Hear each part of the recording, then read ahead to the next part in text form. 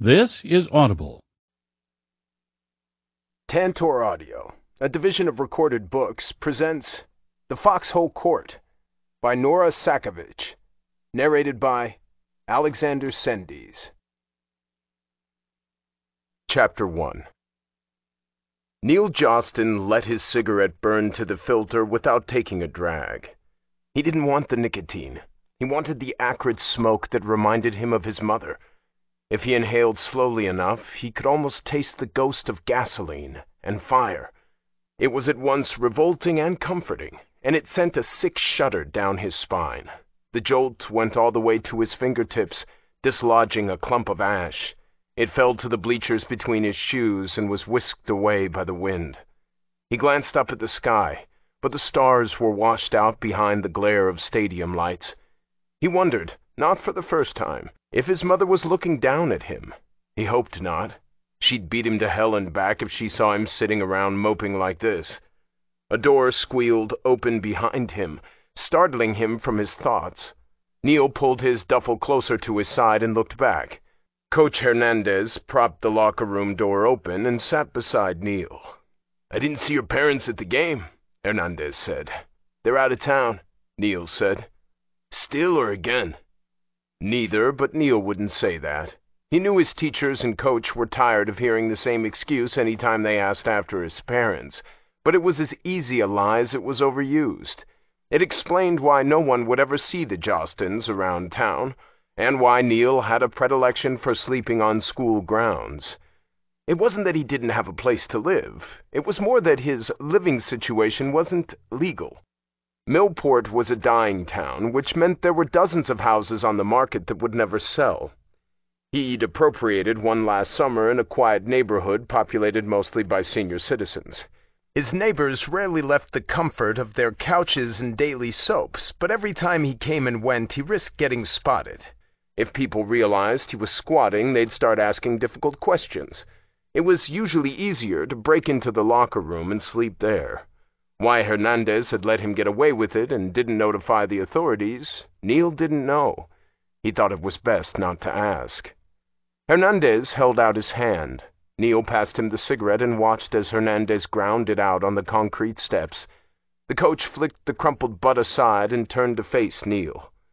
I thought they'd make an exception tonight, he said. No one knew it'd be the last game, Neil said, looking back at the court. Millport's loss tonight booted them from state championships two games from finals. So close, too far. The season was over just like that. A crew was already dismantling the court, unhinging the plexiglass walls and rolling astroturf over the hard floor. When they were done, it'd be a soccer field again. There'd be nothing left of Exy until fall. Neil felt sick watching it happen, but he couldn't look away.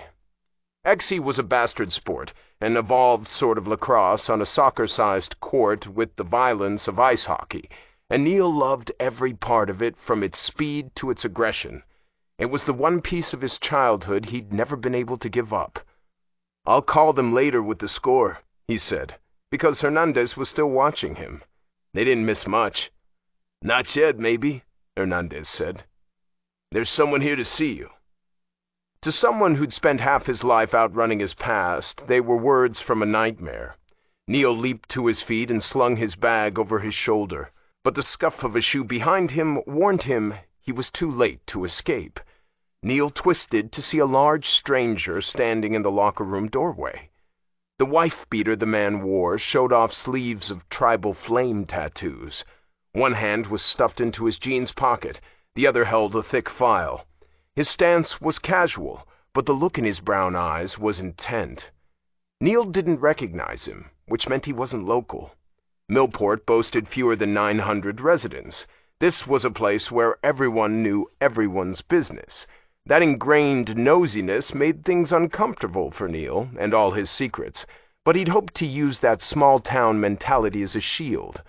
Gossip about an outsider should have reached him before this stranger did. Millport had failed him. I don't know you, Neil said. He's from a university, Hernandez said. He came to see you play tonight. Bullshit, Neil said. No one recruits from Millport. No one knows where it is. There's this thing called a map, the stranger said. You might have heard of it? Hernandez sent Neil a warning look and got to his feet. He's here because I sent him your file. He put out a note out saying he was short on his striker line, and I figured it was worth a shot. I didn't tell you because I didn't know if anything would come of it, and I didn't want to get your hopes up. Neil stared. You did what? I tried contacting your parents when he asked for a face-to-face tonight, but they haven't returned my messages. You said they'd try to make it. They did, Neil said. They couldn't. I can't wait for them, the stranger said, coming down to stand beside Hernandez. It's stupid late in the season for me to be here, I know, but I had some technical difficulties with my last recruit. Coach Hernandez said you still haven't chosen a school for fall. Works out perfectly, doesn't it? I need a striker sub, and you need a team. All you have to do is sign the dotted line and you're mine for five years.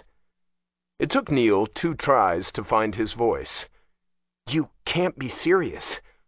Very serious, and very out of time, the man said.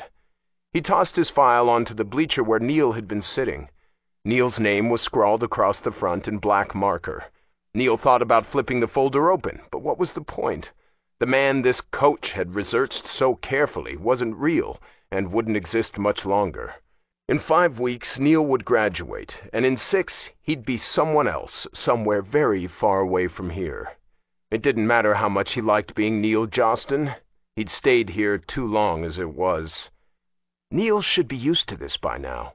He'd spent the last eight years on the run, spinning lie after lie to leave a twisted trail behind him. Twenty-two names stood between him and the truth, and he knew what would happen if anyone finally connected the dots. Signing with the college team meant more than standing still. It meant he'd be stepping into a spotlight. Prison couldn't stop his father for long, and Neil wouldn't survive a rematch with him. The math was simple, but that didn't make this any easier. That contract was a one-way ticket to a future, something Neil could never have, and he wanted it so badly he ached. For a blinding moment he hated himself for ever trying out for Millport's team. He'd known better than to step on a court. His mother told him he'd never play again. She'd warned him to obsess from a distance, and he'd disobeyed her. But what else was he supposed to do? He'd run aground in Millport after her death because he didn't know how to go on without her. This was the only thing he had left that was real. Now that he'd had a taste of it again, he didn't know how to walk away from it. Please go away, he said. It's a bit sudden, but I really do need an answer tonight. The committee's been hounding me since Janie got locked up. Neil's stomach hit his shoes at that name. He snapped his gaze from the folder to the coach's face. Foxes, he said. Palmetto State University. The man, who Neil now knew had to be Coach David Wymack, looked surprised at how quickly he put it together. I guess you saw the news. Technical difficulties, he'd said. It was a nice way of saying his last recruit, Janie Smalls, tried to kill herself. Her best friend found her bleeding out in a bathtub and got her to a hospital just in time. Last Neil heard, the girl was on suicide watch in a psychiatric ward. Typical of a fox, the anchorman had said in crass aside, and he wasn't exaggerating. The Palmetto State University Foxes were a team of talented rejects and junkies because Wymack only recruited athletes from broken homes.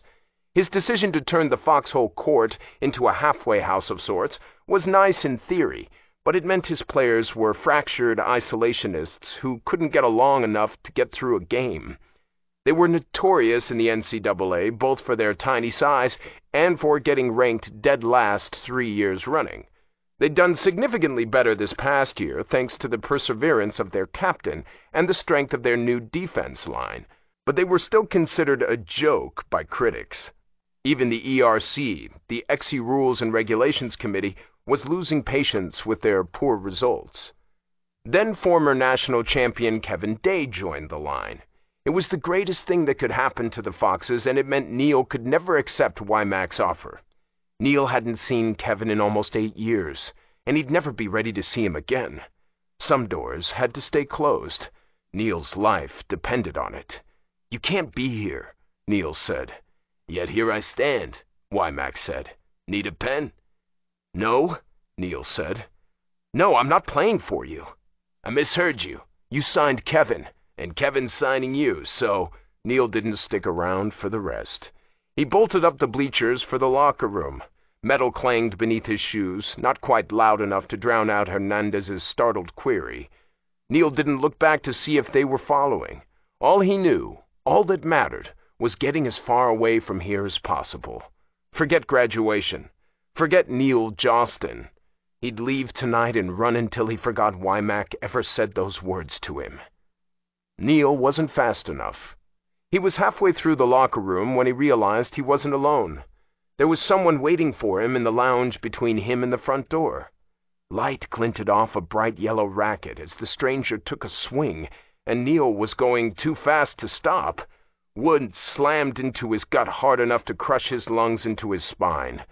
He didn't remember falling, but suddenly he was on his hands and knees, scrabbling ineffectually at the floor as he tried to breathe. He'd puke if he could only manage that first gasp, but his body refused to cooperate. The buzzing in his ears was Wymack's furious voice, but he sounded a thousand miles away. God damn it, Minyard! This is why we can't have nice things! Oh, Coach, someone said over Neil's head. If he was nice, he wouldn't be any use to us, would he? He's no use to us if you break him. You'd rather I let him go, put a band-aid on him, and he'll be as good as new. The world crackled black, then came into too sharp focus as air finally hit Neil's tortured lungs. Neil inhaled so sharply he choked, and every racking cough threatened to shake him apart. He wrapped an arm around his middle to hold himself together and slanted a fierce look up at his assailant. Wymack already said the man's name, but Neil didn't need it. He'd seen this face in too many newspaper clippings to not know him on sight. Andrew Minyard didn't look like much in person, blond and five feet even, but Neil knew better. Andrew was the Foxes' freshman goalkeeper and their deadliest investment. Most of the Foxes were self-destructive, whereas Andrew seemed keen on collateral damage. He'd spent three years at a juvie facility and barely avoided a second term. Andrew was also the only person to ever turn down the first-ranked Edgar Allan University. Kevin and Rico themselves set up a meet and greet to welcome him to the line, but Andrew refused and joined the dead last Foxes instead.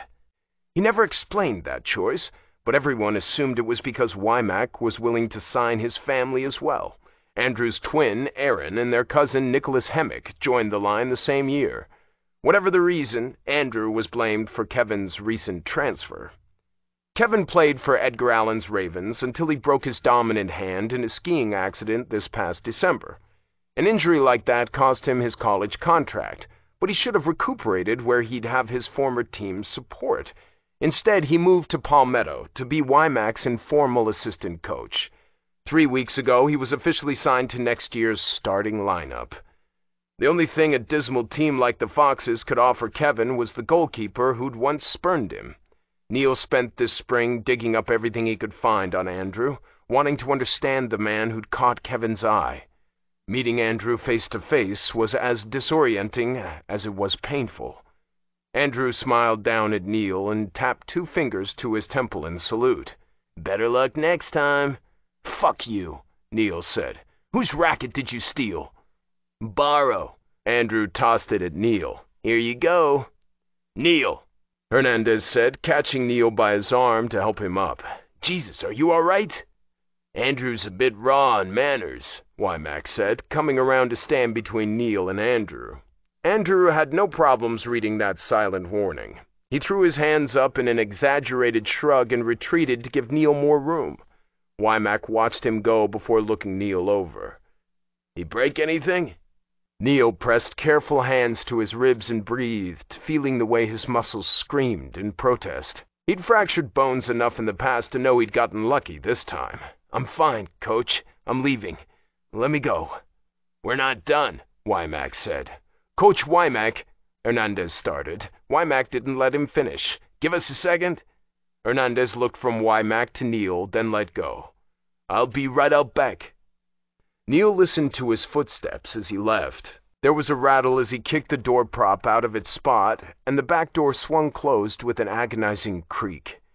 Neil waited for it to click before speaking again. I already gave you my answer. I won't sign with you. You didn't listen to my whole offer, Wymack said. If I paid to fly three people out here to see you, the least you could do is give me five minutes, don't you think? The blood left Neil's face so fast the world tilted. He took a stumbling step back from Wymack, a desperate search for both balance and room to breathe. His duffel banged into his hip and he knotted a hand around its strap, needing something to hold on to. You didn't bring him here. Wymack stared hard at him. Is that a problem? Neil couldn't tell him the truth, so he said, I'm not good enough to play on the same court as a champion. True, but irrelevant, a new voice said, and Neil stopped breathing. He knew better than to turn around, but he was already moving. He should have guessed when he saw Andrew here, but he hadn't wanted to think it. There was no reason for a goalkeeper to meet a potential striker. Andrew was only here because Kevin Day never went anywhere alone. Kevin was sitting on top of the entertainment center along the back wall. He'd pushed the TV off to one side to give himself more room and covered the space around him with papers. He'd watched this entire spectacle and, judging by the look on his face, was unimpressed by Neil's reaction. It had been years since Neil stood in the same room as Kevin, years since they'd watched Neil's father cut a screaming man into a hundred bloody pieces. Neil knew Kevin's face as well as he knew his own the consequence of watching Kevin grow up in the public eye from a thousand or more miles away. Everything about him was different. Everything was the same. From his dark hair and green eyes to the black number two tattooed onto his left cheekbone, Neil saw that number and wanted to retch. Kevin had that number back then, too, but he'd been too young to have it done permanently. Instead, he and his adopted brother Rico Moriyama wrote the numbers 1 and 2 on their faces with markers, tracing them over and over any time they started to fade. Neil didn't understand it then, but Kevin and Rico were aiming for the stars. They were going to be famous, they promised him. They were right. They had professional teams and played for the Ravens. Last year they were inducted to the national team, the U.S. court. They were champions, and Neil was a jumble of lies and dead ends. Neil knew Kevin couldn't recognize him. It'd been too long. They'd both grown up a world apart. Neil had further disguised his looks with dark hair dye and brown contacts. Why else would Kevin Day be here looking for him? No Class 1 school would stoop so low, not even the Foxes. Neil's record said he'd only been playing Exy for a year. He'd been very careful this year to act like a know-nothing, even loading up on and lugging around how-to books last fall. It was easy to pretend at first, since he hadn't picked up a racket in eight years. The fact he was playing a different position now than he'd played at Little League helped, since he had to relearn the game from a new perspective. He'd had an enviable and unavoidable learning curve, but he'd still fought hard to not shine. Had he slipped? Had it been too obvious that he had past experience he wasn't talking about? How had he caught Kevin's eye, despite his best attempts to stay hidden? If it was that easy for Kevin, what sort of beacon was he sending to his father's people? What are you doing here? he asked through numb lips. Why were you leaving? Kevin asked. I asked you first.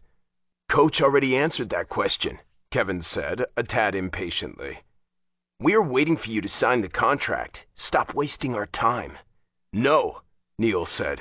There are a thousand strikers who jump at the chance to play with you. Why don't you bother them? We saw their files, Wymack said. We chose you. I won't play with Kevin. You will, Kevin said. Wymack shrugged at Neil. Maybe you haven't noticed, but we're not leaving here until you say yes. Kevin says we have to have you, and he's right. We should have thrown away your coach's letter the second we opened it, Kevin said. Your file is deplorable, and I don't want someone with your inexperience on our court. It goes against everything we're trying to do with the Foxes this year. Fortunately for you, your coach knew better than to send us your statistics. He sent us a tape so we could see you in action instead. You play like you have everything to lose. His inexperience. If Kevin remembered him, he'd know that file was a lie. He'd know about Neil's Little League teams. He'd remember the scrimmage interrupted by that man's murder. That's why, Neil said quietly. That's the only kind of striker worth playing with. Relief made Neil sick to his stomach. Kevin didn't recognize him, and this was just a horrible coincidence. Maybe it was the world's way of showing him what could happen if he stayed in the same place for too long. Next time it might not be Kevin. Next time it might be his father. It actually works in our favor that you're all the way out here, Wymack said. No one outside of our team and school board even knows we're here. We don't want your face all over the news this summer. We've got too much to deal with right now, and we don't want to drag you into the mess until you're safe and settled at campus. There's a confidentiality clause in your contract. Says you can't tell anyone you're ours until the season starts in August. Neil looked at Kevin again, searching for his real name on Kevin's face. It's not a good idea. Your opinion has been duly noted and dismissed, Wymack said. Anything else? Or are you going to start signing stuff? The smart thing to do was bail. Even if Kevin didn't know who he was, this was a terrible idea. The Foxes spent too much time in the news, and it'd only get worse with Kevin on the line. Neil shouldn't submit himself to that sort of scrutiny. He should tear Wymack's contract into a thousand pieces and leave. Leaving meant living, but Neil's way of living was survival, nothing more. It was new names and new places and never looking back. It was packing up and going as soon as he started to feel settled. This last year, without his mother at his side, it meant being completely alone and adrift. He didn't know if he was ready for that. He didn't know if he was ready to give up Exy again, either. It was the only thing that made him feel real. Wymack's contract was permission to keep playing and a chance to pretend at being normal a little while longer. Wymack said it was for five years, but Neil didn't have to stay that long. He could duck and run whenever he pleased, couldn't he? He looked at Kevin again. Kevin didn't recognize him, but maybe some part of him remembered the boy he'd met so many years ago. Neil's past was locked in Kevin's memories. It was proof he existed, same as this game they both played. Kevin was proof Neil was real. Maybe Kevin was also the best chance Neil had at knowing when to leave again. If he lived, practiced, and played with Kevin, he'd know when Kevin started to get suspicious. The second Kevin started asking questions or looking at him funny, Neil would split. Well? Wymack asked. Survival instincts warred with need and twisted into an almost debilitating panic. I have to talk to my mother, Neil said, because he didn't know what else to say. What for? Wymack asked. You're legal, aren't you? Your file says you're 19. Neil was 18, but he wasn't going to contradict what his forged paperwork said. I still need to ask. She'll be happy for you. Maybe, Neil agreed quietly, knowing it was a lie. If his mother knew he was even considering this, she'd be furious. It was probably a good thing she'd never know, but Neil didn't think good was supposed to feel like a knife in his chest. I'll talk to her tonight. We can give you a lift home. I'm fine. Wymack looked at his foxes. Go wait in the car. Kevin gathered his files and slid off his perch. Andrew waited for Kevin to catch up and let him out of the locker room. Wymack waited until they were gone, then turned a serious look on Neil. You need one of us to talk to your parents? I'm fine, Neil said again. Wymack didn't even try for subtlety with his next question. Are they the ones who hurt you? Neil stared at him at a complete loss. It was blunt enough to be rude on so many levels, but there wasn't a good place to start answering it. Wymack seemed to realize that, because he pushed on before Neil could respond. Let's try that again. The reason I'm asking is because Coach Hernandez guesses you spend several nights a week here. He thinks there's something going on since you won't change out with the others or let anyone meet your parents. That's why he nominated you to me. He thinks you fit the line. You know what that means, right? You know the people I look for. I don't know if he's right, he said, but something tells me he's not far off. Either way, the locker room's going to be shut down once the school year ends.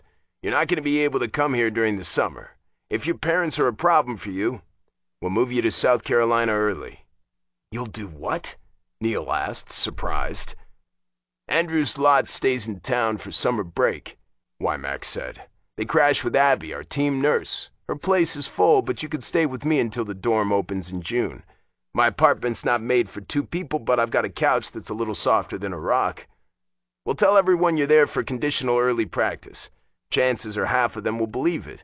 You won't be able to fool the rest, but that doesn't matter. Foxes are foxes for a reason, and they know we wouldn't sign you if you didn't qualify. That doesn't mean they know specifics. It's not my place to ask, and I'm sure as hell not going to tell them.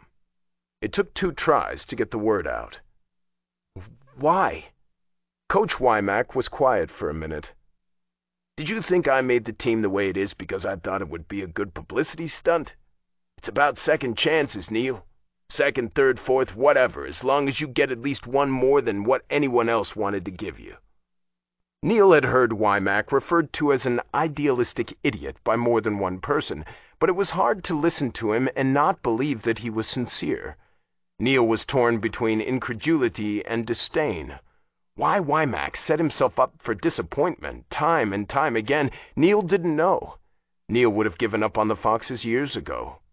Wymack gave him a second to think before asking again, Are your parents going to be a problem? It was too much to take a chance on, but too much to walk away from.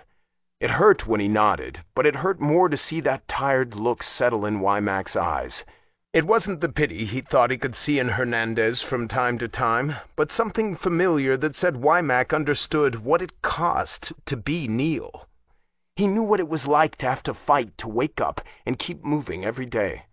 Neil doubted the man could ever really understand, but even that tiny bit was more than he'd ever gotten in his life. Neil had to look away. Your graduation ceremony is May 11th, according to your coach, Wymack said at length. We'll have someone pick you up from Upstate Regional Airport Friday the 12th. Neil almost pointed out that he hadn't agreed to anything yet, but the words died in his throat as he realized he really was going.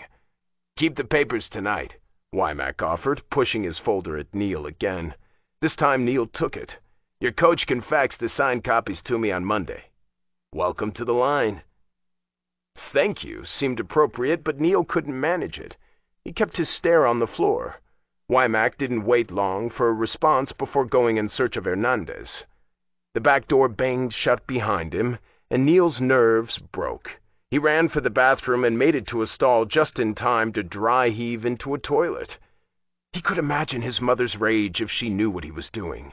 He remembered too well the savage yank of her hands in his hair, all these years spent trying to keep moving and hidden, and now he was going to destroy their hard work.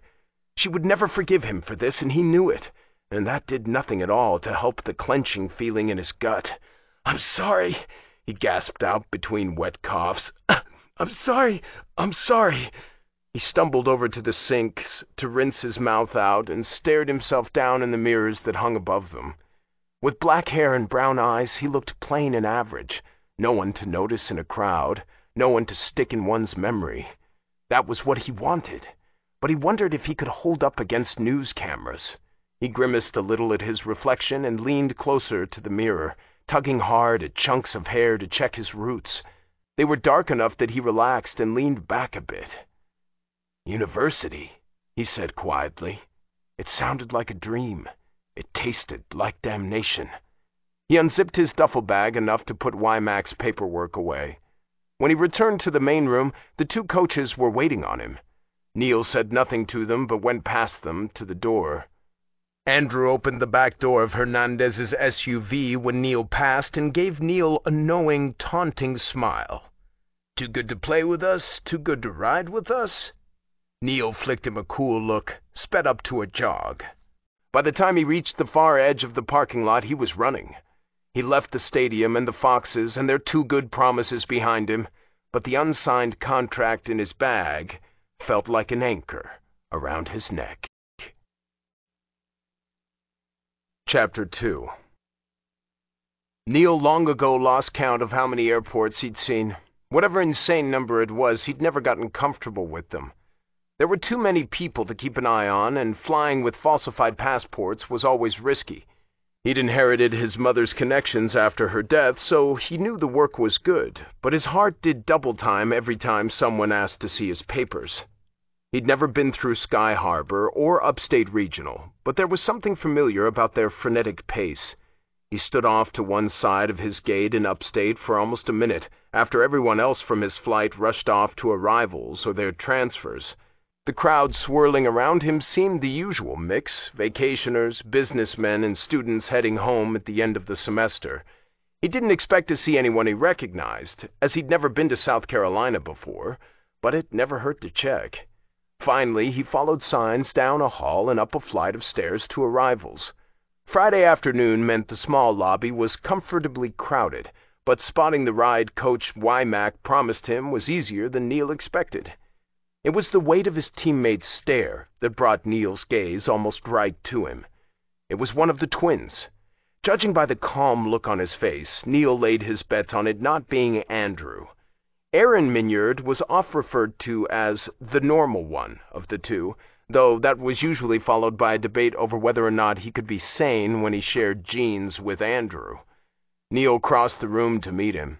Neil had been the shortest player on the Millport Dingo line, but he had three inches on Aaron. The all-black ensemble Aaron wore did nothing to make him look any taller, and Neil wondered how he could stand wearing long sleeves in May. Neil felt hot just looking at him. Neil, Aaron said in lieu of hello, and he pointed. Baggage claim. Just this? Neil tapped the strap of the duffel bag hanging off his shoulder. The bag was small enough to be a carry-on and large enough to carry everything Neil owned. Aaron accepted that without comment and started away. Neil followed him through sliding glass doors into a muggy summer afternoon. A small crowd was waiting at the crosswalk for the light, but Aaron pushed right through them into the street. Brakes screeched as a taxi slammed to a stop inches from Aaron's pint-sized body. Aaron didn't seem to notice, more interested in getting a cigarette lit and between his lips.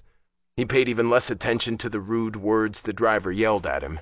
Neil made an apologetic gesture at the cabbie and jogged to catch up. A sleek black car was parked six rows back in the short-term parking garage. Neil didn't know much about cars in general, but he knew expensive when he saw it. He thought for a moment there must be a smaller car out of sight behind it, but Aaron unlocked it with a button on his keychain. Bag in the trunk, he said, opening the driver's door and sitting sideways in the seat to smoke. Neil obediently put his duffel in the back before climbing in the passenger seat. Aaron didn't go anywhere until his cigarette was half gone. He flicked the butt onto the concrete at his feet and tugged the door closed. A twist of the key in the ignition got the engine humming, and Aaron glanced at Neil again. The ghost of a smile tugged at one corner of his mouth, but it was a decidedly unfriendly expression. Neil Josten, he said again, as if testing the way it sounded. Here for the summer, hm? Yes? Aaron cranked the air conditioning up as high as it could go and put the car in reverse. That makes five of us, but word is you're going to stay with Coach. Coach Wymack warned Neil the cousins Andrew, Aaron, and Nicholas would be in town, but it still didn't add up. Neil knew who that fifth person had to be. He didn't want to believe it, even as he knew he should have expected it. Kevin had been glued to Andrew's side since his transfer. Still, Neil had to be sure. Kevin stays on campus? he asked. Where the court is, Kevin is. Can't exist without it, Aaron said derisively. I didn't think it was the court Kevin was staying for, Neil said. Aaron didn't answer. It was a short drive to the parking lot exit, and Aaron had cash ready for the lady at the booth. As soon as the bar lifted to let them out, he stepped down on the gas. A horn sounded at them in warning as they cut right into traffic, and Neil discreetly tightened his buckle. Aaron either didn't notice or didn't care. When they were on the road, he flicked Neil a sideways look. I hear you didn't hit it off with Kevin last month. No one warned me he was going to be there, Neil answered, watching the scenery rush by outside the window. Maybe you'll forgive me for not reacting well. Maybe I won't. I don't believe in forgiveness, and it wasn't me you offended. That's the second time a recruit has told him to fuck off. If it was possible to dent that arrogance of his, his pride would have shreds through it. Instead, he's losing faith in the intelligence of high school athletes. I'm sure Andrew had his reasons for refusing, same as me. You said you weren't good enough, but here you are anyway. You think a summer of practices will make that much of a difference? No, Neil said. It was just too hard to say no. Coach always knows what to say, hmm? It makes it harder on the rest of us, though. Not even Millport should have taken a chance on you. Neil shrugged. Millport's too small to care about experience. I had nothing to lose by trying out, and they had nothing to gain by refusing me. It was a matter of being in the right place at the right time, I guess. Do you believe in fate? Neil heard the faint scorn in the other man's voice. No? Do you? Luck, then, Aaron said, ignoring that return question. Only the bad sort. We're flattered by your high opinion of us, of course. Aaron pulled at the wheel, sliding the car from one lane to the other without bothering to check the traffic around him. Horns blared behind them. Neil watched in the rearview mirror as cars swerved to avoid hitting them. It's too nice of a car to wreck, he said pointedly. Don't be so afraid to die, Aaron said as the car kept gliding across the four-lane road to an exit ramp. If you are, you have no place on our court. We're talking about a sport, not a death match. Same difference, Aaron said. You're playing for a Class 1 team with Kevin on your line. People are always willing to bleed for him. You've seen the news, I assume? I've seen it, Neil said. Aaron flicked his fingers as if that proved his point. Neil would be hard-pressed to say he was wrong, so he let it slide. Kevin Day and his adoptive brother, Rico Moriyama, were hailed as the sons of Exy. Kevin's mother, Kayleigh Day, and Rico's uncle, Tetsuji Moriyama, created the sport roughly 30 years ago while Kayleigh was studying abroad in Fukui, Japan. What started as an experiment spread from their campus to local street teams, then across the ocean to the rest of the world. Kayleigh brought it home with her to Ireland after completing her degree, and the United States picked it up soon after. Kevin and Rico were raised on Exy. When Edgar Allan's massive stadium Castle Evermore, the first NCAA Exy stadium in the United States, was little more than blueprints, Kevin and Rico had custom rackets. After Kayleigh's fatal car accident, Tetsuji took Kevin in, but the Ravens' new coach had no time to raise children. Rico and Kevin spent their formative years at Evermore with the Ravens instead and were considered the team's unofficial mascots. When they weren't being coached by Tetsuji, they were coached by the team, and tutors were brought on site so they wouldn't have to leave the stadium for school. Kevin and Rico grew up in front of cameras, but always with Exy as a backdrop and always together. Until Kevin transferred to Palmetto State, he and Rico were never seen in separate rooms. Their unconventional childhood led many to worry about their psychological well-being, but also fueled a rabid obsession with the pair. Rico and Kevin were the face of the Ravens. To many, they were considered the future of Exy. Last December, Rico and Kevin vanished from the public eye for weeks. When spring championships started in January, neither man was on the Ravens starting lineup. It wasn't until the end of January that Tetsuji Moriyama addressed the topic at a press conference, and the news was a cruel blow to Exy fans everywhere. Kevin Day had broken his playing hand on a skiing trip. According to Tetsuji, Kevin and Rico were too devastated to face either the Ravens or their upset fans just yet. The next day, Coach Wymack told the press Kevin was recuperating in South Carolina. Hearing Kevin would never play again was bad. Finding out he'd left the Ravens was somehow worse for his obsessive fans. If Kevin was relegated to the sidelines as an assistant coach, he should at least lend his prestige and knowledge to his home team. Fans took offense on their beloved team's behalf, but most everyone assumed he'd transfer back as soon as his hand was finished healing. Except Kevin Day signed with the Foxes in March, not as a coach, but a striker. His fans went from feeling heartbroken to feeling betrayed. Palmetto State had borne the brunt of that rage since. The university and stadium had been vandalized upwards of a dozen times, and there'd been numerous fights on campus. It would only get worse when the season started and people saw Kevin wearing the Fox's colors. Neil wasn't looking forward to getting in the middle of that mess. The apartment complex where Wymack lived was a 20-minute drive from the airport. The parking lot was mostly empty since it was mid-afternoon on a workday, but there were three people waiting on the sidewalk. Aaron was the first out, and he aimed the keyring at the back of the car. Neil heard locks pop as he climbed out of the car. Aaron went to meet the others at the curb while Neil retrieved his duffel bag from the trunk. Neil slung it over his shoulder, relaxing a little at the familiar weight of it, and pushed the trunk closed. When he looked up, he was the center of attention. The twins were standing to either side of Kevin, dressed identically but easily distinguishable by the looks on their faces. Aaron looked bored now that he'd fulfilled his duty in getting Neil here. Andrew was smiling, but Neil knew his cheer didn't mean he was going to play nice. He'd been smiling when he smashed a racket into Neil's stomach, too. Nicholas Hemmick was the only one who looked genuinely happy to see Neil, and he stepped up to the curb at Neil's approach.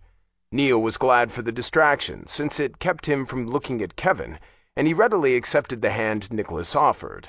Hey, the other man said, using his grip on Neil's hand to pull him up onto the curb. Welcome to South Carolina. Flight go okay? It was fine, Neil said. I'm Nicky. Nicky gave Neil's hand another hard squeeze before letting go. Andrew and Aaron's cousin, backliner extraordinaire. Neil looked from him to the twins and back again. Where the twins were light, Nicky was dark, with jet black hair, dark brown eyes, and skin two shades too dark to be a tan. He also had the better part of a foot on them. By blood? Nicky laughed. Don't look it, right?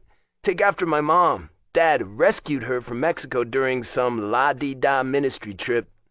He made a show of rolling his eyes, then jerked a thumb at the others. You already met them, right? Aaron, Andrew, Kevin? Coach was supposed to be here to let you in, but he had to head up to the stadium real quick. The ERC called him, probably with more BS about how we haven't publicized our sub yet.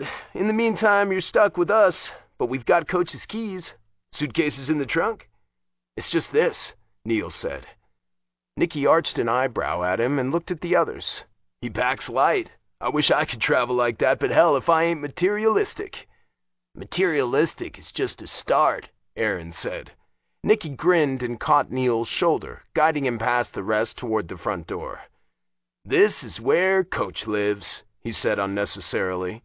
He makes all the money, so he gets to live in a place like this while we poor people couch surf. You have a nice car for someone who thinks he's poor, Neil said. That's why we're poor, Nicky said dryly. Aaron's mother bought it for us with her life insurance money, Andrew explained. It's no surprise she had to die to be worth anything. Easy, Nicky said, but he was looking at Aaron when he said it. Easy, easy. Andrew lifted his hands in a careless shrug. Why bother? It's a cruel world, right, Neil? You wouldn't be here if it wasn't. It's not the world that's cruel, Neil said. It's the people in it. Oh, so true. They rode the elevator up to the seventh floor in silence. Neil watched the numbers tick above the doors so he wouldn't look at Kevin's reflection. Unease over being so high off the ground was almost distraction enough. He preferred staying to lower levels so he could make an easy escape if need be. Jumping out the window here was definitely out of the question. He made a mental note to find any and all fire escapes. Wymack's apartment was number 724. They gathered around the door so Aaron could dig the key out of his pocket. It took him two tries to remember which one he'd put it in. Neil didn't notice when he found it and unlocked the door. He was too busy staring at Aaron's pants pockets. They were much too flat to be hiding a pack of cigarettes, but Neil had seen Aaron put the pack away before crossing the street at the airport. Here you go, Neil, Nicky said, and Neil forced his gaze up to the open doorway. Nicky gestured for him to precede them. Home, sweet home, if anything involving Coach can be called sweet. Neil had known since April he'd be crashing on Coach Wymack's couch for a couple weeks. He'd known, in the days following Wymack's visit, that it would be uncomfortable. He still wasn't prepared for the way his stomach roiled inside him now. He'd been on his own since his mother died, and the last man he'd lived with was his father. How was he supposed to let Wymack lock the door every night with both of them under the same roof? He couldn't possibly sleep here. Every time Wymack breathed, Neil would wake up and wonder who was after him. Maybe he should back out and check into a hotel, but how was he supposed to explain that to Wymack? Would he have to explain? Wymack thought Neil's parents were abusive, so maybe he'd understand Neil's reticence. He hadn't expected to lock up like this, and he'd hesitated too long. He saw the look Nicky sent Aaron, curious and confused, and knew he'd made a mistake. Still, it wasn't until Andrew stepped up alongside him to see what the holdup was that Neil could move again. Andrew was smiling, but his pale stare was intense. Neil met his eyes for only a moment, and knew it was worse to stay out here with them than it was to cross that threshold. He'd figure it out, but not here and not now, not with Andrew and Kevin as witnesses. Neil stepped over the threshold and started down the hall. The first doorway opened up into the living room Neil would be sleeping in. The couch Wymack had referenced was cleared off and even had a sticky note tacked to it saying that the blankets were in the coffee table drawer. It was the only clean surface in the room. Everything else was covered in paperwork and empty coffee mugs. Overflowing ashtrays were an unhealthy abundance as well. Neil was halfway across the room to look out the window when Nicky spoke up behind him. What was that all about? Neil's blood turned to slush. It wasn't the words that got him, but the language Nicky used. German was Neil's second language, thanks to three years spent living in Austria, Germany, and Switzerland. He remembered Europe more than he wanted to. Most of their time there had been a cold mess. He knew the tang of blood in his mouth was just his imagination, but it was sharp enough to choke him. He could feel his heart beat on every inch of his skin, going so fast it set him trembling head to toe. How did they know he spoke German? Neil had half a mind to run for it, but then Aaron answered, and Neil realized with a sick rush Nicky wasn't talking to him. No, they were talking about him, not intending for him to understand. Neil forced himself to move, finishing his trip to the window. He pushed the curtains back and put his hands to the glass, needing something to steady him while his heart tried to ease back to a normal rhythm. Maybe he was savoring the moment, Aaron said. No, Nicky said. That was pure fight or flight. What the hell did you say to him, Andrew? Neil looked back at them. Nicky wasn't looking at Andrew, maybe already knowing he wasn't going to get an answer, but was watching Neil across the room. When Neil turned, Nicky gave a bright smile and switched back to English. How about a tour? Neil considered saying something, but he'd already given too much away. Sure, there wasn't much to look at. A bathroom and kitchen sat opposite each other, and the bedrooms were at the end of the hall. Wymack had converted the second bedroom into an office. The office made up for the bare living room walls. It was covered with newspaper articles, team photos, outdated calendars, and miscellaneous certificates. Two bookshelves lined the wall, one full of Exy books, the other a mishmash of everything from travel guides to classic literature. Wymack's desk was buried in paperwork, not an inch of wood visible, and Neil's file was on top. Holding down one corner was a hefty prescription bottle. Nicky scooped the bottle up with a triumphant sound and twisted the lid off. That's not yours, Neil said. Painkillers, Nicky said, ignoring that implicit accusation. Code shattered his hip a few years back, you know. That's how he met Abby. She was his therapist, and he got her the job here. Team's still split 50-50 on whether or not they're boning. Andrew refuses to vote, which means you're the tiebreaker. Let us know ASAP. I've got money riding on it. He shook a couple pills into his hand, screwed the lid on, and put the bottle back. Neil looked to see what the others thought of this, but Andrew and Kevin had vanished. Only Aaron remained, and he didn't look at all concerned.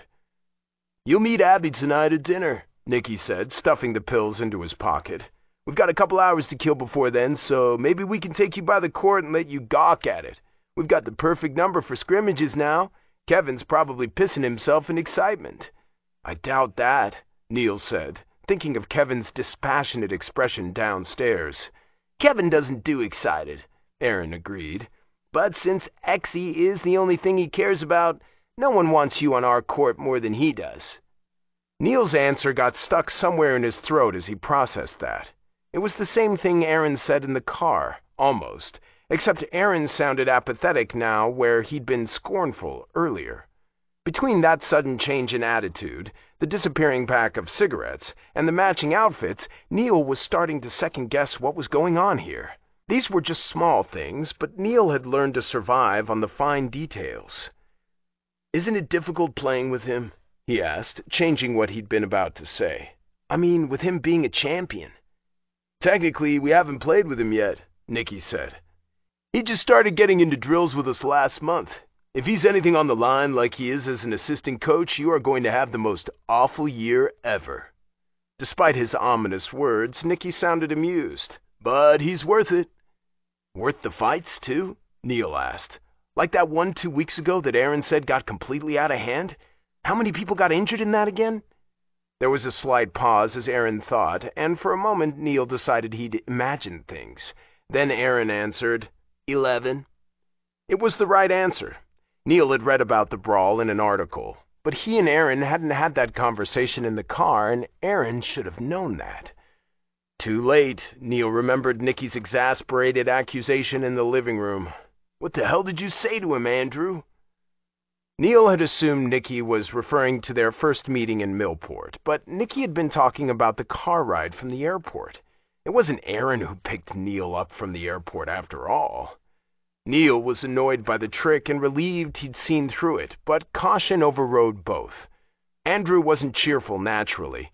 His mania was drug-induced and court-regulated. Two years ago, some men attacked Nicky outside of a nightclub. Andrew was within his rights to defend Nicky, but he'd almost killed the four of them.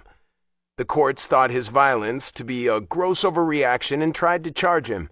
His lawyers struck a deal instead. Andrew would spend some time in intensive therapy, attend weekly counseling, and take medication. After three years of this, they'd let him off his medication long enough to assess his progress. Sobriety at any point before that was a violation of his parole. If the team nurse, Andrew's current psychiatrist, or the court psychiatrist who managed Andrew's parole suspected Andrew wasn't following the rules, they could request a urinalysis. If Andrew failed, he'd be charged. Andrew only had to hold out through spring, but apparently he couldn't wait that long. Neil couldn't believe Andrew would even risk sobriety when the consequences were so steep. He wondered if his arrival had to do with it if Andrew wanted to meet his newest teammate without a hazy mind, or if Andrew just hated spending his summer break drugged to the gills. As if on cue, Andrew appeared in the doorway with a bottle of whiskey in one hand and Kevin at his back. Success! Ready, Neil? Nicky asked. We should probably beat it before Coach shows up. Why? Neil pointed at the liquor. Is this a robbery in progress? Maybe it is. Will you tell Coach on us? Andrew asked, sounding entertained by the notion. So much for being a team player. I guess you really are a fox. No, Neil said, but I would ask him why you're not medicated. There was a heartbeat of startled silence. The only one who didn't react was Andrew. Even Kevin looked surprised. Nicky was the first to find his tongue, but he reverted to German to ask Aaron, Am I crazy? Did I just see that happen? Don't look at me, Aaron said. I prefer an answer in English, Neil said. Andrew put a thumb to the corner of his mouth and dragged it along his lips to erase his smile. That sounds like an accusation, but I didn't lie to you. Omission is the easiest way to lie, Neil said. You could have corrected me. Could have, didn't, Andrew said. Figure it out for yourself. I did, Neil said. He tapped two fingers to his temple, copying Andrew's mocking salute from their first meeting. Better luck next time. Oh, Andrew said. Oh, you might actually turn out to be interesting. For a little while, at least. I don't think the amusement will last. It never does. Don't mess with me. Or what? There was a rattle as someone tested the knob on the front door. Andrew's smile was back in a heartbeat, bright and vacant. He turned to Kevin, and Kevin moved at the same time. The whiskey vanished somewhere between them in a practiced move. Hi, Coach, Andrew called over his shoulder. Do you have any idea how much I hate coming home and finding you in my apartment? Wymack demanded from out of sight. Andrew held up his empty hands in an innocent gesture no one believed and stepped into the hallway. Aaron and Kevin went after him, presumably with the alcohol tucked between their bodies, and left Nicky and Neil in the office. I didn't break anything this time, Andrew said. I'll believe that after I've checked everything I own. The door slammed down the hall, and it wasn't long before Coach stepped into his office doorway. Clad in jean shorts and a faded tee, Wymack looked more like a garage band rocker than a university coach. Neil guessed he didn't have to look presentable on his home turf, but it was still disorienting. Wymack gave Neil a once-over and nodded. I see you made it all right. I was pretty sure Nicky's driving was going to get you killed. Neil felt Nicky watching him and said, I've survived worse. There is no surviving worse driving than that, idiots, Wymack said. It's just open casket or closed. Hey, hey, Nicky said. That's not fair. Life isn't fair, Tweedledum. Get over it. What are you still doing here? Leaving, Andrew said. Goodbye. Is Neil coming too? Going where? Wymack asked, looking suspicious. Geez, Coach, what kind of people do you think we are? Nicky asked. Do you really want me to answer that? We're taking him to the court, Aaron said. We can give him a lift to Abby's after. You didn't need him, did you? Just to give him this, Wymack said, and Neil snagged the keys tossed his way. There were two rings looped together, two keys on one and three on the other. Neil eyed them as Wymack ticked them off on his fingers. Long key is for when the front gate closes at night. Small one gets you into the apartment. The others are for the stadium, outer door, gear room, and court doors. Kevin has a matching set, so make him show you which is which. I expect you to make as much use of them as he does. Thank you, Neil said, clenching his fingers tight enough around them he could feel the teeth digging into his palm. He felt steadier with them in his hand. It didn't matter where he was sleeping or what tricks Andrew was up to. There was a court here, and he had permission to play on it. I will. Blatant favoritism, Coach, Andrew said. If you ever went to the court of your own volition, maybe I'd give you a set too, Wymack said. Since I don't see that happening any time this lifetime or next, you can shut up and share with Kevin. Oh, joy, joy, Andrew said. My excited face begins now. Can we go? Get out, Wymack said, and Andrew vanished. Kevin and Aaron followed. When Nicky reached the office doorway, Wymack put a hand in his path to stop him. Don't you dare traumatize him his first day here.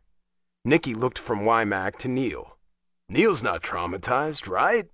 Not yet, Neil said. After a moment's debate, he shrugged his bag off his shoulder.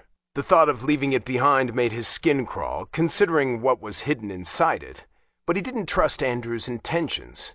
Neil didn't know why Andrew was sober or why he'd picked Neil up from the airport when it now seemed Wymack had tasked Nicky with that responsibility, but he didn't think Andrew was done playing yet. Neil trusted Wymack more than he did Andrew right now and hoped he wasn't making a mistake. Do you have someplace safe I can hide this? he asked. There's space in the living room, Wymack said. Neil glanced at Nicky, wondering how he could elaborate without making them curious enough to pry. He never walked away from his bag unless it was locked up somewhere, usually in his locker at Millport Stadium. Before he could say anything, Wymack gave Nicky an impatient look. Why are you still here? Get out! Rude, Nicky said, but he slipped past Wymack and disappeared down the hall. Wymack looked at Neil again. How safe is safe? Neil had never been an easy read before, but then he'd never let the situation get so completely out of hand either. On the run, his mother had always stayed in control, weaving the perfect stories and choosing ideal marks to help them. Neil had fumbled his way through his transition to Millport, but he could have cut and run at any time if he didn't like the way things were going. This he desperately wanted to make work. For however long, he could hold on to it. It's all I have, Neil said at length. Wymack motioned for Neil to get out of his way.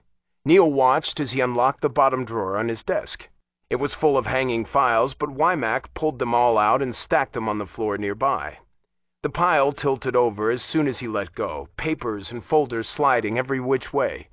Wymack didn't even seem to notice, too busy digging a tiny key off his key ring.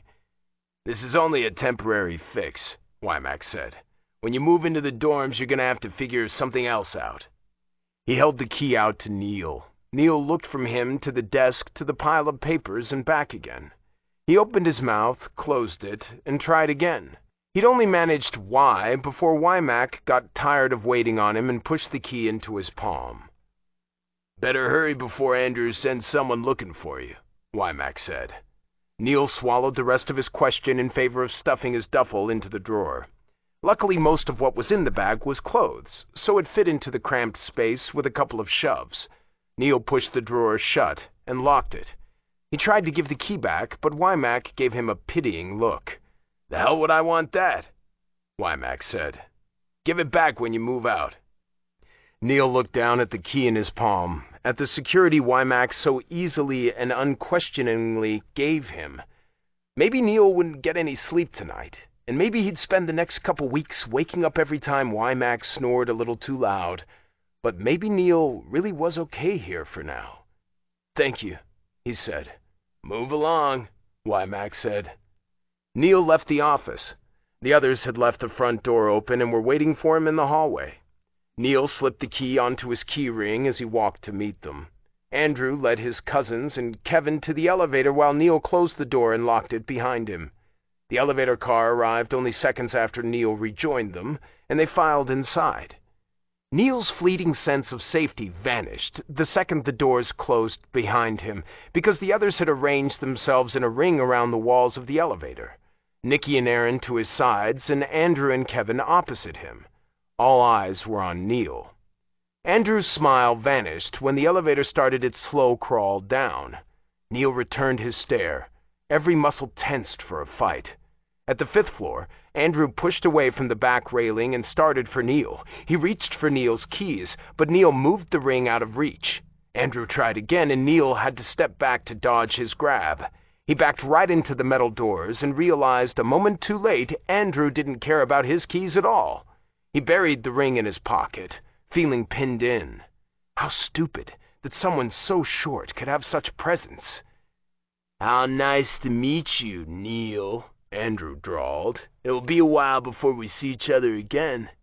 Somehow, I don't think I'm that lucky. Like this, Andrew clarified, gesturing between their faces. It'll have to wait until June. Abby threatened to revoke our stadium rights for the summer if we break you sooner than that. Can't have that, can we? Kevin would cry.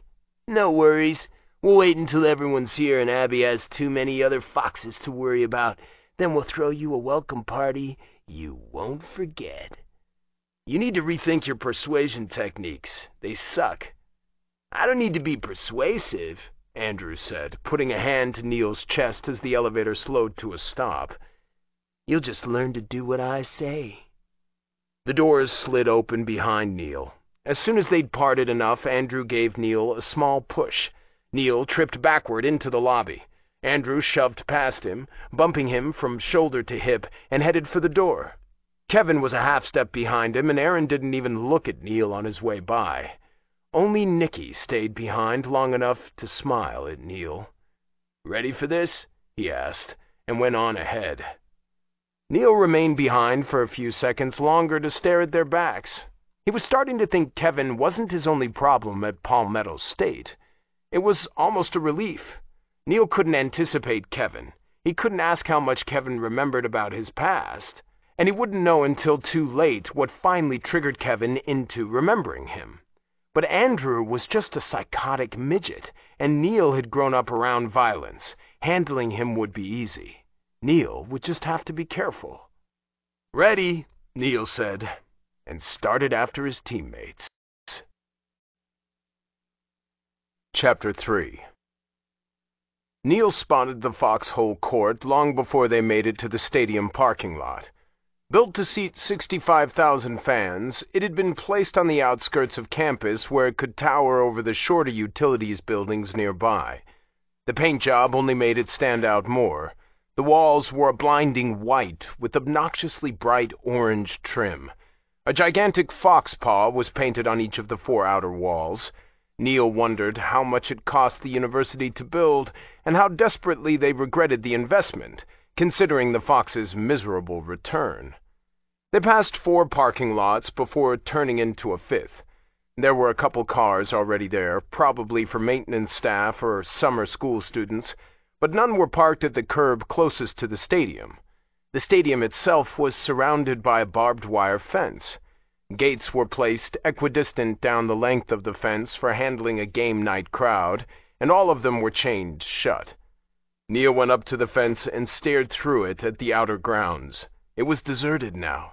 The souvenir stands and food stalls boarded up until the season started again, but he could imagine what it'd look like in a couple months. It made every hair on his body stand on end, and his heartbeat echoing in his ears sounded like an exy ball rebounding off a court wall. Nicky clapped a hand to Neil's shoulder. All the orange grows on you, he promised. Neil twisted his fingers through the metal links and wished he could break the fence down. Let me in.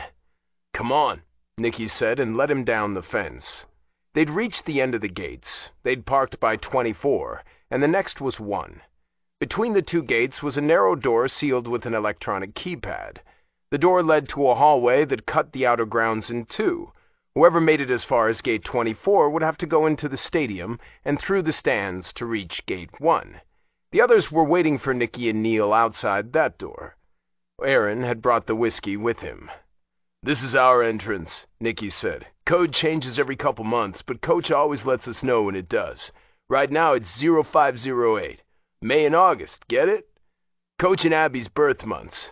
Told you they were boning. When's your birthday? It was in March. Neil lied. Oh, we missed it. We recruited you in April, so that should count as the world's greatest present. What'd your girlfriend get you? Neil looked at him. What?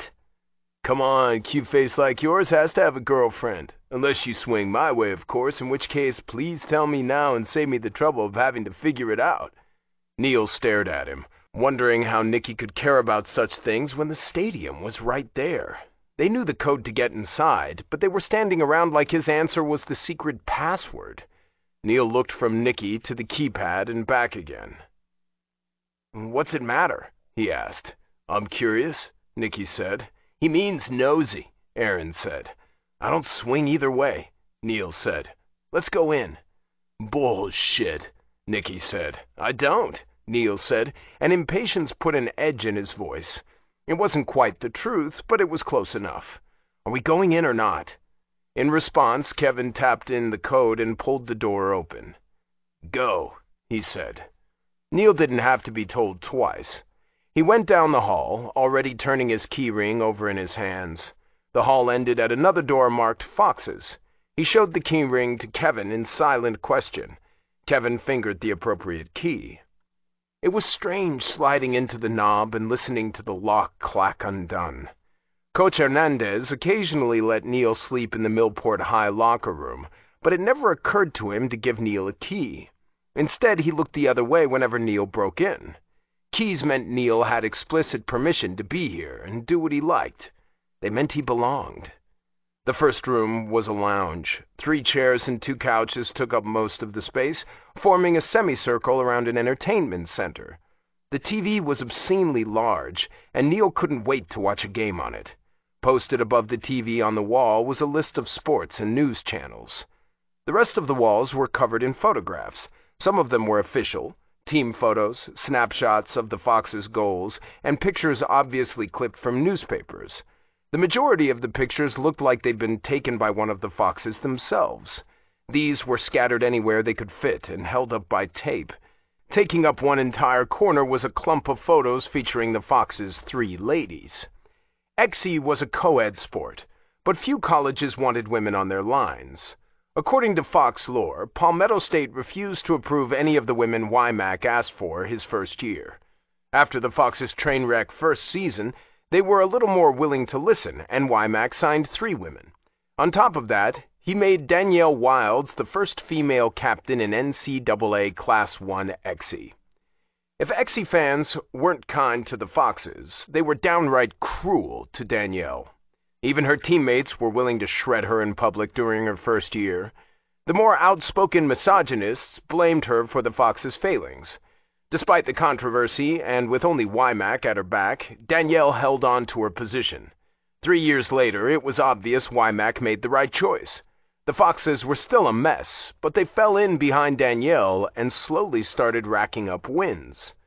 Neil's mental picture of Danielle was that of an aggressive and unrelenting woman. But the pictures he was looking at undermined that impression. Danielle was smiling in every photo, a toothy grin that was equal parts menace and mirth. Nicky noticed his distraction and tapped the faces in the closest photograph. Dan, Renee, and Allison. Dan's good people, but she'll work you to the bone. Allison's a catty bitch you should avoid at all costs. Renee's a sweetheart. Be nice to her. Or else? Neil asked, because he could hear it in Nicky's tone. Nicky only smiled and shrugged. Let's go, Kevin said. Neil followed him out of the lounge. A hallway led from the lounge past two office doors labeled David Wymack and Abigail Winfield. A door with a simple red cross on it was next. Further down, two doors opposite each other were marked Ladies and Gentlemen. Kevin pushed open the gentleman door a bit, showing Neil a quick glimpse of bright orange lockers, benches, and tiled floor. Neil wanted to explore, but Kevin wasn't slowing on his way down the hall.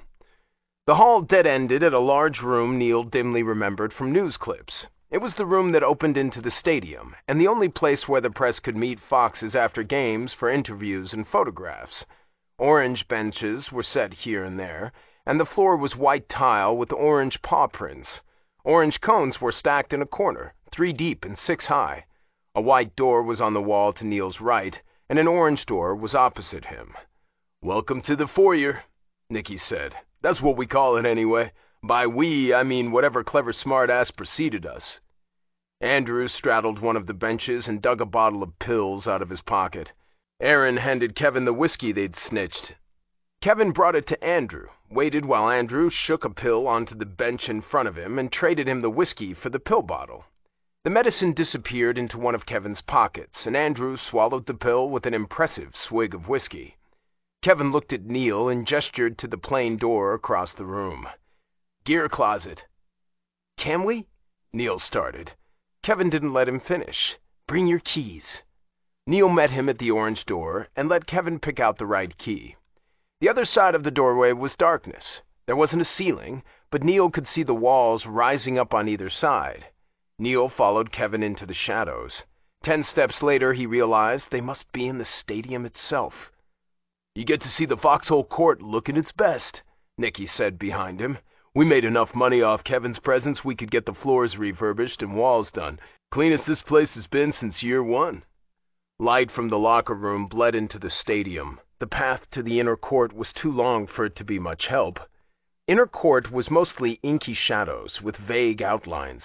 Neil closed his eyes and tried to imagine it. This space was reserved for the referees, cheerleaders, and teams. Somewhere around here were the Foxes' home benches. The plexiglass walls surrounding the court were invisible in the dark, as was the court itself, but knowing the court was there set Neil's heart racing. Lights! Aaron called from somewhere behind them.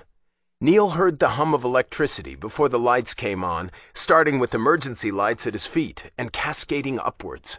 The stadium came to life before his eyes, row after row of alternating orange and white seats disappearing into sky-high rafters, and the court lighting up in front of him. Neil was moving before the ceiling lights turned on, crossing the inner court to the court walls. He pressed his hands to the thick, cold plastic and looked up, where the scoreboards and replay TVs hung over the court ceiling, then down to the glossy wood. Orange lines marked first, half, and far court. It was perfect, utterly perfect, and Neil felt at once inspired and horrified by the sight of it. How could he possibly play here after playing on Millport's pathetic knockoff court? He closed his eyes and breathed in, breathed out, imagining the way bodies sounded as they crashed into each other on the court the way the announcer's voice would only come through in muffled, scattered bursts, the roar of 65,000 people reacting to a goal. He knew he didn't deserve this, knew beyond a doubt he wasn't good enough to play on this court, but he wanted and needed it so badly he ached all over. For three and a half weeks, it would be just the five of them, but in June the Foxes would move in for summer practices, and in August the season would begin. Neil opened his eyes again, looked at the court, and knew he'd made the right decision. The risks didn't matter. The consequences would be worth it. He had to be here. He had to play on this court at least once. He had to know if the crowd screamed loud enough to blow the roof off. He had to smell the sweat and overpriced stadium food. He needed to hear the buzzer sound as a ball slammed inside the white goal lines and lit up the walls red. Oh, Nicky said, leaning against the wall a short ways down from Neil. No wonder he chose you. Neil looked at him, not really understanding the words, not really listening, when his mind was still racing with the tick-tick-tock of a game clock counting down. Past Nicky was Kevin, who'd watched his father take a man apart and gone on to sign with the national team. Kevin was watching him, but the second their eyes met, he pointed back the way they'd come. Give him his gear. Aaron and Nicky brought Neil back to the locker room. Andrew hadn't followed them into the stadium, but he wasn't in the foyer either. Neil didn't care enough to ask, but followed the cousins into the changing room. The front room was lined with lockers, each one marked with the players' numbers and names. Through the doorway at the back, Neil could see sinks, and he assumed the showers were around the corner out of sight. He was more interested in the locker that had his name on it. Coaches Hernandez and Wymack had spent the last few weeks of Neil's senior year arguing details on what sort of equipment Neil needed. Knowing that everything was going to be here for him wasn't half as good as seeing it. There were five outfits for workouts, and a set of both home and away uniforms. Mounds of padding and armor took up most of the space in his giant locker, and his helmet was on the top shelf. Underneath the helmet was something neon orange and shrink-wrapped, and Neil carefully pulled it out to examine it. It opened to reveal a windbreaker that was almost brighter than the stadium paint. Foxes and Josten were printed on the back in reflective material. Satellites can pick these up in outer space, he said. Nicky laughed at that. Dan commissioned them her first year here. She said she was tired of everyone trying to look past us. People want to pretend people like us don't exist, you know? Everyone hopes we're someone else's problem to solve. He reached out and fingered the material. They don't understand, so they don't know where to start. They feel overwhelmed and give up before they've taken the first step. Nicky gave himself a small shake and smiled, melancholy instantly replaced by cheer. You know we donate a portion of ticket sales to charity? Our tickets cost a little more than anyone else's because of it. Renee's idea. Told you she's pure gold. Now come on, let's get you looking foxy. He turned away to find his own gear, so Neil pulled out what he needed and brought it to the bathroom. Changing out in the stall was awkward and uncomfortable, but he'd done it so many times he had it down to an art form. He traded out a t-shirt for shoulder and chest padding. He did a couple twists to make sure the straps were snug enough without being too tight, then tugged his jersey on over top. He could put on shorts around the others, so he returned to the main room to finish dressing. He traded jeans for shorts first, then sat on one of the benches to hook his shin guards into place. He covered those with long socks and put on scuff-free court shoes. He pulled thin cotton gloves on, snapping them closed just above his elbows, and strapped arm guards onto his forearms. He left his outer gloves by his helmet where he could carry them down to the court and pulled his bangs up under an orange bandana. The last thing to put on was his neck guard, a thin band with a tricky clasp. It was a pain to deal with and occasionally made him feel like he was choking, but it was worth putting up with if it'd protect his throat from a stray ball. They went back to the foyer, and Nicky had Neil unlock the gear door Kevin indicated earlier. Aaron got a bucket of balls while Nicky rolled out the stick rack. The rackets were arranged by numbers, a pair for each player with Neil's at the end. Neil unhooked one and gave it a slow spin, testing the weight and feel of it in his hand. It was dark orange with a single white stripe at the base of the head and white rope netting. It smelled brand new and felt like a dream, and it was all he could do to keep from smashing the taut net against his face. At Millport he'd used one of the older team rackets. This one had been ordered specifically for him, and the thought alone was enough to set his heart racing. Kevin was right where they'd left him, waiting for them in the inner ring. He watched silently as they tugged on their helmets and gloves, and said nothing when Aaron led the way to the home court entrance.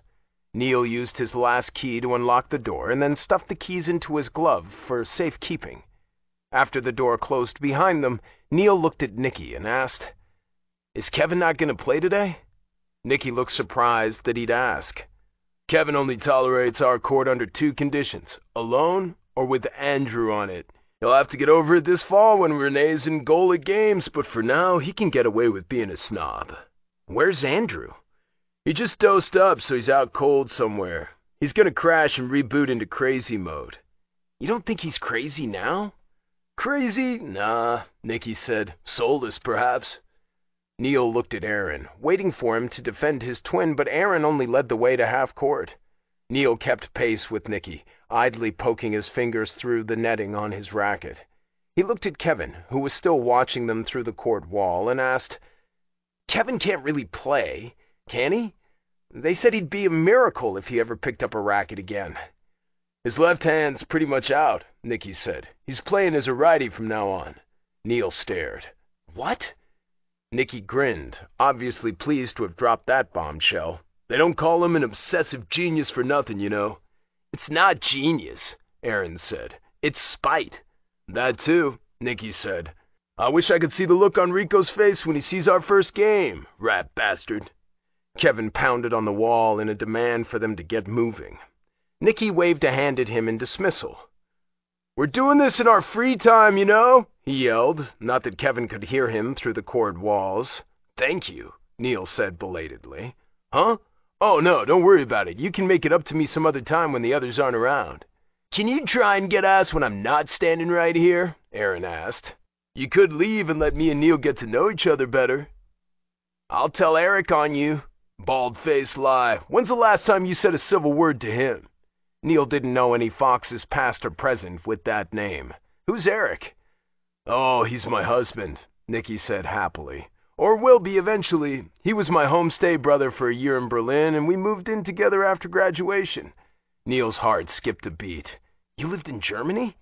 He tried to do the math in his head, guessing Nicky's age against how long ago he'd been in high school. Chances were Neil had already moved on to Switzerland by the time Nicky made it to German soil but it was such a close call, Neil couldn't breathe. Yeah, Nicky said. You heard us earlier with the mumbo-jumbo, right? That was German. The little punks studied it at high school because they knew I could help them pass. If you take German as your elective here, just let me know and I'll tutor you. I'm good with my tongue. Enough. Let's play, Aaron said, putting the bucket of balls down. Nicky gave an exaggerated sigh. Ah, anyway, remind me to show you his picture later. Our babies are gonna be gorgeous. Neil frowned, confused. He doesn't live here? Oh, no, he's in Stuttgart. He got a job he loves with great career potential, so he couldn't leave to follow me here. I was only supposed to stay long enough to get these kids through high school, but when Coach offered me a scholarship, Eric said I should go for it. It sucks being apart for so long, but he came here last Christmas, and I'll go there this year. If things ever die down around here, I'll even get to spend next summer in Germany. Nicky sent a meaningful look toward the wall where Kevin was watching them. They spent the next hour and a half teaching Neil drills. A lot of them Neil had done before, but there were a few he didn't recognize, and it gave him a thrill to learn something new. They ended with a short scrimmage, one striker against two backliners and an open goal. Aaron and Nicky weren't the best defense players in the NCAA by far, but they were far better than any of the high schoolers Neil was used to playing. Aaron called them to a stop at last, and Neil caught the ball on a rebound. When he dropped it into the bucket, the others started unstrapping their helmets. Neil squished a flare of disappointment that they were done so soon, but he wouldn't push them to play any longer. Nicky had already said that they were giving up their summer break to play with him. Nicky smeared his cheek against his shoulder, trying to wipe sweat off onto his jersey. He smiled at Neil. How's that? It was fun, Neil said. You two are really, really good. Nicky beamed, but Aaron snorted. Kevin would kill himself if he heard that. Kevin thinks we're a waste of oxygen, Nicky said with a shrug. At least you're not going to completely drag us down, Aaron said. It'll take most of the season to get you where we need you to be, but I can see why Kevin picked you. Speaking of, Nicky tipped his head toward the wall. Someone's ready to get his hands on you. Neil followed the gesture and looked through the wall toward the Foxes' benches. Andrew had reappeared and was lying flat on his back on the home bench, playing catch with a spare ball. Kevin had gotten his racket at some point and was spinning it as he watched them. With half the court and a half-inch thick wall between them, Neil could still feel Kevin's stare, like a physical weight. Fear for your life, Nicky said. He's not a forgiving tutor, and he doesn't know how to be nice. Kevin can piss anyone off on an Exy court, up to and including a drugged Andrew. Well, anyone except Renee, but she's not human, so she doesn't count. Neil looked at Andrew again. I thought his medicine made that impossible. Spring was a learning experience. Nicky propped his racket against his shoulder and started for the door. Wish you'd seen it. Andrew would have taken Kevin's head off if Kevin hadn't already thrown Andrew's racket halfway across the court. I can't wait to see how you handle it. Fantastic, Neil said, grabbing the ball's bucket and following them off the court. Andrew sat up as the court door banged closed behind them and tossed his ball to Nicky. He'd brought the whiskey with him and left it on the ground by his feet. Now he scooped it up and twisted the lid off. About time, he said. Nicky, it's so boring waiting on you. We're done now, Nicky said, hooking his helmet over the end of his racket so he could reach for the whiskey. About time you stop that, don't you think? Abby's gonna beat me senseless if she realizes you've been drinking. Doesn't sound like my problem, Andrew said with a brilliant smile. Nicky looked to Aaron for help, but Aaron went ahead of them to the locker room. Nicky mimed blowing his brains out and went with him. Neil meant to go after them, but he'd made the mistake of looking at Kevin. Once he met Kevin's eyes, it was hard to look away again. Kevin's expression was indecipherable. Whatever it was, it didn't look particularly happy. This is going to be a very long season. I told you I wasn't ready. You also said you wouldn't play with me, but here you are. Neil didn't answer that accusation. Kevin got right in his face and tangled his fingers through the netting on Neil's racket. When he started to pull it away, Neil held on tighter, silently refusing to let go. Kevin probably could have wrenched it away if he tried a little harder, but he seemed content just to hold on. If you won't play with me, you'll play for me, Kevin said. You're never going to get there on your own, so give your game to me. Where is there? Neil asked. If you can't figure that out, there's no helping you, Kevin said. Neil gazed back at him in silence, pretty sure there didn't apply to someone like him. Kevin must have seen that in the unimpressed look on his face because he reached up and covered Neil's eyes with his free hand. Forget the stadium, Kevin said. Forget the Foxes and your useless high school team and your family. See it the only way it really matters, where Exy is the only road to take. What do you see? Imagining life in such simplistic terms was so ridiculous Neil almost laughed. He kept the vicious twist of his mouth off his face through sheer willpower alone. Something still must have shown because Kevin gave his racket a hard tug. Focus! Neil tried to picture the world as if Neil Josten was really all there ever had been and would be. It was almost enough to make him despise the persona when he could see it in such easy terms. But he swallowed that distaste and turned his mental gaze toward Exy. Had the game ever been his? or had it been pulling him to this point? Exy was the only bright point of his shattered childhood. He remembered his mother bringing him to Little League Exy games, traveling an hour outside of Baltimore to where no one knew his father and the coaches would actually let him play. He remembered her cheering for him as if their every move and word wasn't scrutinized by gun-toting bodyguards.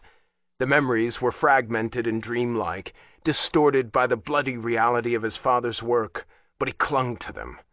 They were the only times he'd ever seen his mother smile. Neil didn't know how long he played with his Little League team, but his hands remembered the weight of a racket as well as they did that of a gun. That thought was sobering, as it put him right back to square one, and the fact that Neil Josten was a fleeting existence. It was cruel to even dream he could stay like this, but Kevin had escaped, hadn't he? Somehow he'd left that bloody room behind at Edgar Allan and become this, and Neil wanted the same so bad he could taste it. You, Neil said at last. Kevin pulled at his racket again, and this time Neil let go. Tell me I can have your game. It wouldn't do them any good, but Neil wasn't going to get into that. Take it. Neil understands, Kevin said, dropping his hand and sending Andrew a pointed look. Congratulations are in order, I suppose. Since I have none to give, I will tell the others to respond appropriately. Andrew pushed himself to his feet and swallowed more whiskey on the way up. Neil, hello. We meet again. We met earlier, Neil said. If this is another trick, just let it go. Andrew grinned at him around the mouth of his bottle. Don't be so suspicious. You saw me take my medicine. If I hadn't, I'd be keeled over somewhere by now, puking from the withdrawal. As it is, I might puke from all the fanaticism going around. He's high, Kevin told Neil. He tells me when he's sober, so I always know. How did you figure it out? They're twins, but they're not the same. Neil lifted one shoulder in a shrug. One of them hates your obsession with Exy, while the other couldn't care less. Kevin looked to Andrew, but Andrew only had eyes for Neil. Andrew took a second to process those words before he started laughing. He's a comedian, too. An athlete and a comic and a student. How multi-talented. What a grand addition to the Fox line. I can't wait to find out what else he can do. Perhaps we should throw a talent show and find out? But later. Kevin, we're going. I need food. Kevin handed Neil his racket back, and the three went to the locker room. Aaron and Nicky were already in the showers when they arrived. Neil heard water running and sat on a bench in the changing room to wait. We're not taking you to Abby's like that, Kevin said. Wash up. I won't shower with the team, Neil said. I'll wait, and if you don't want to wait on me, just go ahead. I'll find my way there from here. Nicky gonna be a problem for you? Andrew asked. Neil didn't like the look of his manic smile, but he liked Andrew's veiled warning less. It's not about Nicky. It's about my privacy. Kevin snapped his fingers at Neil. Get over it. You can't be shy if you're to be a star. Andrew leaned toward Kevin and put a hand to his mouth, but he didn't bother to lower his voice. He has to hide his ouches, Kevin.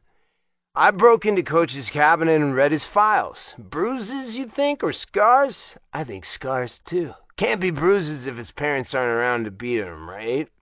Neil felt cold all over. What did you just say?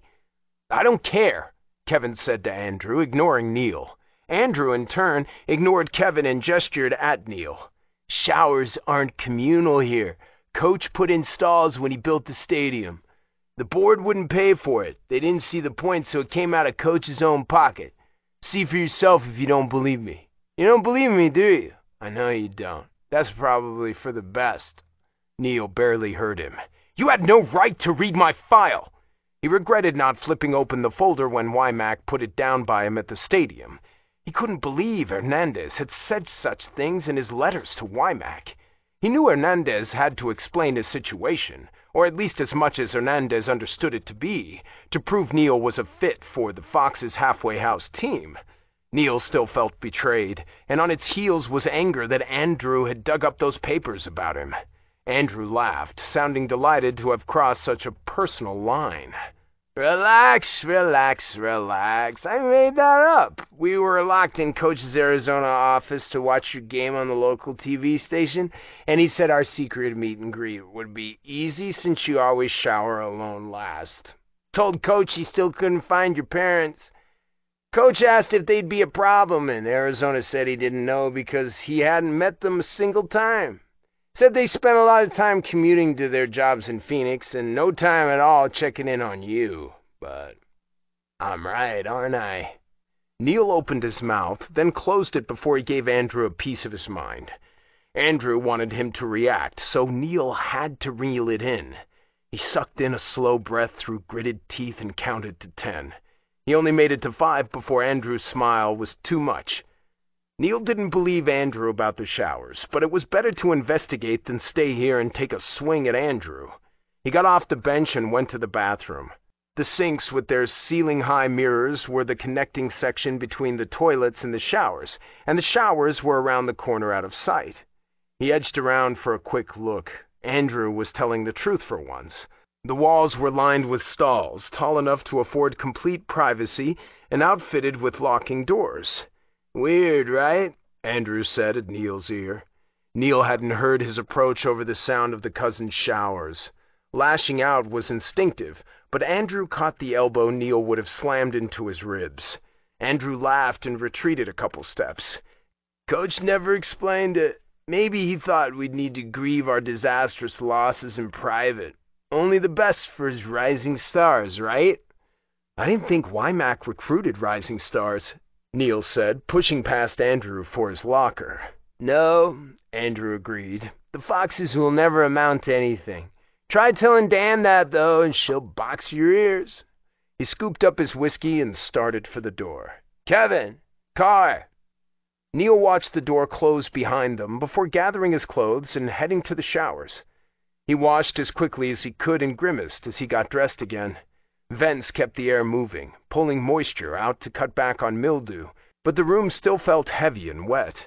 Neil felt sticky as he tugged his clothes on. He raked his fingers through his hair as he met up with the cousins in the main room. They showed him where to put his armor so it could air dry and his uniform to be washed. Aaron got the lights on their way out, Neil locked the doors, and they found the other two waiting by the car. Nicky took the keys from Andrew and shook them at Neil. It's your first day, so you get shotgun again. Enjoy it while you can. Kevin hates sitting in back. I don't have to sit up front, Neil said, but Kevin and the twins were already piling into the back seat with Kevin in the middle. The way they sat put Andrew behind Neil's seat, so Neil hoped the ride was short. Abigail Winfield lived in a one-story house about five minutes from campus. Nicky parked at the curb since there were already two cars in the driveway when they arrived. The front door was unlocked, so they let themselves in without knocking, and they were greeted by the thick smells of garlic and warm tomato sauce. Coach Wymack and Abigail were in the kitchen already. Wymack was grumbling as he dug through the silverware drawer, and Abigail ignored him in favor of stirring something at the stove. Coach spotted the foxes first and stabbed a finger at Nicky. Hemmick, get over here and be useful for once in your mangy life. Table needs setting. Aw, Coach, Nicky complained as Abigail turned. Why do you always have to pick on me? You already started it. Can't you finish? Shut your face and get to work. Can't you two behave when we've got a guest? Abigail asked, setting aside her spoon and coming to greet them. Wymack raked the group with a look. I don't see any guests. Neil's a fox. He's not going to get any special treatment just because it's his first day.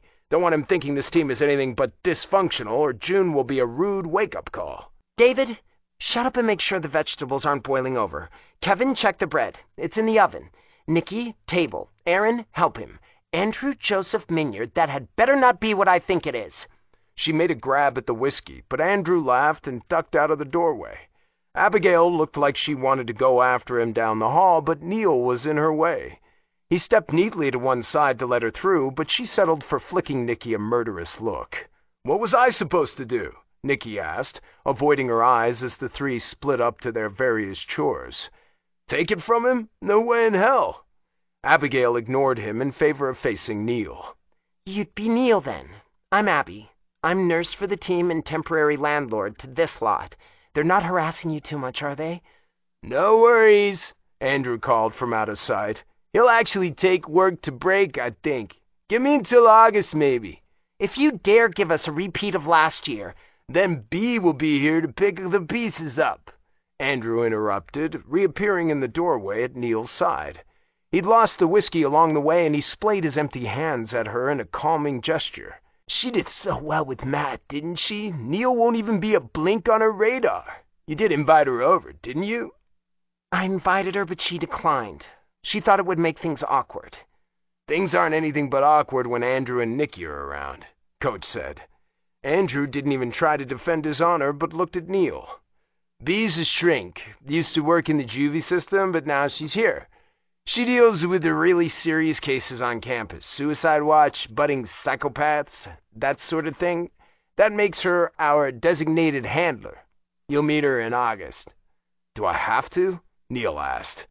It's mandatory once a semester for athletes, Abby confirmed. The first time is a casual meet and greet so you get to know her and find out where her office is. The second session is in spring.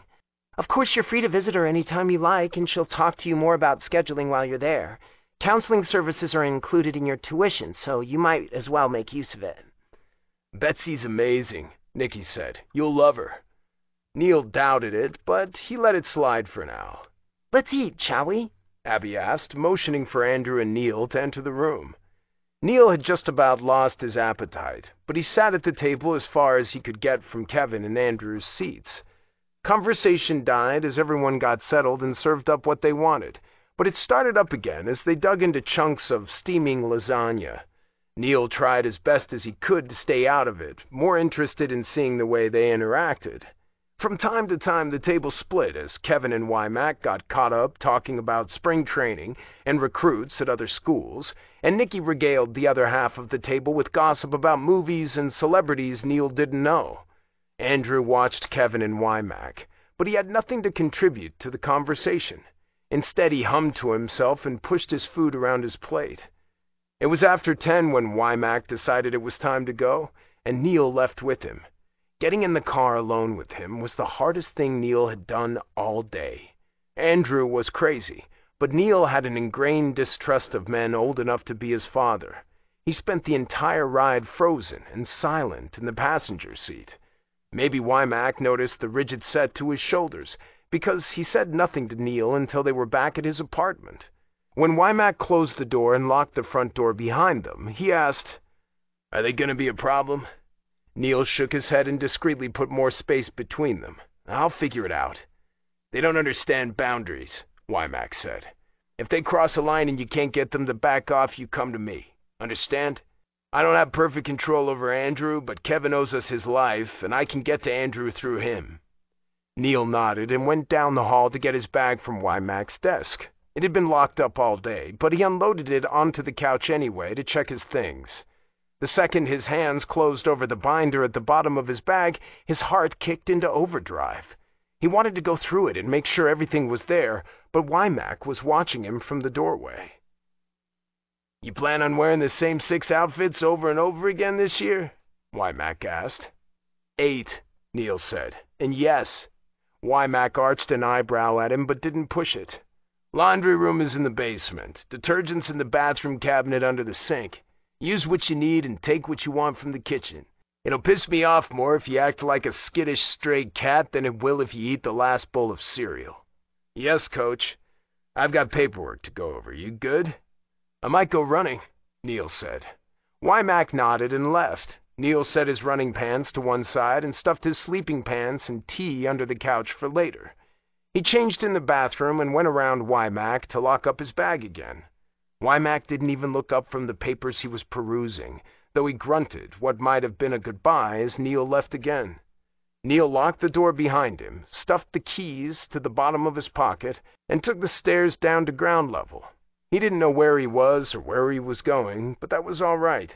If he gave his feet a direction, they'd take him running past all of his thoughts, and he'd be happy to let them. Chapter 4 Neil spent the following morning exploring the campus and memorizing its layout. When he was sure he knew his way around, he left school grounds and went for a long run. Gradually, he looped his way back around. He had an hour to stretch out and eat lunch before he met the others at the stadium, and he made sure to show up early enough to change in private. When the others arrived, Neil was waiting for them on the court. He watched as Kevin propelled Andrew toward the home goal. Andrew was laughing about something, but Neil couldn't hear what Kevin was saying to him. Aaron and Nicky scattered balls down the first fourth line, and Nicky rolled a couple Neil's way. Neil spaced them out at half court around him. They started with drills, some of which Neil practiced yesterday and a few more he didn't know. The exercises gradually increased in difficulty and Neil grimaced a little as Andrew deflected every shot Neil aimed his way.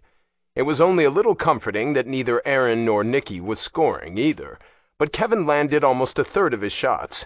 It was a poor show from a former national champion, but it was also intensely humbling as Kevin had grown up playing left-handed. Seeing him take on Andrew right-handed was ballsy enough. Seeing him actually score was surreal.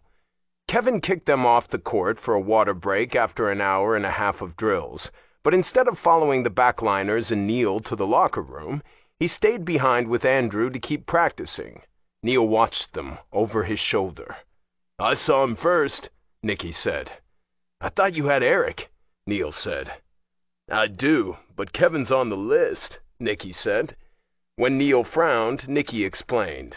It's a list of celebrities we're allowed to have affairs with. Kevin is my number three. Neil pretended to understand and changed the topic. How does anyone lose against the Foxes with Andrew in your goal? He's good, right? But Andrew sat out most of last year. Nicky shrugged. Coach didn't need a third goalie when he signed us, so Andrew was a bench warmer up until November. Then the ERC threatened to revoke our Class 1 status and fire Coach if we didn't start winning more often. Coach bribed Andrew into saving our collective asses with some really nice booze. Bribed? Neil echoed. Andrew's good, Nicky said again. But it doesn't really matter to him if we win or lose. You want him to care? You gotta give him incentive. He can't play like that and not care. Now you sound like Kevin. You'll find out the hard way, same as Kevin did.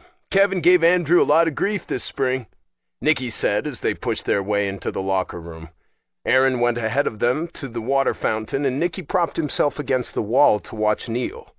Andrew walked off the court for an entire month. He said he'd break his own fingers if coach made him play with Kevin again. The thought of Andrew willingly destroying his talent made Neil's heart clench. But he's playing now. Nicky took a couple quick sips from the fountain as soon as Aaron stepped out of the way and smeared a hand across his mouth. Only because Kevin is. Kevin got back on the court with the racket in his right hand, and Andrew wasn't far behind him. Up until then, they were fighting like cats and dogs. Now look at them. They're practically trading friendship bracelets, and I couldn't fit a crowbar between them if it had saved my life. But why? Neil asked. Andrew hates Kevin's obsession with Exy. The day they start making sense to you, let me know, Nicky said, moving so Neil could get a drink. I gave up trying to sort it all out weeks ago. You could ask, but neither of them will answer. But as long as I'm doling out advice, stop staring at Kevin so much. You're making me fear for your life over here. What do you mean? Andrew is scary territorial of him. He punched me the first time I said I'd like to get Kevin too wasted to be straight. Nicky pointed at his face, presumably where Andrew had decked him. So yeah, I'm gonna crush on safer targets until Andrew gets bored of him. That means you, since Matt's taken, and I don't hate myself enough to try Seth. Congrats. Can you take the creepy down a level? Aaron asked. What? Nicky asked. He said he doesn't swing, so obviously he needs a push. I don't need a push, Neil said. I'm fine on my own. Seriously, how are you not bored of your hand by now? I'm done with this conversation, Neil said. This and every future variation of it. Look, Nicky, I have no problems with your sexuality, but I'm here to play. All I want from any of you is the best you can give me on the court. The stadium door slammed open as Andrew showed up at last. He swept them with a wide-eyed look as if surprised to see them all there. Kevin wants to know what's taking you so long. Did you get lost? Nicky's scheming to rape Neil, Aaron said. There are a couple flaws in his plan he needs to work out first, but he'll get there sooner or later. You're such an asshole, Nicky said as he started for the door. Wow, Nicky, Andrew said. You start early. Can you really blame me? Nicky glanced back at Neil as he said it. He only took his eyes off Andrew for a second, but that was long enough for Andrew to lunge at him. Andrew caught Nicky's jersey in one hand and threw him hard up against the wall. Nicky grunted at the impact, but made no move to shove Andrew off when Andrew leaned up against him. Neil looked from Nicky to Aaron, but Aaron appeared unmoved and unsurprised by the sudden violence. Neil looked back at Andrew and waited to see how this played out. Hey, Nicky, Andrew said in stage whisper German. Don't touch him, you understand? You know I'd never hurt him. If he says yes, I said no. Jesus, you're greedy, Nicky said. You already have Kevin. Why does it... He went silent, but it took Neil a moment to realize why. Andrew had a short knife pressed to Nicky's jersey. Where he'd pulled it from, Neil didn't know, but he refused to think Andrew wore one onto the court under his uniform. There had to be rules and regulations against that. The last thing Neil wanted was for Andrew to stab someone in the middle of a game. The Foxes would be banned from the league in an instant. Shh, Nicky, shh, Andrew said, like he was soothing a troubled child. Why the long face? It's gonna be okay. Neil was no stranger to violence. He'd heard every threat in the book, but never from a man who smiled as bright as Andrew did. Apathy, anger, madness, boredom, these motivators Neil knew and understood. But Andrew was grinning like he didn't have a knife point where it slipped perfectly between Nicky's ribs, and it wasn't because he was joking. Neil knew Andrew meant it. If Nicky so much as breathed wrong right now, Andrew would cut his lungs to ribbons. Any and all consequences be damned. Neil wondered if Andrew's medicine would let him grieve, or if he'd laugh at Nicky's funeral too. Then he wondered if a sober Andrew would act any different. Was this Andrew's psychosis, or his medicine? Was he flying too high to understand what he was doing, or did his medicine only add a smile to Andrew's ingrained violence? Neil looked to Aaron, waiting for him to interfere. Aaron was tense but quiet as he stared at Andrew's knife. Neil gave him another second, but he couldn't wait forever. He didn't know what would finally set Andrew off, and he didn't want to find out. Hey, Neil said, looking back at Andrew. That's enough. Quiet, Nicky said in English, barely louder than a breath of air. Quiet. It's fine. Hey, Neil said again, ignoring him, but he wasn't sure what to say. Questioning Andrew's sanity or calling his bluff would end with Nicky in the hospital. He wouldn't pretend to accept Nicky's advances just to calm Andrew down. What Neil needed was a distraction, something more important to Andrew than Nicky. That left only one thing that Neil knew of. One person, rather. Are we playing or what? he said. Kevin's waiting. Andrew looked at Neil as if that hadn't occurred to him. Oh, you're right. Let's go, or we'll never hear the end of it. Andrew let go of Nicky and spun away. His knife vanished under his armor before he reached the door. Aaron squeezed Nicky's shoulder on his way out. Nicky looked shaken as he stared after the twins, but when he realized Neil was watching him, he rallied with a smile Neil didn't believe at all. On second thought, you're not my type after all, Nicky said when the door closed behind his cousins. You need some more water before we hit the court for round two? That's not okay, Neil said, pointing at the door. That's nothing. Nicky said. Neil caught his arm as Nicky passed and hauled him to a stop. Don't let him get away with things like that. Nicky considered him for a moment, his smile fading into something small and tired. Oh, Neil, you're going to make this so hard on yourself. Look, he said, tugging free and turning Neil toward the door. Andrew is a little bit crazy. Your lines are not his lines, so you can get all huff and puff when he tramps across yours, but you'll never make him understand what he did wrong. Moreover, you'll never make him care, so just stay out of his way. He's like this because you let him get away with it, Neil said. You're putting all of us at risk. That was my fault. Nicky opened the door and waited for Neil to precede him out. I said something I shouldn't have, and I got what I deserved. Neil wasn't convinced but he couldn't demand better explanations for an argument that had happened in German, so he led the way to the inner court. Neil looked first to Andrew, who was jogging to the half-court line, and then to Kevin, who was standing on the Foxpaw logo at the court's center. Aaron was at the door waiting for Nicky and Neil, and the three entered the court together. Kevin barely waited for them to stop at his side before dividing them up with a flick of his fingers. Aaron is with me, Nicky and Andrew get the child. Two-man team scrimmage with an empty away goal.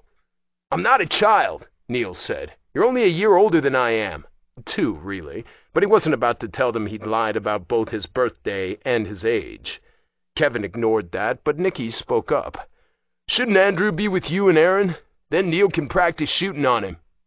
Kevin looked bored by the suggestion. If I thought he could make it to the goal, I would have set it up that way. Them's fighting words, Nicky said, grinning at Neil. Bring it, kid. There were only five of them, but they set up as if they had two full teams. Neil and Kevin spaced out on the half-court line, Nicky at first fourth, and Aaron at far fourth. Andrew acted as dealer from his place in home goal and slammed the ball all the way to the other end of the court. The second Neil heard the crack of Andrew's racket, he started moving, pushing up before Aaron could close him out. Kevin should have done the same and pushed up the court toward Nicky, but he stayed on the half-court line. Likewise, Aaron let the rebound go past him. Neil didn't stop to think about it, but scooped the ball out of the air. He only had it for two seconds before Kevin appeared out of nowhere. Kevin smashed their rackets together so hard the ball popped one way, and Neil's racket flew the other. Neil swore at the sharp pain that stabbed up his arms. Keep count, Kevin said before going after the ball. Neil scrambled for his stick and hurried after him, but Kevin's head start was too much. Nicky tried to fend Kevin off, but Kevin faked him out and scored a few seconds later. Andrew, who should have been guarding their goal, was using his oversized racket as a prop. He looked over his shoulder as the goal lines lit up red, but didn't react otherwise. You could at least try, Kevin said.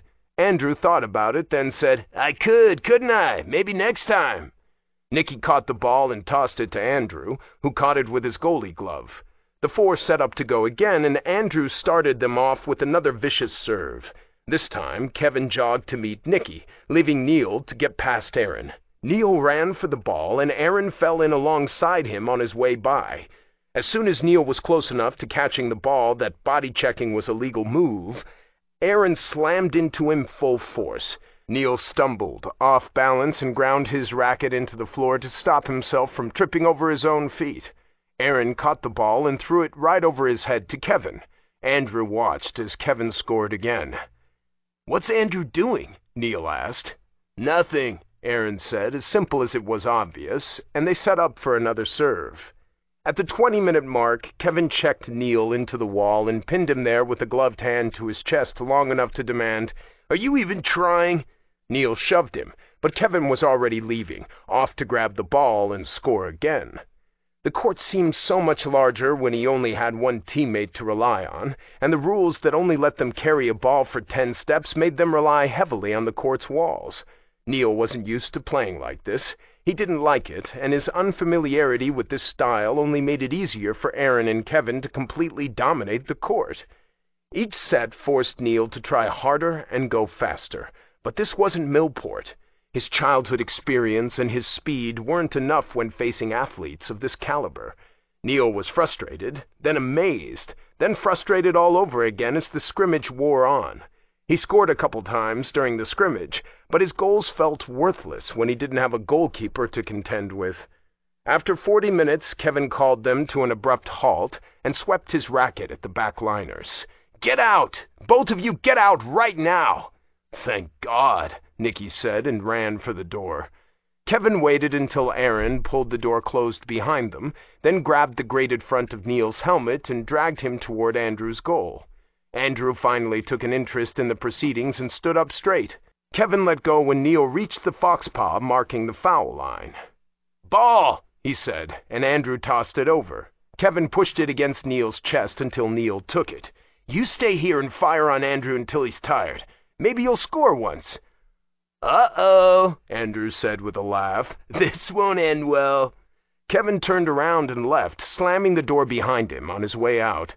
Neil collected the bucket of balls from the north home corner where they'd stored it during their scrimmage.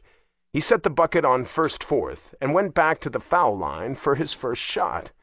Andrew, who hadn't lifted so much as a finger to stop Kevin from scoring on him, didn't have the same consideration for Neil.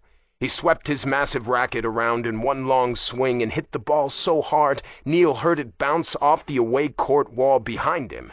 Neil looked over his shoulder, then took another ball from the bucket and tried again. Neil lost track of time after that. Swings and minutes blurred in an exhausting mix. He kept going long after his arms started burning because he didn't know how to stop. Eventually the pain faded in favor of a heavy sense of numbness. He knew Andrew should be tired by now, since Andrew had such a heavy racket and was hitting every ball like he wanted to score a home run. But Andrew didn't even slow down. He knew he'd gone too far when he took a swing and lost his grip on his racket. Andrew laughed as it clattered against the ground and skidded toward the goal. Andrew knocked the ball straight back at Neil, and Neil didn't have a racket to defend himself with. He brought up his arms to block his face instinctively, but he felt that sharp smack on his forearms even through his arm guards. He stumbled back a step under the impact and shot Andrew a dirty look. Let's go, Andrew said. Tick tock, I won't wait forever for you. Neil knew it was a bad idea, but he went for his racket anyway. Picking it up hurt, and when he tried to lift it high enough for a swing, his right arm gave a sharp spasm and he lost his grip. His stick hit the court at his feet. Oh no, Andrew said. I think Neil's in trouble. Neil crouched and reached for his racket. It felt like his muscles were unraveling inside of him, twisting into tight balls around his elbow and wrist, but Neil wrapped his fingers around the stick and picked it up. Andrew stood his racket up in front of him and propped his arms on top of it, waiting and watching as Neil stupidly tried another shot on goal. Neil only got his racket shoulder height before he dropped it again. The ball rolled harmlessly away. Can you or can't you? Andrew asked. Defeat tasted sour as Neil crouched by his racket. I'm done. Andrew left the goal to meet him, but stopped with one foot on Neil's racket. Neil tried to pull it out from under him, but he didn't have the strength. He was even less successful in his attempt to push Andrew off, and that hurt so much his vision crackled black. Get off my racket. Make me, Andrew said, spreading his arms in invitation. Try, anyway. Don't tempt me. Such fierce words from such a little creature, Andrew said. You're not very bright. Typical of a jock. Hypocrite, Neil said. Andrew gave him a thumbs up and pushed past Neil. Neil tried to catch himself before he tipped over, but his hand wouldn't hold his weight. He fell flat on his back and didn't even try to get up. He was too tired to care anymore, so he laid there and listened as Andrew left the court. The door banged closed behind him. Neil rolled his head to one side and watched through the walls as they left. When he was sure they were gone, he painstakingly cleaned up the court. His arms were throbbing as he peeled his uniform off, and getting dressed again was almost too much to handle. Damn, he whispered. He'd gone too far today in his determination to keep up with his teammates. If he couldn't control himself and take it one step at a time, there was no way he'd be able to play by the time August rolled around. He ran back to Wymack's place, keeping his pace slower than usual, and took the stairs up to the seventh floor. The apartment door was unlocked, and Wymack was waiting for him in the hall with a can of coffee grinds in his hand. Kevin called ahead to say you wouldn't be on the court tomorrow and that I should entertain you with clips of past games. He said you tried to blow your arms out against Andrew. I said you weren't that stupid. Which one of us is right? I might have gotten carried away, Neil said. Wymack tossed the coffee to him. Neil caught it instinctively, but he couldn't hold on to it. It bounced off the floor at his feet, and the lid popped off to spill grinds everywhere. Wymack stalked toward Neil with a snarled, You idiot! Retreating from a furious older man was so instinctive Neil didn't realize he'd flinched until Wymack froze. Wymack's face went almost dangerously blank, and Neil dropped his gaze. He was careful not to look away from Wymack entirely. He needed to see when Wymack started moving again. He waited for Wymack to say something. After an endless, brittle silence, he realized Wymack wouldn't speak until he did. Today was my mistake, Neil said quietly. It won't happen a second time. Wymack didn't answer. He didn't come close either. At length he pointed at the ground in front of him. Come here. No, he said when Neil started to reach for the mess at his feet. Leave it. Neil stepped over it and went to stand in front of Wymack, within arm's reach, but just barely. He'd perfected that trick as a kid. He could look at anyone's arms and judge the safe distance from them in a heartbeat. If they had to move to hit him, he had enough time to dodge. Either way, he wouldn't catch the full intended force of their blow. Look at me. Wymack said. Right now! Neil dragged his stare up from Wymack's chest to his face. Wymack's expression was still too blank for Neil to feel safe, but he knew better than to look away again. I want you to understand something, Wymack said. I am a loud, grouchy old man. I like to yell and throw things, but I don't throw punches unless some punk is dumb enough to try me first. I have never, ever hit someone without provocation, and I'm sure as hell not going to start with you. You hear me? Neil didn't believe him, but he said, Yes, coach. I'm serious, Wymack said. Don't you dare be more afraid of me than you are of Andrew. Neil could have told him it was Wymack's age that made him such a problem, but he didn't think Wymack wanted to hear it. There was no solution to that problem. Yes, coach. Wymack gestured over his shoulder and stepped aside. I already ate, but I haven't put the leftovers away yet. I'll take care of this. You take care of you. Neil ate to the sound of the vacuum. Wymack was in his office by the time Neil was done, and Neil retired to the couch early. He wanted to get his bag and go through his folder, but he didn't want to intrude on Wymack's space, so he stared at the ceiling until he finally fell asleep. It took Neil two weeks to decide he'd never meet Kevin's standards. It got to the point where he saw Kevin's look of cool disapproval every time he blinked. Half of the time, Neil didn't know what he was doing wrong, and the other half he couldn't change. He clocked a faster mile than any of them, but they were better and stronger than he was. Kevin knew Neil was inexperienced, but he didn't forgive Neil for his mistakes. Neil didn't want pity, but he did want understanding. When he caved and asked Nicky for advice on how to deal with Kevin, Nicky only smiled and said, I warned you. It did nothing for Neil's fraying patience. Luckily, being angry at himself and loathing Kevin's condescending version of coaching meant he didn't have time or energy to be afraid. Two weeks of playing with the dysfunctional group, and Kevin still gave no signs of recognizing him. All Kevin cared about was how short Neil fell on his court, and as far as Neil could tell, it was shorter and shorter by the day. Two weeks of Kevin's scornful dismissal and rude commentary wore away at Neil's resolve to take it easy. He didn't care if he blew out his arms again if it meant Kevin would stop riding him like he was an incompetent preschooler. Everything was for Exy. From his early morning run to the hours he clocked at the gym to the afternoon scrimmages to the longer run he took in the evenings after dinner. He made loops around the campus and went up and down the stairs in the stadium. No matter what he did, he was too slow, and he went to sleep in so much pain every night he could barely change for bed. By the time his third week started, he couldn't even sleep because he was too busy analyzing the day's mistakes. One night he cast aside his blankets in disgust and left the apartment. It was pitch black out, probably somewhere around two in the morning, and it was just cool enough he should have changed out of his pajama pants. He warmed up quickly as he set off for Palmetto State. There were few street lights around Wymack's neighborhood, but when Neil reached Perimeter Road, the winding street that surrounded Palmetto State, the path was better lit. Neil knew the way to the stadium by heart, even in the dark. There were a couple cars in the parking lot, as usual, and Neil thought he saw the moving figure of a security guard in the next lot. He punched in the code for the Fox's entrance and opened the door, then stilled with his hand halfway to the light switch. The lights were already on. Belatedly, he realized he'd passed the cousin's car. He was so used to seeing it here when they met for scrimmages, he hadn't thought it out of place.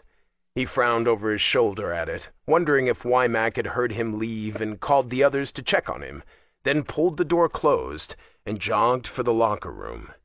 He checked every room but found no sign anyone was there. He stretched out in the foyer before pushing through the back door. He heard the sound of a ball ricocheting off the wall, but with the stadium seating rising up to either side of the Fox's entry hall, he couldn't see where on the court the others were. He was almost to the inner court before he finally spotted Kevin. Kevin was alone at first fourth with a bucket of balls, and he was systematically heaving them at the wall. Neil watched in silence, wondering what odd sort of drill he was doing. It took Kevin a dozen shots before Neil realized he was trying to rebound them all from the same spot.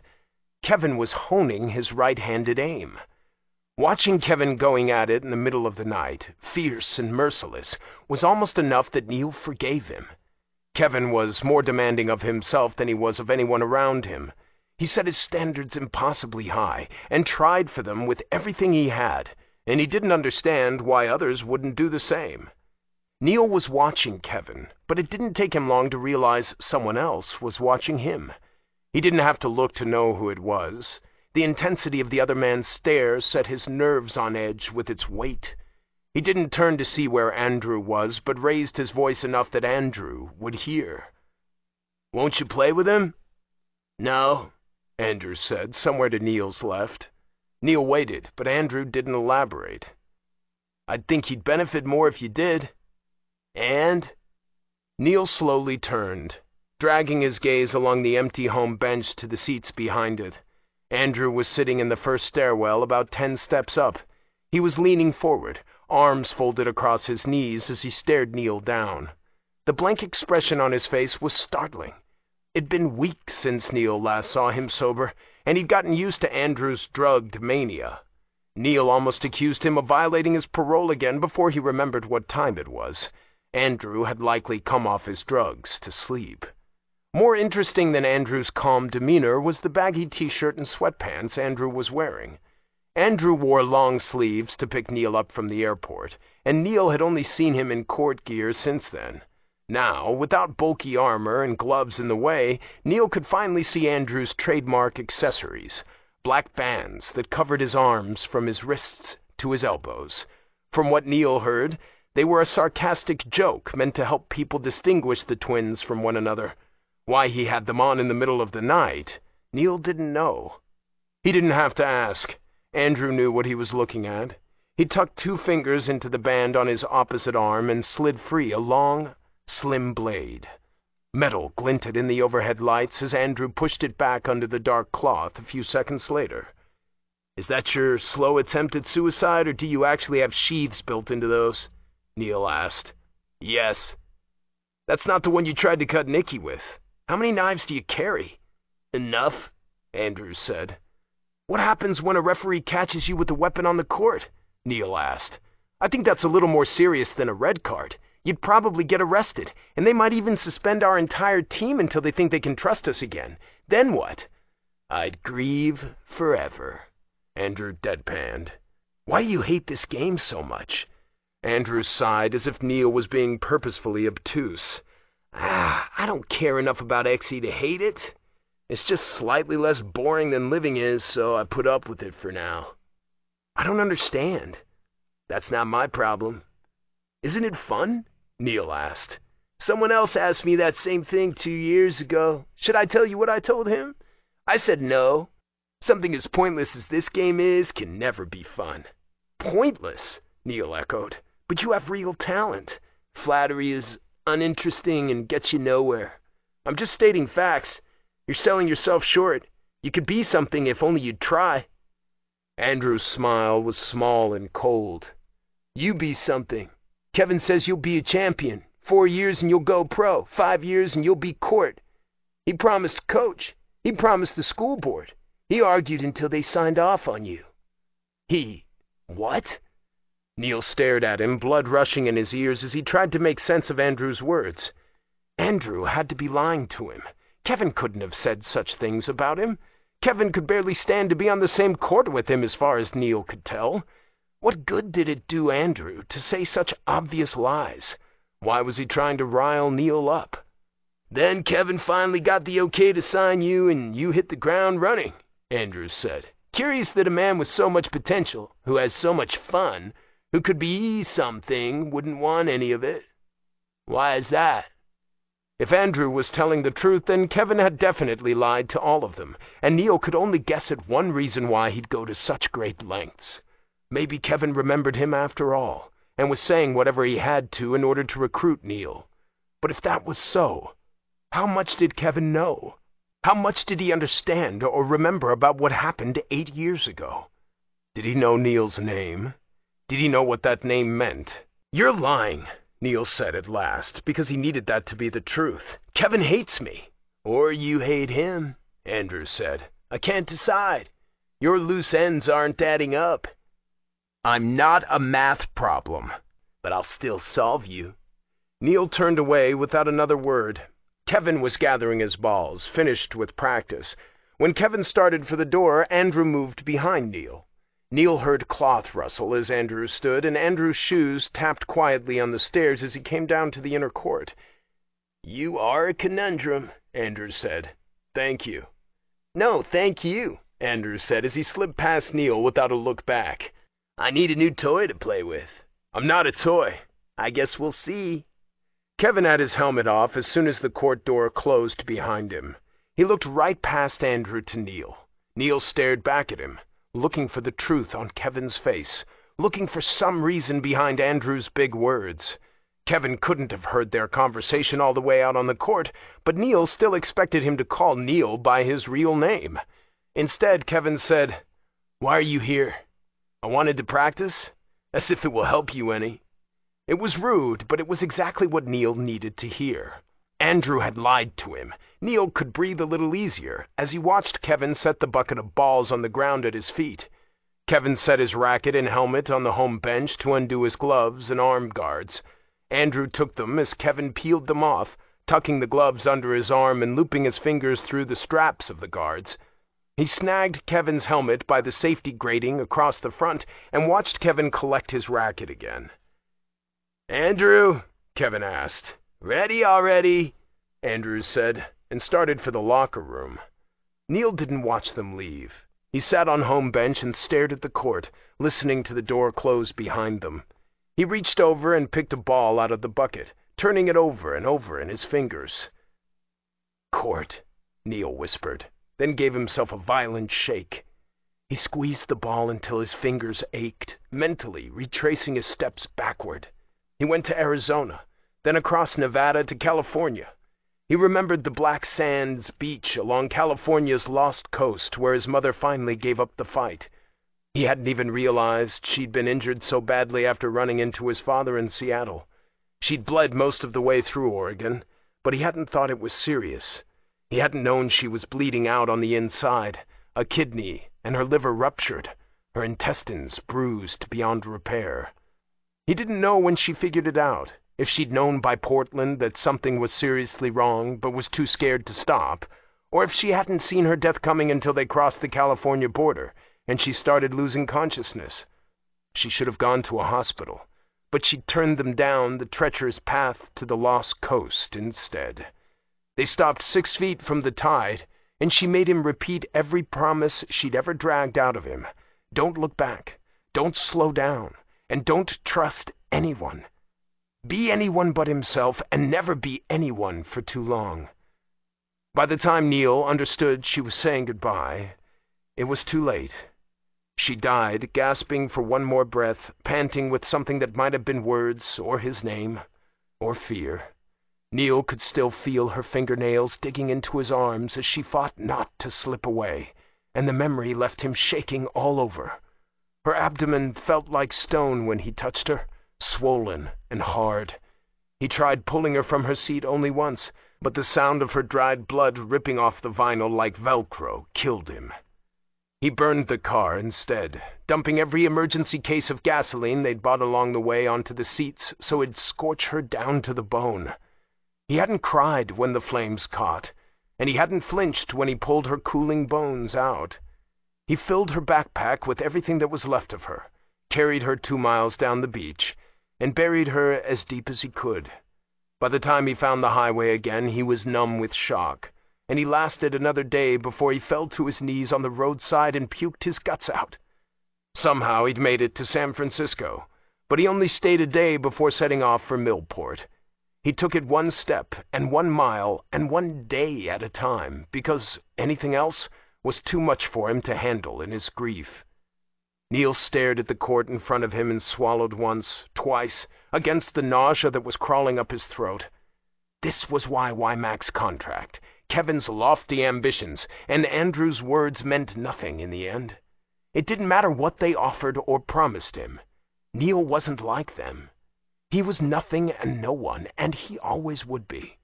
Court wasn't for people like him. He'd take what he could learn and enjoy it while he could, but this was a dream he'd have to wake up from eventually. Wanting anything more than that would just make it harder to walk away. He dropped the ball back into the bucket and went up to the locker room. After making sure Kevin and Andrew really were gone, he changed into his uniform and headed to the court for drills. He wore himself out, putting every thought he had into the moves he was making so he couldn't think about the Foxes, or court, or his past. When he was finally done and had cleaned everything up, it was after dawn. He was too tired to go back to Wymack's, and he knew he'd just get back when Wymack was watching the morning news, so he showered and dressed, and fell asleep on one of the Foxes' couches. He woke up again around noon and headed back to the apartment.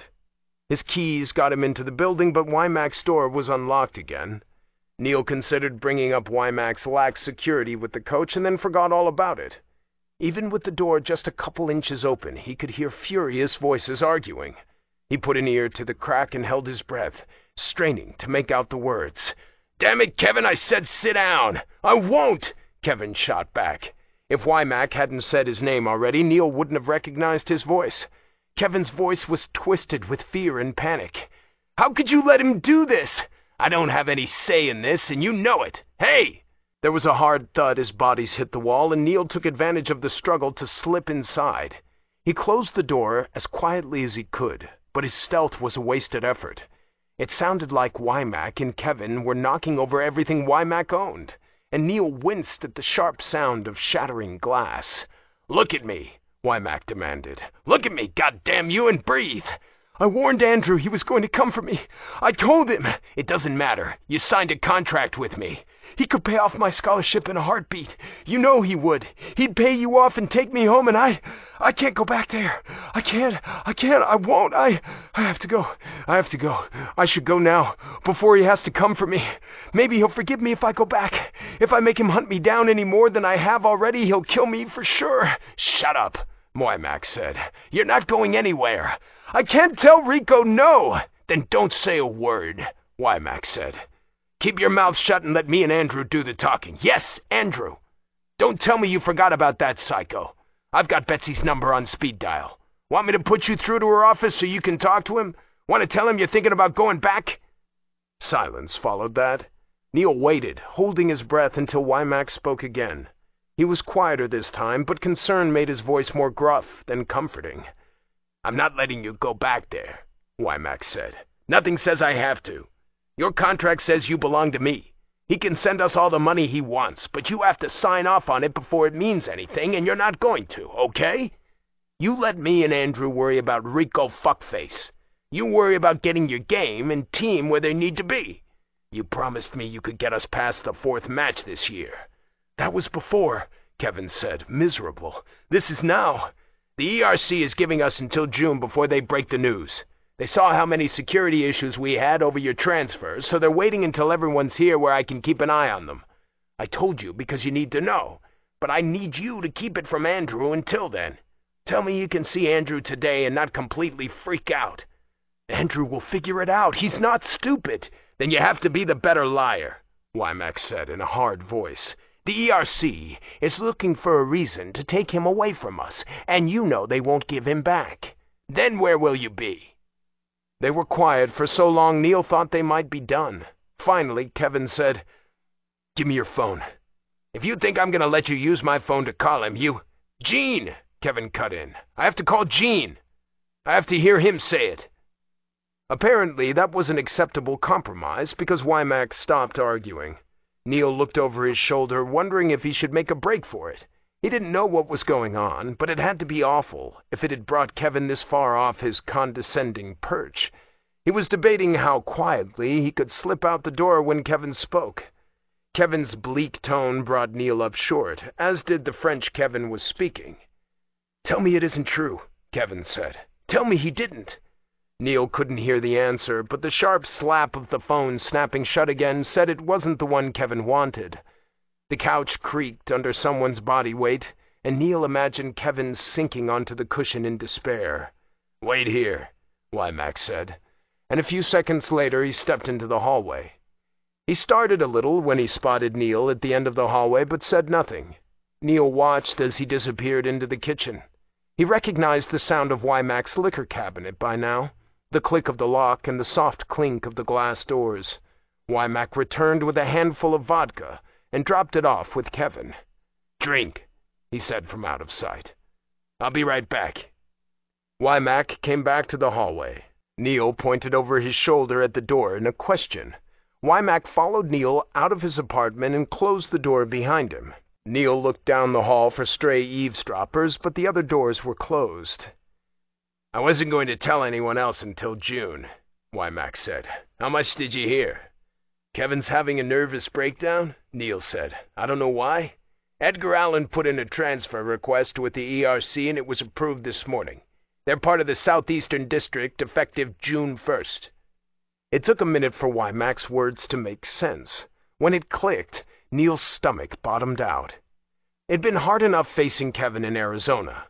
How could Neil risk meeting Rico, too? Just because Kevin didn't remember Neil didn't mean Rico wouldn't either. Neil didn't want to find out the hard way if Rico had the better memory of the two. That's impossible, Neil said. Not really. They're the only NCAA team in West Virginia, so it was as easy as a vote and a couple signatures. That's impossible, Neil said again. We can't play the Ravens. What sane board pits the best and worst teams against each other? One that knows there's a lot to gain from it, Wymack said. Kevin's transfer created a lot of backlash, but it also generated a lot of new interest in Exy. The ERC wants to follow it through to the natural conclusion. Kevin and Rico's reunion on the court, but this time as rivals for the first time ever. It doesn't matter who wins. They know what publicity and funding they can score with such a move. I can't play against Rico, Neil said. I'm not ready. Rico isn't your problem, Wymack said. Leave him to Matt. Your problem is getting around his backliners and goalkeeper. Can you protest? Neil said. They're setting us up for a match everyone knows we can't win. I could, but it won't do any good, Wymack said. The ERC doesn't do takebacks, especially when it means spurning a Moriyama. There's something you need to know about the Moriyamas, but I didn't want to have this conversation with you yet. I wanted you settled a bit more, or at least hoped you'd get to know the team better before I dropped this on you. Now that the ERC is forcing my hand, I don't have a lot of choices. What I'm going to tell you is an open secret. That is, we know it. He waved a finger in a circle, likely meaning the Foxes. But no one outside our team does. It has to stay that way no matter what, do you understand? People could get hurt if this gets out. People could die. Neil waved over his shoulder at the apartment doors. What about them? I'm the only one on this floor, Wymack said. They built this complex around the same time we started construction on the Foxhole Court. Thought our team would be something and people would want to live in the area to be close to the stadium for games. Then we couldn't perform so the apartments didn't fill. The lower floors are pretty full and the middle floors get rented out during football season, but top two floors are pretty bare. And no, you can't break into any of them, so don't even think it. Neil let that accusation go without comment. You're stalling, coach. Wymack folded his arms across his chest and stared at Neil. Do you know why Kevin came to Palmetto State? He broke his hand, Neil said. He couldn't play, so he transferred here as an assistant coach. I assumed he was following Andrew. I brought him here, Wymack said. He showed up at my hotel room at Winter Banquet with his hand a bloody mess. He didn't want us to notify the Ravens or take him to a hospital, so Abby bandaged him up as best she could, and I put him on the bus back to South Carolina with us. That doesn't make sense, Neil said. How'd he get from the ski resort to your hotel? He wasn't in the mountains. Wymack said. But he broke his hand in a skiing accident, Neil said. Bullshit, Wymack said. It wasn't an accident. Neil stared blankly at him, and Wymack gave a short nod before explaining. The ERC had an end-of-year meeting a few days before the Southeastern District's winter banquet. The NCAA advisors got everyone talking about Rico and Kevin. They had some concerns about the season, they said. They were sure Rico was holding Kevin back, that Kevin was selling himself short so as not to outshine Rico on the court. They wanted to know if it was Coach Moriyama's doing. In response, Moriyama pitted Rico and Kevin against each other. Rico won, Wymack said. But I'm thinking he didn't get it fair and square. If he had, maybe things would have turned out differently. As soon as Coach Moriyama dismissed them for the night, Rico broke Kevin's hand. It was like getting punched in the gut. What? Wymack dragged his thumb along the back of his hand, tracing the path of Kevin's injury. Kevin doesn't talk about his time at Evermore, but I could tell it wasn't the first time Rico or Moriyama laid a hand on him. It was just the first time Kevin was smart enough to pack his bags and walk away. So much for family, hmm? I don't believe in family. Neither do I. He meant it. Neil finally understood that look Wymack sent him in Millport that perfect understanding that undid Neil's defenses. Neil searched his face, looking for the story behind that exhaustion. Whatever broke Wymack happened so long ago he wasn't even bitter over it anymore, but he was definitely still cracked if he poured so much time into the Foxhole Court. Why doesn't anyone else know what Rico did? Neil asked. Because Rico is a Moriyama, Wymack said tiredly. This is where it starts getting messy. He thought for a minute, then held up his index fingers. The Moriyama family is broken in half. The main family and the branch family. The main consists of the firstborn sons, and the branch is for everyone else. Coach Moriyama, Tetsuji, heads the branch family, and his older brother Kengo heads the main. Kengo has two sons, Ichiru and Rico. Because Ichiru was born first, he stayed with Kengo in the main family. Rico was born second, so Tetsuji became his legal guardian and Rico became part of the branch family. Follow? I think so. The families are estranged, Wymack said. Kengo and the main family are up in New York City, where Kengo is CEO of an international trading company. One day he'll pass the business to Ichiru. Tetsuji and Rico get a kickback of the profits, but they're considered unimportant and have no say in any business decisions. That's how Tetsuji had the freedom to study in Japan and develop Exy. So long as he doesn't do anything to damage the family's reputation, he is free to do what he likes, and what he likes is to create the most awful and powerful team in the nation. This all is public knowledge. Neil looked past Wymack at the door, thinking of Kevin's freakout. And the truth? The Rio Moriyama family business is murder. Neil shot a quick look at him. Wymack held up a hand to ward off any questions, his expression grim. The Moriyamas are an immigrated Yakuza group. Do you know what the Yakuza are? They're Japanese mafia. Kengo's father brought the group to America a couple decades ago and set up shop up north.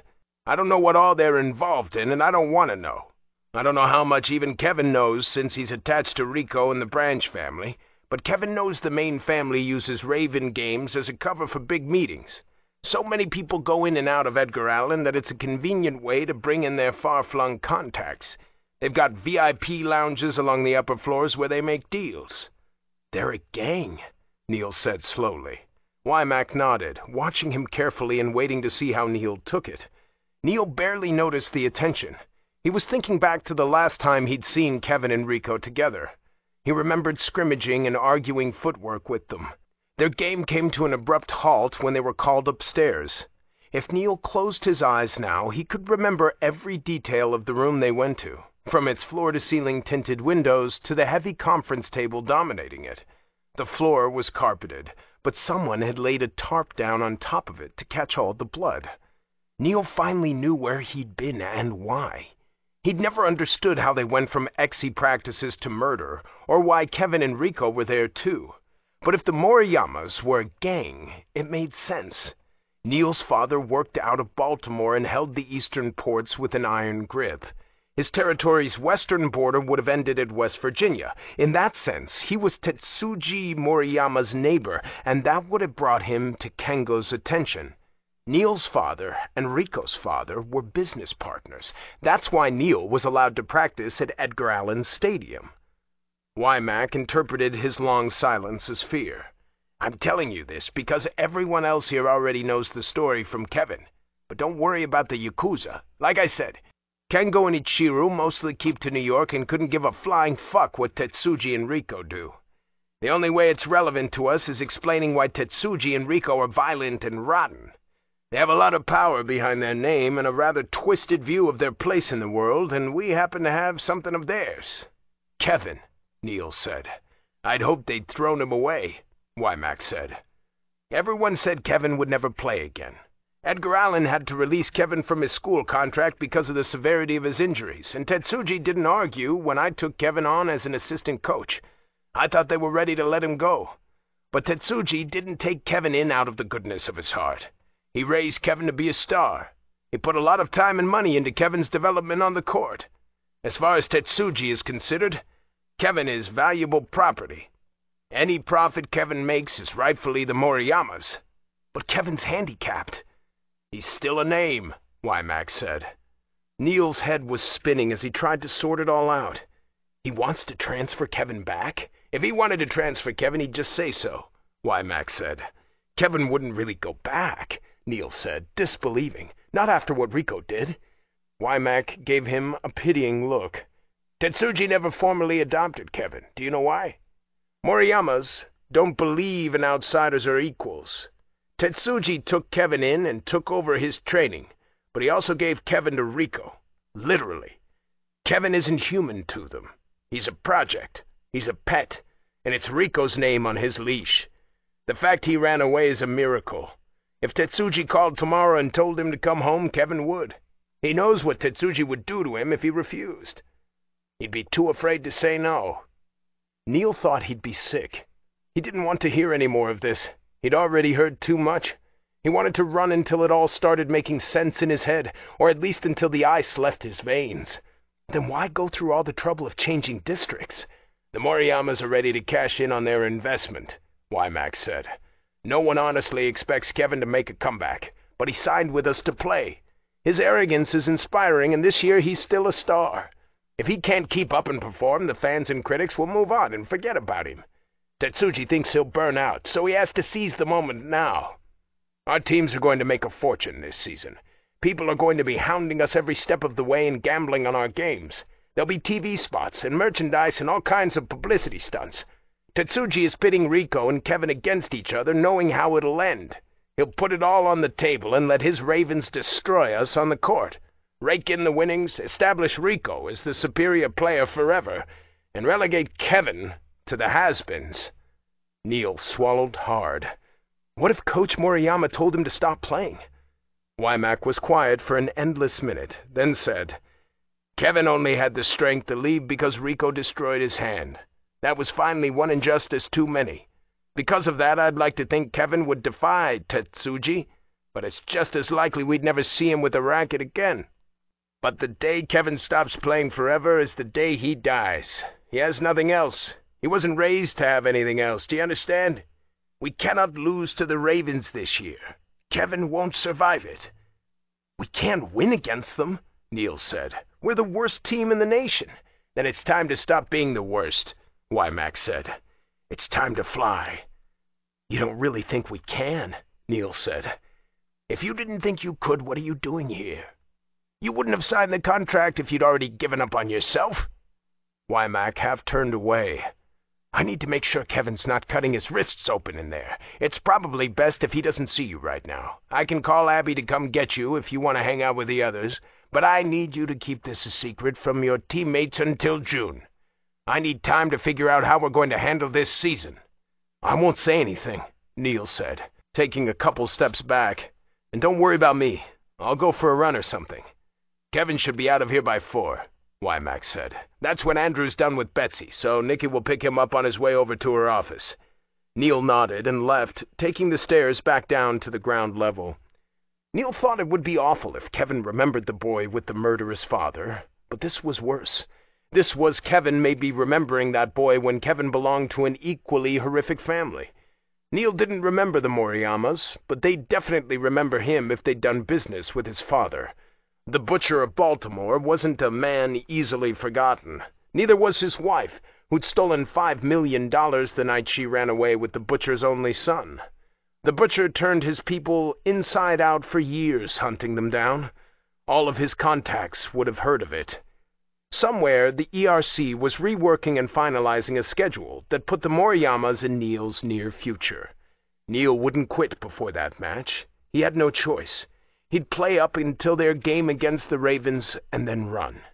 If he was lucky, the match would come at the end of the fall season, so he wouldn't jeopardize the striker line too much by taking off.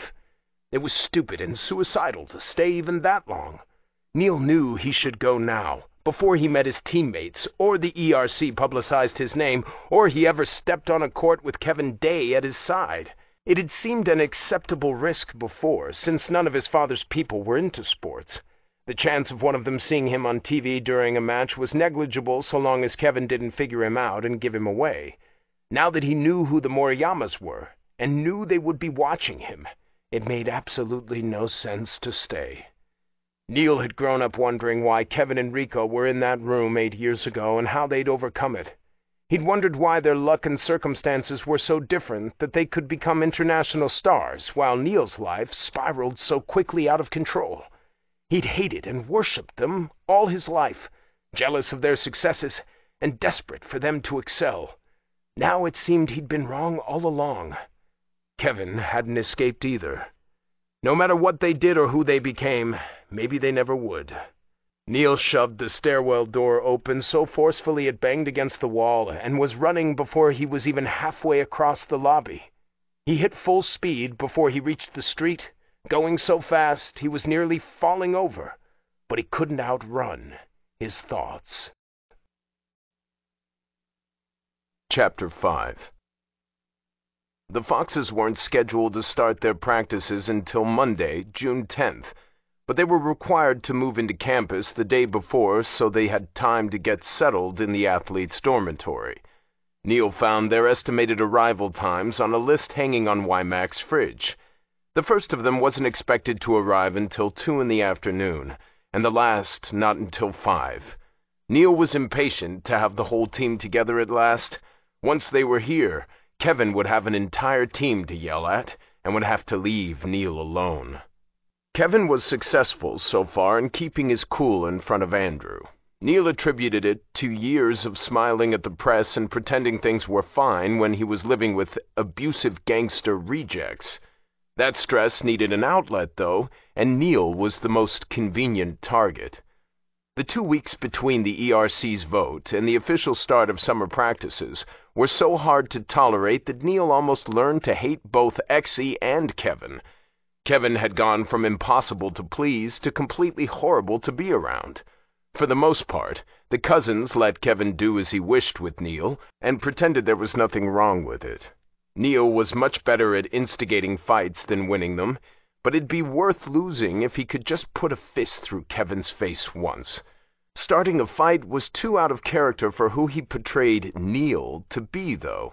As much as Neil hated coming across as a pushover, he didn't have a choice.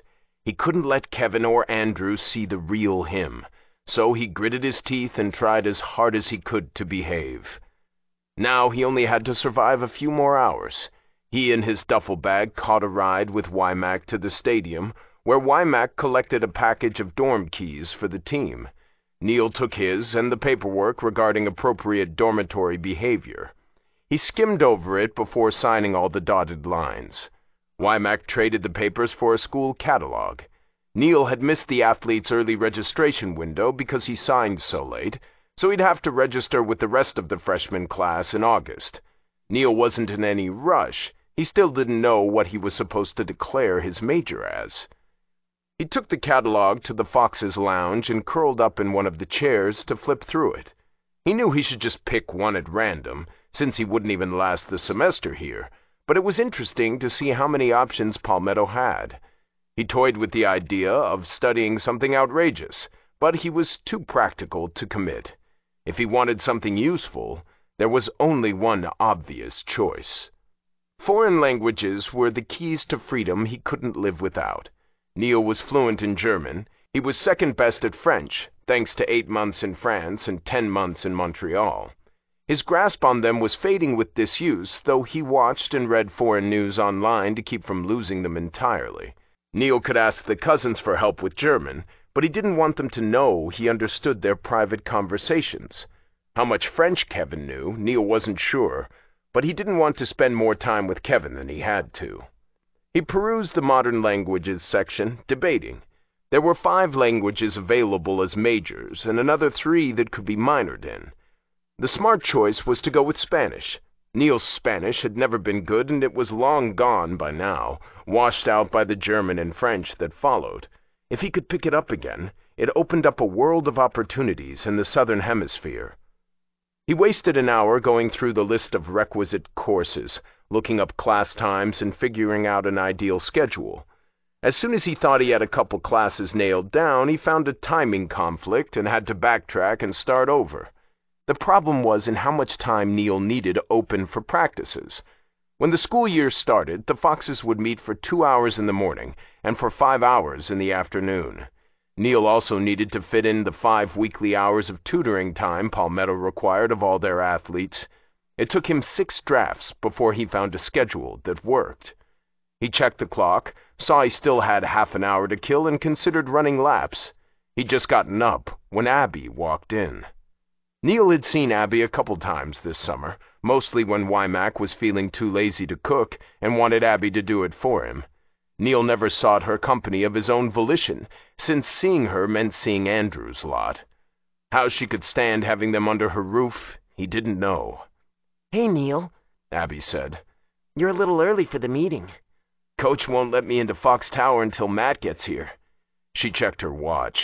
He'll be here before you know it.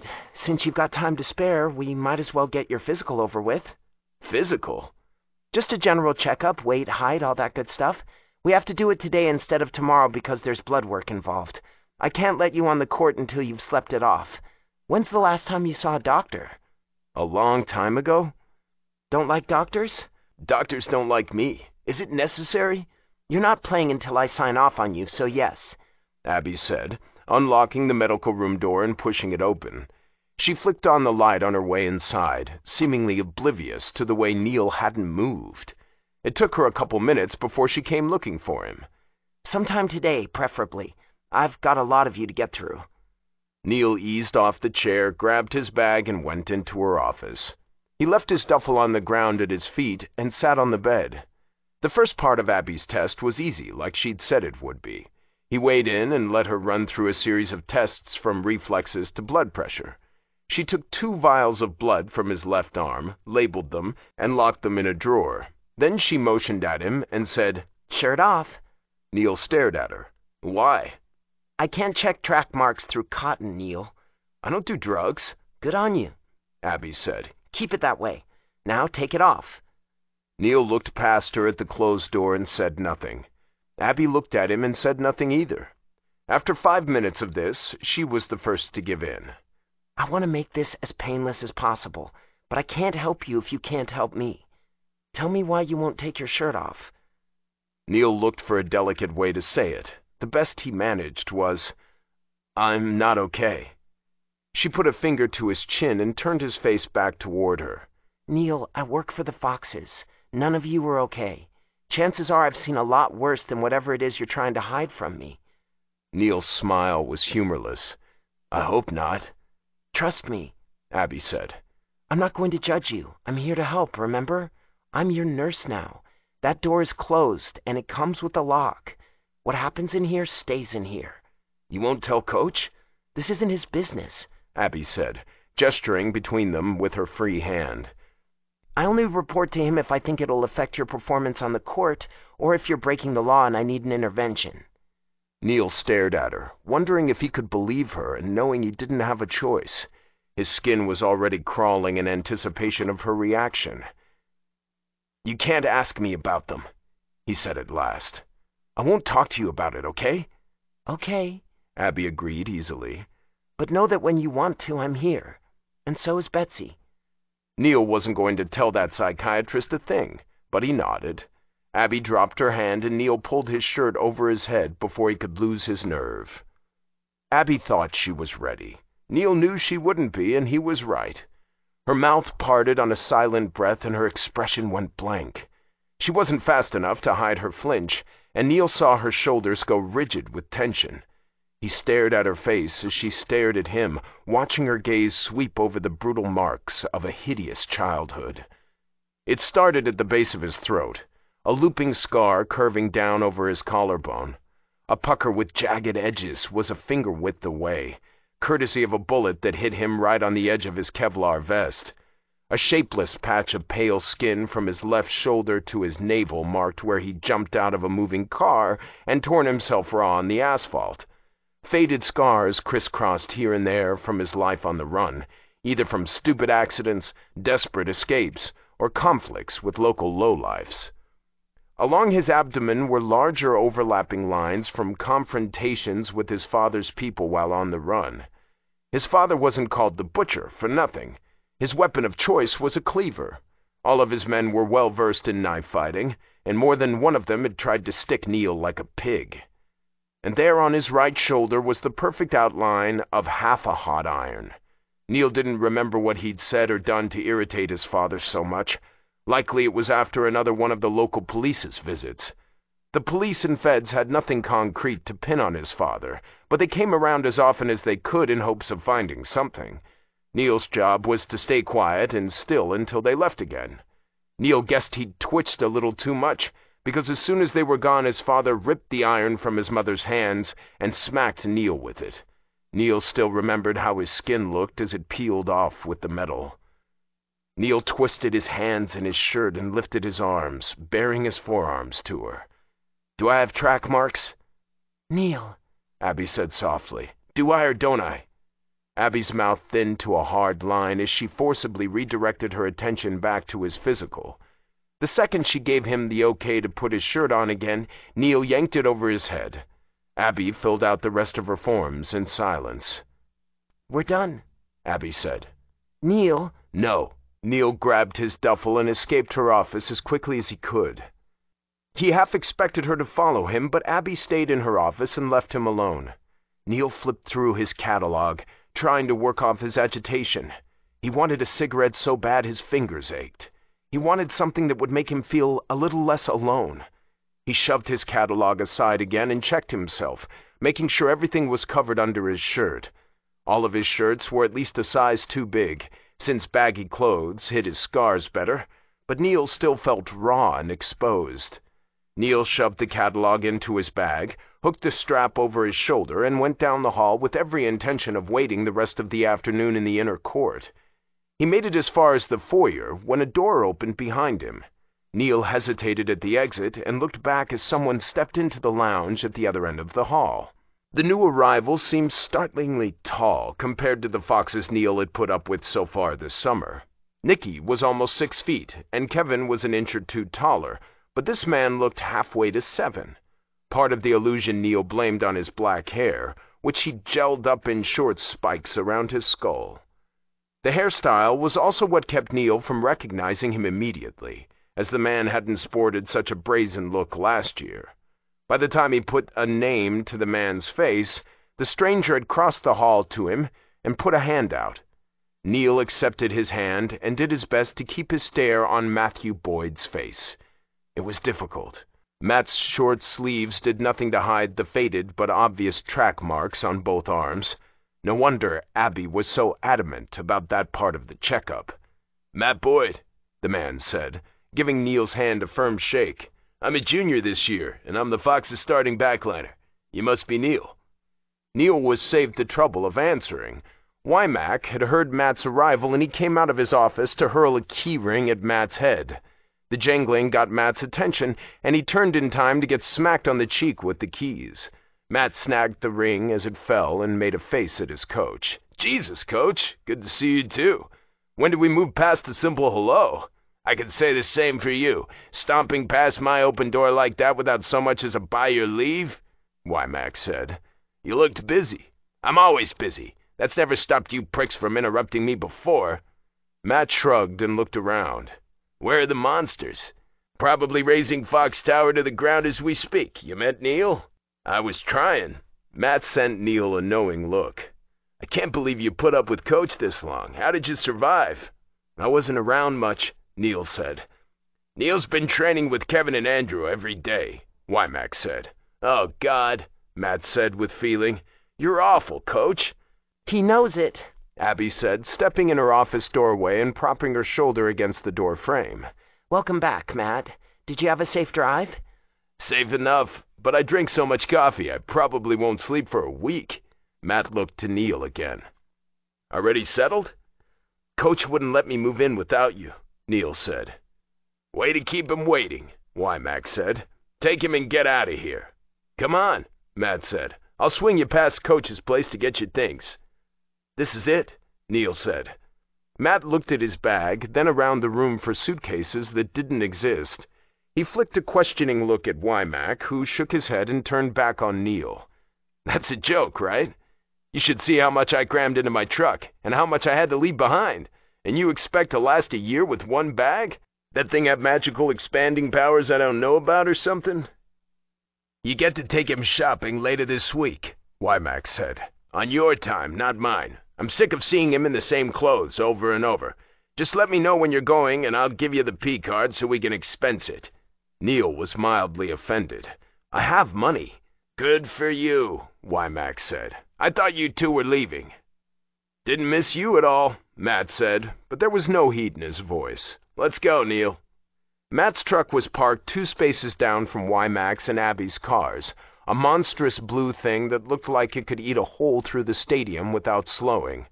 Matt hadn't been joking about how many things he owned. The truck bed was stuffed with furniture, and only a dozen taut cords kept anything from falling out. The back seats in the extended cab were also full of suitcases and crates. Matt took a backpack out of the passenger seat and tossed it in back with the rest so Neil could fit. The truck came to life with a quiet roar Neil felt more than heard, and the radio blasted to life a half second later. Matt cut it off and yanked his door closed. We're not all bad, just so you know. Matt said as he pulled out of the parking lot. Dan hated that your first impression of us would be the do-nothings. She was pretty sure you wouldn't stick around long enough to meet the rest of us. She thought about coming back to campus early to be a buffer, but Coach told her not to bother. Said you had to deal with them eventually. They're interesting, Neil said. Interesting, Matt repeated.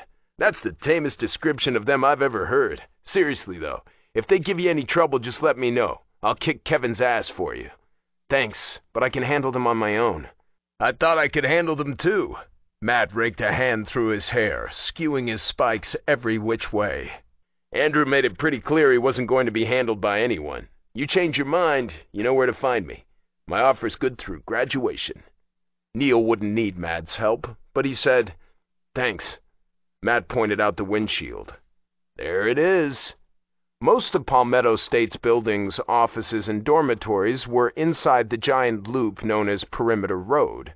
Fox Tower was one of the few exceptions, but only because a stray hill forced Perimeter to hug the campus green near the clock tower. The hill might have been a nice spot for students to picnic between classes, except someone thought to build the athletes' dormitory on the peak. It stood four stories tall and had its own computer lab and parking lot.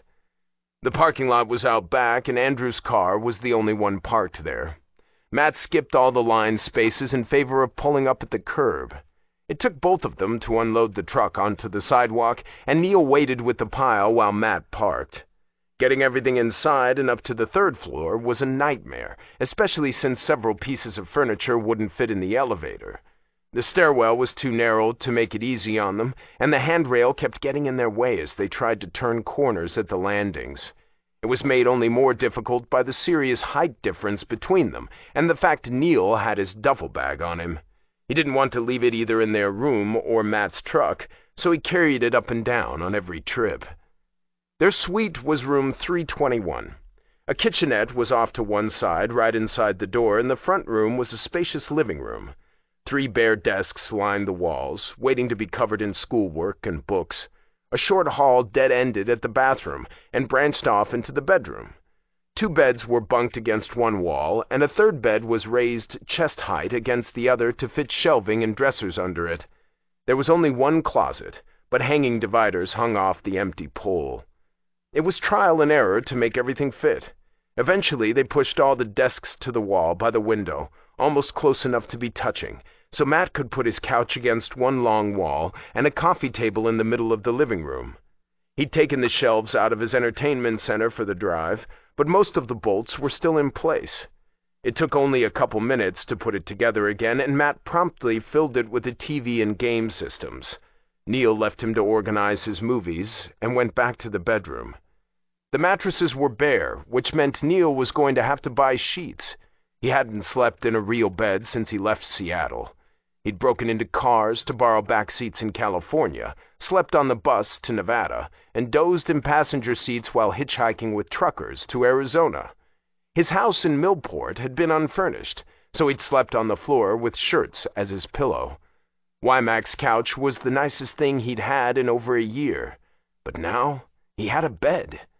Sleeping alone would be disorienting. He'd gotten in the habit of sleeping in his mother's bed, as her paranoia didn't want him out of her reach. They slept back to back, guarding each other, the guns under their pillows, uncomfortable but reassuring lumps. I'm heading out to get Dan and Renee from the airport, Matt said from the doorway. Want to come with? I've got to run by the store, Neil said. Do you care which bed you sleep in? I'm too tall to sleep up top, Matt said, and Seth keeps weird hours, so unless you've got a thing with heights, you're better off in the loft. I'll be back in an hour or so, and you can hitch a ride with us to the court when the girls are settled. Dan won't believe you're okay until she sees you with her own eyes. I'll be back by then, Neil said, so Matt left. Neil waited until the door closed behind him before shrugging his bag off his shoulder. He walked laps around the dorm room again, this time with a sinking feeling in his gut. His locker was on the other side of campus, and Wymack's locked cabinet was even further away. The only quasi-secure place in the entire room was his dresser, and that was just because the drawers closed all the way. Nothing had a lock on it, except the front door. He could bring the duffel with him, seeing how it was only two miles to the store, but he needed to buy so many things he knew he couldn't carry it all back.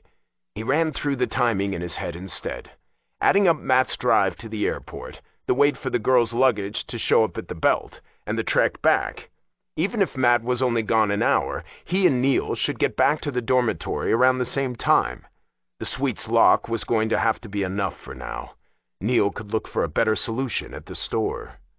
He dug his wallet out of the duffel's end pocket and stuffed the bag into his dresser's bottom drawer.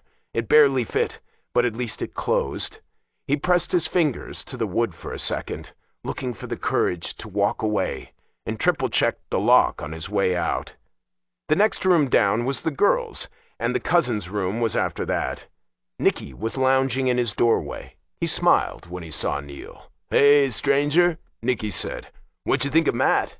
"He seems fine," Neil said, not slowing on his way by. He is fine, Nicky called after him with a laugh. Neil took the stairs down, checked his watch at the front door, and ran to the store. The conditioned air felt like heaven on his warm skin as he paced the aisles, taking what he needed without lingering long over the details. He stocked up on everything from bed sheets to hair dye and groceries, and then backtracked for a messenger bag. His duffel bag was the perfect size for everything he owned, which meant there was no spare room for school books and notepads. He checked the small hardware section, didn't find a lock he thought he could install on anything in his room, and went back to the office and school supplies.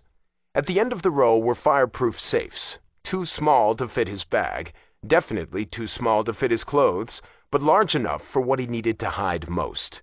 Neil lugged one with him to check out and piled everything onto the belt.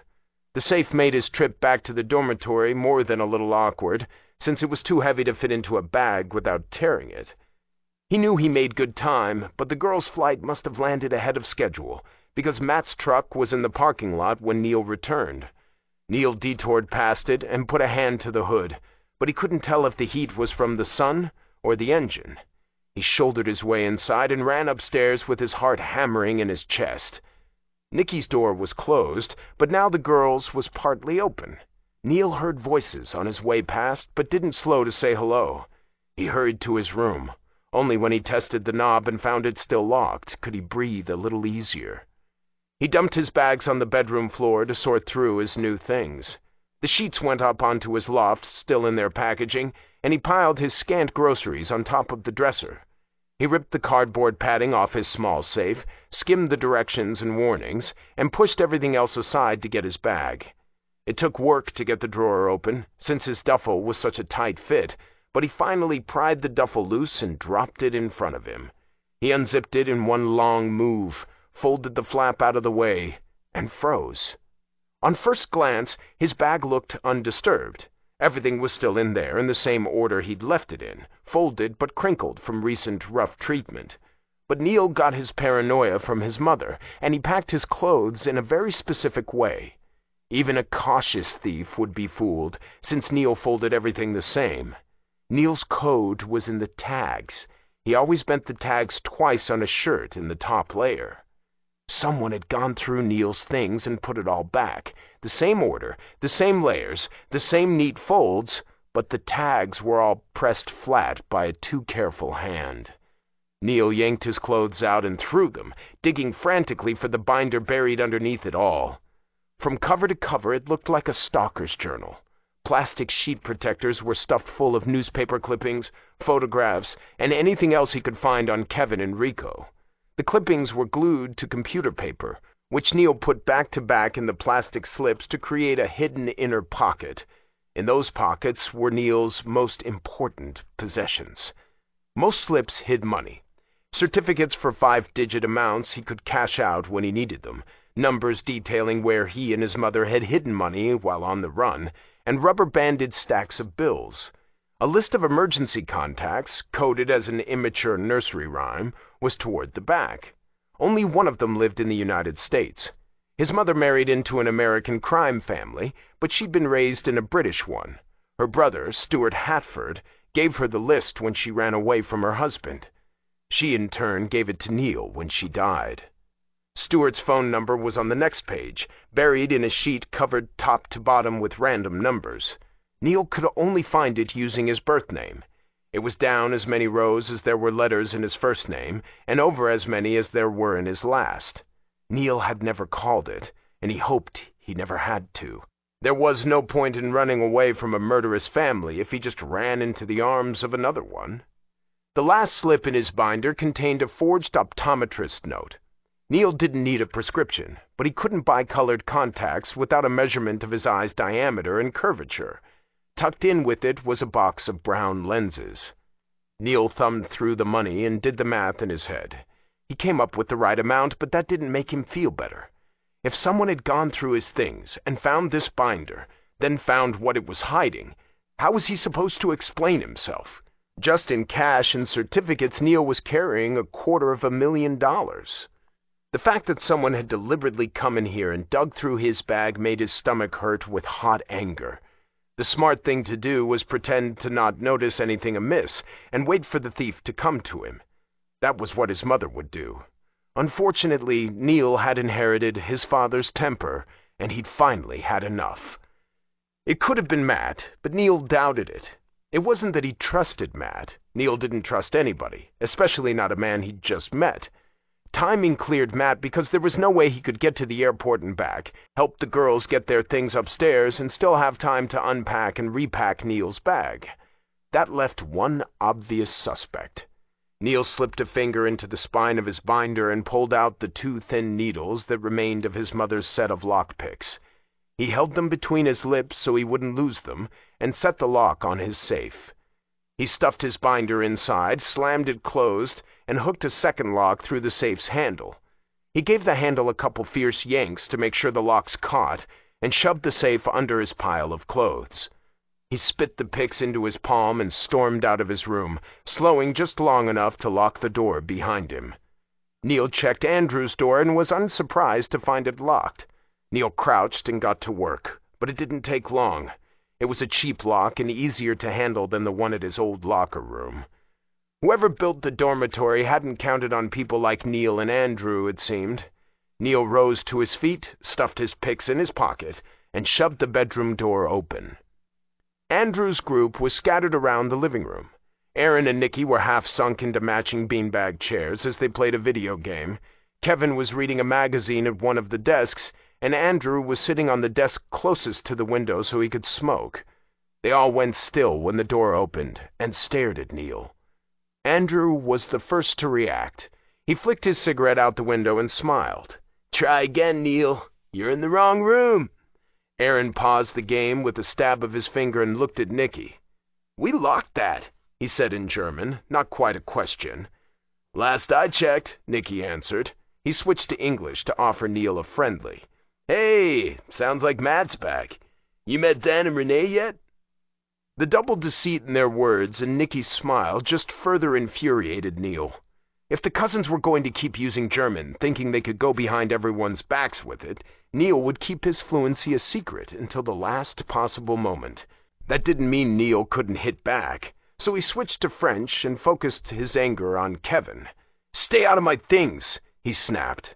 He wished he could take some satisfaction in the shell-shocked looks the language and his furious tone earned, but he felt nothing. The next time one of you goes where you don't belong, I swear I'll make you regret it. It was an age before anyone responded. Nicky was too busy gaping at Neil to say anything, and Aaron was staring at Kevin as he waited for a translation. Andrew's surprise gave way to what a fool might mistake for delight, and he leaned forward on the desk. Wow, Another one of Neil's many talents. How many can one man have? Neil ignored him in favor of Kevin. Tell me you understand. I understand, Kevin said in French, but I don't care.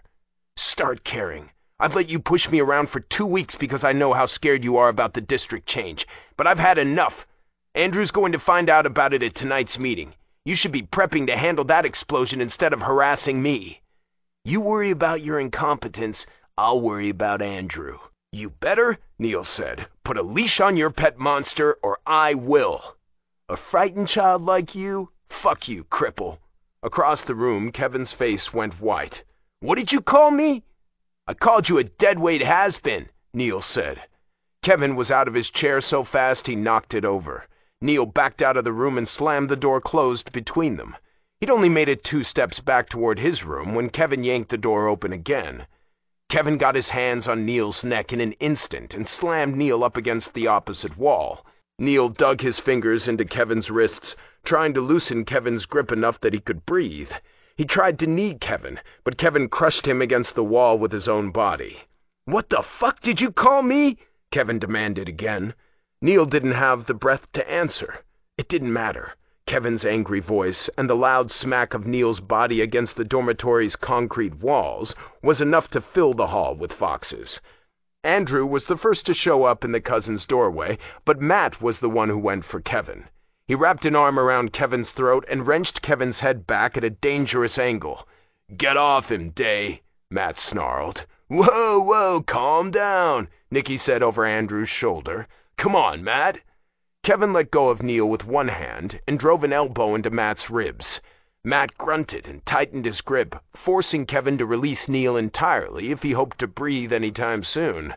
Matt hauled Kevin away from Neil, but Kevin wiggled free two steps later and swung at Matt.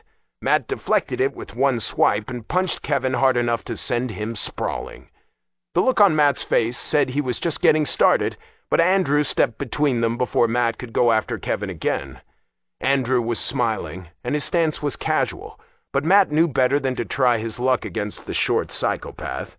Matt took a step back, silently conceding the fight, and shot Neil a worried look. Kevin got to his feet behind Andrew and glared at Neil. Neil refused to look at anyone at all and pretended the far wall was the most interesting thing he'd seen in years. The girls chose that moment to step in. One moved up alongside Matt, expression tight with anger. She swept a dark look between Andrew's group and Neil and said, What do you think you're doing? It's our first day back. Why are we fighting already?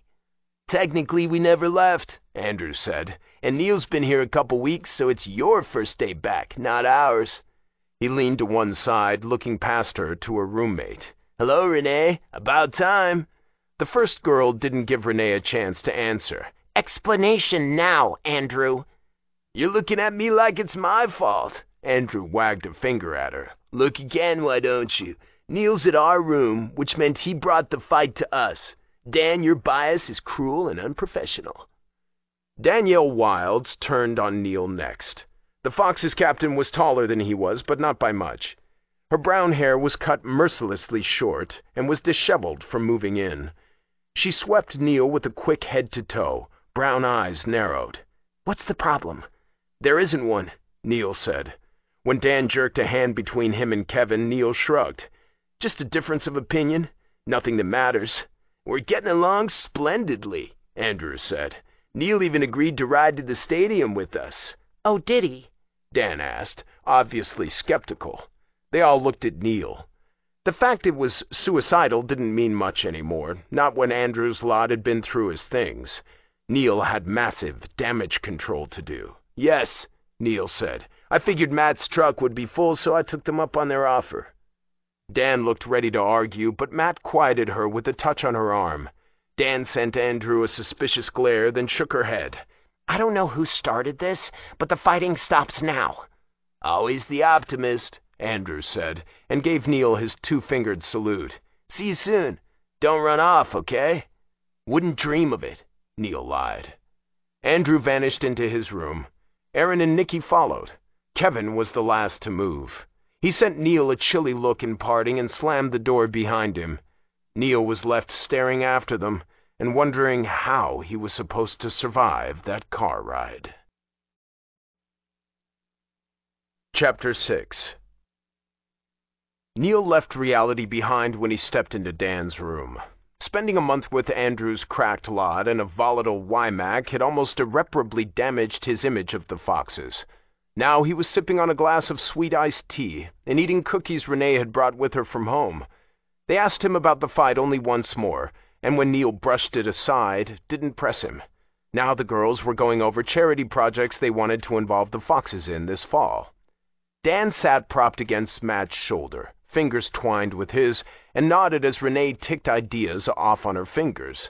She seemed friendly enough now that Andrew was out of sight, but Neil had already noted her spine. She was made of sterner stuff, his mother might have said. Neil guessed she had to be to captain a ragtag team like this. Her roommate, Renee, was a mystery. The Fox's senior goalkeeper had bright white hair cut to her chin. The bottom two inches of her hair were dyed in alternating pastel colors. It was interesting enough to warrant a second look, but downright odd when paired with her scant makeup, conservative clothes, and delicate silver cross necklace. Nicky had called her the sweetheart of the team. Neil understood why as he listened to her talk. He had no idea how she qualified for the Fox's halfway house team.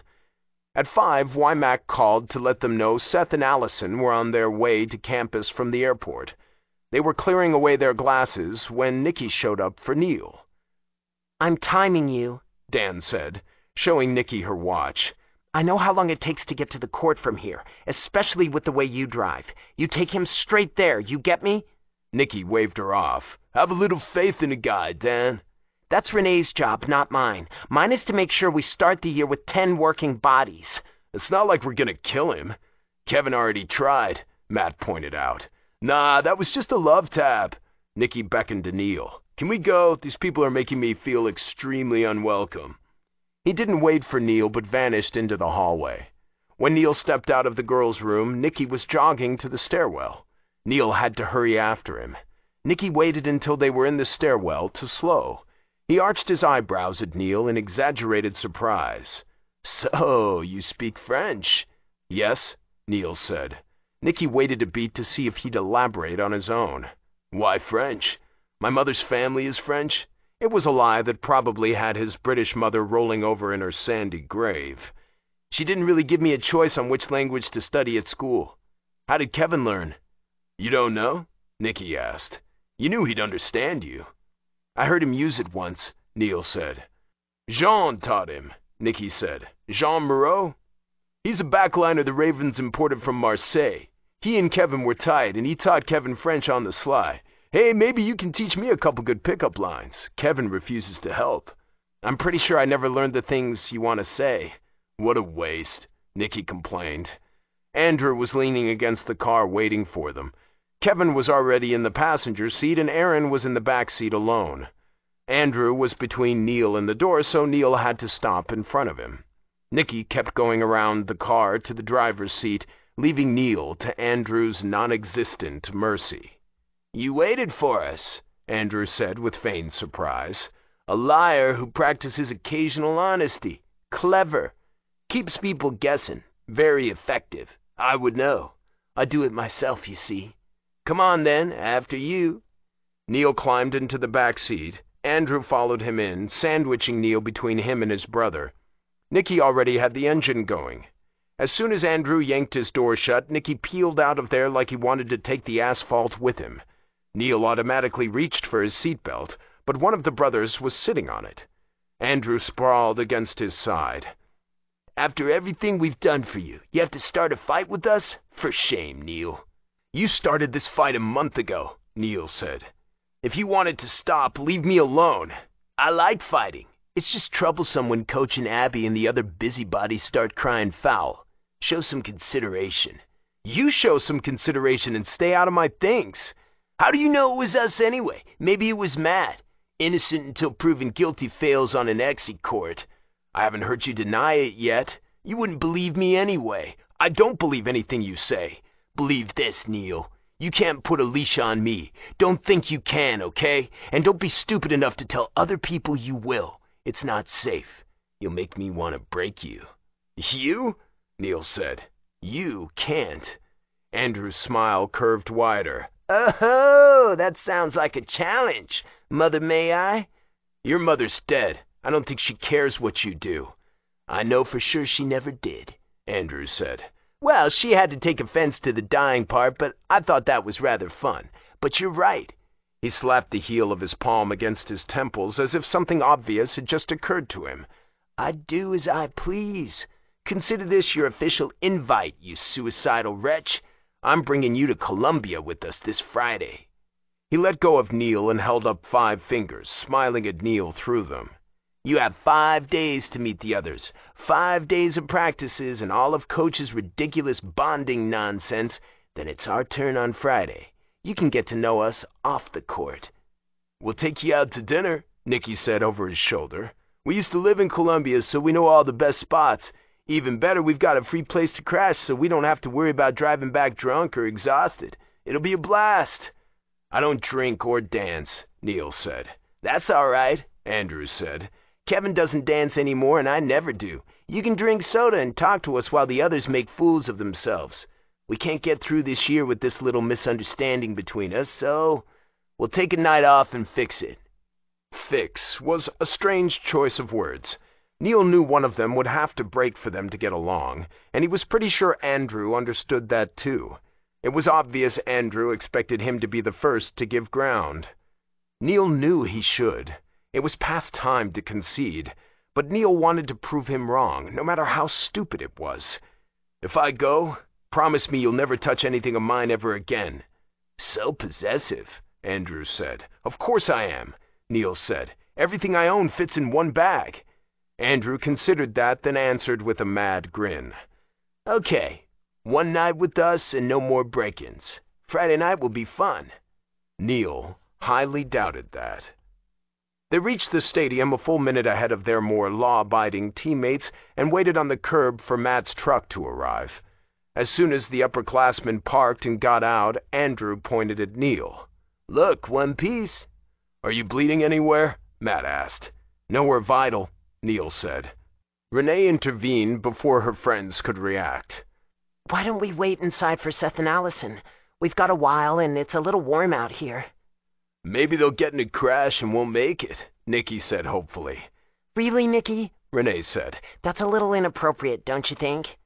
She said it gently, with the hint of a smile on her face, but Neil still felt the rebuke. It was subtler, but somehow deadlier than the dirty looks Matt and Dan were sending Nicky, maybe because she was so sweetly disappointed in Nicky's attitude. Nicky dropped his gaze from hers and gave an uncomfortable shrug. Let's go, Dan said, and led the way into the locker room. Wymack and Abby were perched on the entertainment center in the lounge when they arrived. Dan's annoyance faded under real warmth as she greeted the pair. Andrew's group went straight to one of the couches while Matt waited for the girls on the other. Neil picked a chair where he could keep an eye on everyone. After Renee's friendly greetings, she retired to Matt's couch. They left a space between them for Dan. Dan stayed with Wymack a little longer, chatting animatedly about the summer Exy major leagues. It took almost 20 minutes for the final two Foxes to arrive, and Neil felt the tension in the room change when the door banged open. Neil noted his teammates' reactions and mentally divided the team into four groups Dan's three, Andrew's four, the new arrivals, and himself.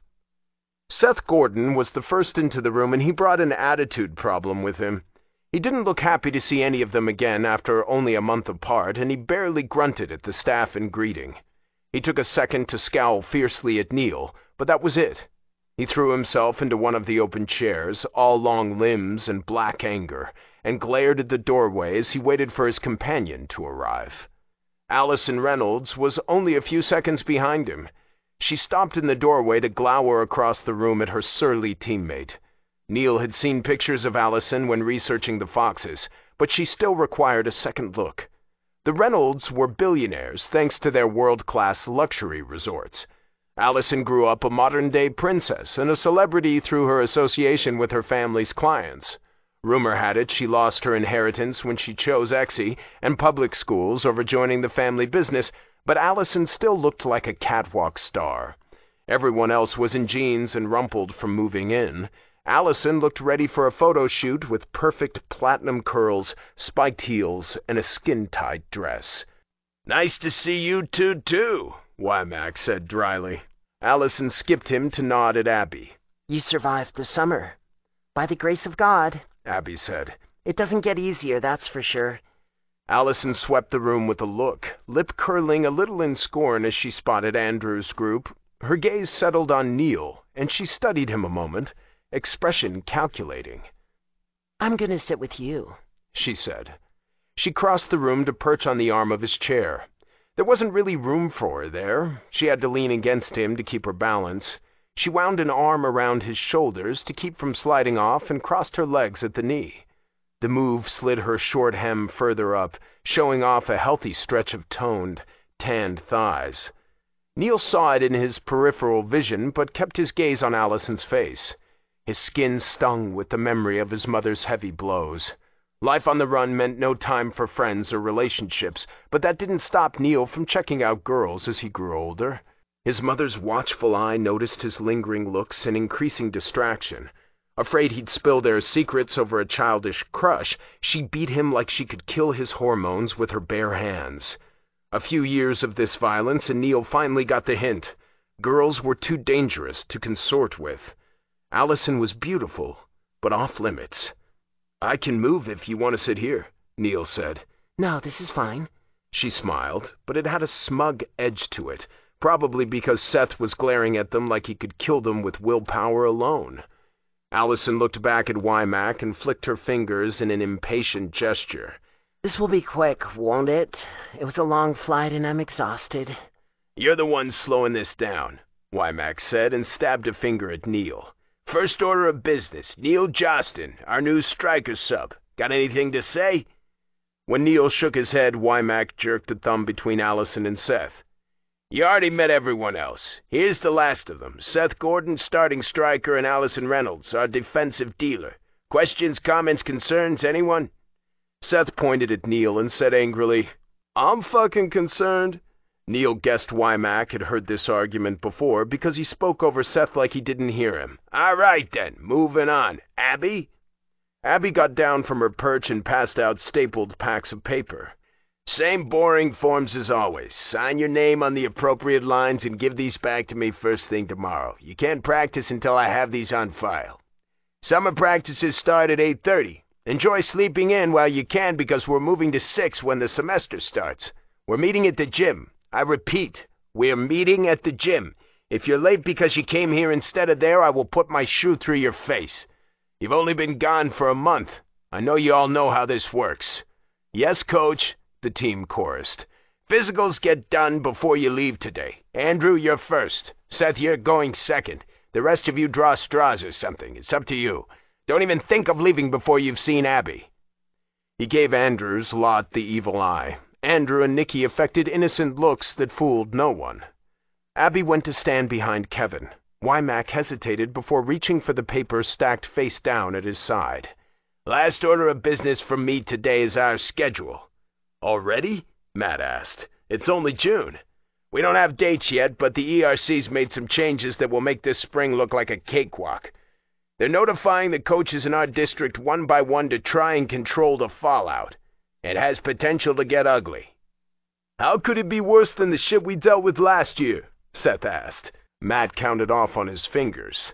The break-ins, threatening phone calls, rabid press, vandalism. Personal favorite was when someone told the police we were running a meth lab out of the dorm, Dan said sourly. Police raids are awesome. The death threats were creative, though, Nicky said. Maybe this time they'll follow through and actually kill one of us. Let's vote. I nominate Seth. Fuck you, faggot, Seth said. I don't like that word, Andrew said. Don't use it. I would say fuck you, freak, but then you wouldn't know which one of you I was talking to. Don't talk to us at all, Aaron said. You never have anything useful to say. Enough, Wymack said. We don't have time for petty bullshit this year. We've got a new school in our district. Neil glanced at Kevin where he sat white-faced and rigid. Four men on one couch meant Andrew's group was sitting crushed together, with Kevin and Andrew in the middle. Even on drugs, Andrew couldn't miss the way Kevin went tense, but with his medicine in his veins, he thought it was funny. He grinned up at Kevin, but the smile evaporated off his face when Wymack spoke. Edgar Allan's come south. Shock silenced the team, but not for long. No way, Dan said sharply. That isn't funny, coach. Seth apparently thought otherwise because he started laughing. Aaron, Nicky, and Matt drowned each other out as they demanded explanations. Allison made a shrill noise of disbelief that left Neil's right ear ringing. Renee, like Neil, watched Andrew and Kevin and said nothing. Wymack tried explaining the ERC's logic, but he kept his attention on Andrew. It didn't take the team long to notice his distraction. The hubbub slowly died out. As it did, Andrew's smile returned. This time it was all teeth. Andrew's drugs made him manic, but they didn't make him any less vicious. Neil knew what that smile meant and braced for violence. Hey, Kevin, Andrew said. Hear that? Someone really misses you. The ERC shouldn't have approved it, Kevin said, so quietly Neil barely heard him. You said he would come for you. I didn't know it would be like this. Liar, Andrew said, and Kevin flinched. Andrew twisted to sit sideways on the couch so he could see Kevin better. It put his back against Nicky's side. Nicky leaned away from his deranged cousin, knuckles white where he was holding on to the arm of the couch. Andrew either didn't notice or didn't care how uncomfortable he was making Nicky. He had eyes only for Kevin. Kevin looked sick to his stomach, but he was panicking over this bombshell. Andrew had no problems interpreting that pseudo-strength. You did know about this, Andrew said. How long? One day, two days, three, four, five? Coach told me when it was approved in May. May! May Day! May Day! A little curious Kevin Day! When were you going to tell me? I told him not to, Wymack said. You picked Coach over me? Andrew asked and laughed. Oh, my. Favoritism, deception, betrayal. How familiar. After all I've done for you. Andrew, knock it off, Abby warned him. Help me, Kevin said, almost a whisper. Andrew clucked his tongue and cocked his head to one side. Help you? Help a man who lies to my face for a month? How? I want to stay, Kevin said. I'll ask you again, don't let him take me away. You're the one who would tell him yes, Andrew said. Maybe you forgot. Please. You know how much I hate that word. Kevin stared down at his hands where they were clenched in his lap, eyes on the scar that ran across the back of his hand. Neil had only gotten glimpses of it, since he didn't want Kevin to catch him staring. It was a jagged mess along the thin bones of his hand. However Rico broke his hand, it hadn't been a clean strike. Andrew heaved an exaggerated sigh and held his hand out, blocking Kevin's view of his scar. Look at me, Andrew said. Kevin turned a haunted look on him. Neil wasn't sure how Andrew could smile at such an empty stare, drugs notwithstanding. Neil felt Kevin's despair all the way across the room, and it was such a familiar feeling he thought he'd be sick. It'll be fine, Andrew said. I promised, didn't I? Don't you believe me? It took a while, but at last Kevin visibly relaxed. The dead edge melted out of his eyes as he absorbed every ounce of strength Andrew could give him. The unwavering trust Kevin had in Andrew was amazing. How Kevin thought one psychotic midget could protect him against a family as twisted as the Moriyamas, Neil didn't know. Neil thought he should be impressed, but all he felt was bitterness. He swallowed hard against the churning in his stomach and looked away. Wymack watched them a minute longer, then nodded. The ERC will make their official announcement later this month. They agreed to wait until you were all here where it's easier for us to protect you. That doesn't mean you can be careless. Chuck, that's our university president Charles Whittier, Neil, has reissued orders that reporters stay off our campus without a police escort this summer. You'll see twice as many campus police around, and I need all of you to save their number to your phones just in case. Understand? Neil didn't own a phone, but he joined the others in saying, Yes, coach. The room went quiet, and Neil couldn't stand it anymore. Anything else, coach, or are we finished? This is a big deal, Dan said. It changes everything. You don't understand. Neil found out when Kevin did, Wymack said. I already had the talk with him, so he understands just fine, and no, there's nothing else. Abby, they're all yours. Do with them what you will. Neil got to his feet and started for the door without a backward glance. Dan tried to call him back for his physical, but Abby quieted her. Renee caught up with him outside. Unfortunately, this means Andrew can't give you a ride back to the dorm, she said. Kevin needs him right now, and that trumps whatever agreement you two had. If you're okay with waiting a bit, though, you're more than welcome to ride with us. There's plenty of room in Matt's truck. Neil meant to say no, but what came out was, why does Kevin trust Andrew? Renee smiled. Because he knows he can. With so much at stake, Neil pressed, as if she didn't understand what was going on as well as he did. Maybe she didn't. Maybe she couldn't understand what Kevin was risking and what he would face if Andrew failed. She wasn't like them. She was normal, or as normal as the Foxes could hope to be. Gangs and blood feuds were things out of movies. Neil hated that she couldn't understand, but he hated more that he did. With so much at stake, he honestly thinks Andrew is enough? Renee held out her hand to him. Neil, she said, so gently he wondered if she'd even heard him. Neil, please wait for us. No, Neil said, taking a step back. I know the way. Thank you. He rolled his papers into a tube and jogged away. She didn't call after him, but he felt her stare on the back of his head. As soon as he reached the far edge of the parking lot, he sped up to a full-out run. The run did nothing to calm the restless anxiety gnawing at his stomach. He reached the dorm in worse spirits than he'd left the stadium. He tried to distract himself by putting his things away, but he ended up pacing the room with his empty duffel bag in his hands. His fifth time around, he couldn't take it anymore. He fell to his knees and yanked at his dresser, hurriedly unloading his few outfits so he could get to his safe. He punched the code in and undid the combination lock, needing to see his binder. He went through it, cover to cover, checking and recounting everything. He shouldn't have come here. He shouldn't have stayed once he heard about the district change and found out who the Moriyamas were. Andrew getting into his things should be the last straw, even though Andrew hadn't said anything about what was in Neil's folder. Maybe Andrew wasn't smart enough to check the slips, or maybe he'd written the folder off the second he realized it was basically a shrine to Kevin and Rico. But Neil couldn't just assume Andrew hadn't found his money. For all he knew, Andrew was waiting to throw it in his face later. Panic told him to go now, but Neil couldn't move. A quieter voice beneath his fear kept him from getting up again. Neil still remembered Kevin's breakdown at Wymack's last month. Kevin's fear cut him wide open because Neil knew that feeling. Every day Neil woke up and relearned how to breathe. He gave himself two minutes every morning to calculate his chances of getting caught, weigh the benefits of staying wherever he was, and talk himself through his fear. Did Kevin do the same? The dead look Kevin turned on Andrew today was the same look Neil saw in his reflection. When Neil stopped acting, when he stopped worrying about who was watching, when he let go of the lies that kept him alive, that was the only expression he could make. Neil repacked his safe and dug out the cigarettes he'd bought at the store earlier.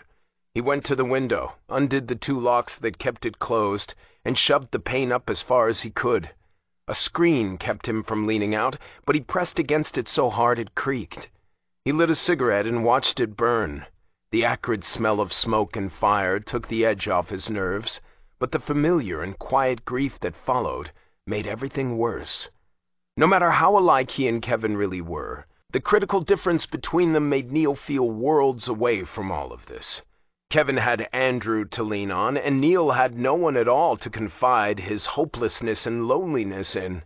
Whether Neil left today or tomorrow or next week, he'd leave alone. Two, five, ten years from now, if Neil was even still alive, he'd be alone. He could be anyone, anywhere in the world, but he'd be alone until the day he died. He'd never trust anyone enough to let them in, and that was why Neil couldn't go. Even if everything in Neil screamed at him to run, Neil couldn't do it, not after seeing that little show between Kevin and Andrew today. Maybe he was pathetic, or maybe he was too jealous to walk away. Maybe Neil just needed to understand. Why did Kevin always get more? Kevin lived with an awful family, but he had a home and a reputation and a following. He grew up in the spotlight, while Neil was left looking over his shoulder in a dozen countries around the world. Kevin lost his hand, but gained his freedom. He was stubborn enough and skilled enough to pick up where he'd left off, even if it meant learning how to play with his weaker hand. He had a coach and a teammate willing to defy the Moriyamas for him. Why? Why did Kevin deserve all that? Why did he deserve Neil? Why should Neil hesitate here and worry about him when Neil's own life was on the line? After the way Kevin treated him this summer, Neil should be happy. This was the perfect time to duck out. The team would assume Neil was a scared kid who couldn't deal with the Moriyama truth, and the press would be too busy following Kevin and Rico to dwell on another failed fox. Neil should send Rico an anonymous thank you card and go over the border to Mexico. But Neil couldn't. Not yet. He shook a clump of ash off onto the window sill and pushed his finger against it, smearing it into a dark streak on the white paint. He looked up at the clouds and searched them for his mother's furious face. One of us has to make it, Mom. It wasn't going to be Neil. It was obvious he was too stupid to survive without his mother if he let himself get into messes like this. But maybe Kevin could do it. Maybe he'd get through this somehow, riding his talent and Andrew's psychotic obsession and Wymack's fierce protection. Maybe he'd get through this season on the Foxes roster and be safe. He'd recover and he'd be free. Neil couldn't leave until he knew Kevin would be okay. He didn't want to find out from half the world away. He sucked in a slow, deep breath, trying to inhale as much smoke as he could, and watched as his cigarette burned down to the filter. He went through two more cigarettes before his roommate showed up. Neil stubbed the third out when he heard the front door open and scraped ash off the windowsill onto the carpet. He ground the ash in with a shoe, stuffed what was left of the butt into his pack for later, and kicked his things into some semblance of order. His safe was closed and locked, so he went out to greet his teammates. He felt distant as he watched them walk in. Maybe he was already dying, his stupid soul fading from his short body in preparation for a brutal end. Seth came in first and heaved his suitcase off to one side. He was mid-rant and needed his hands free for angry gesturing.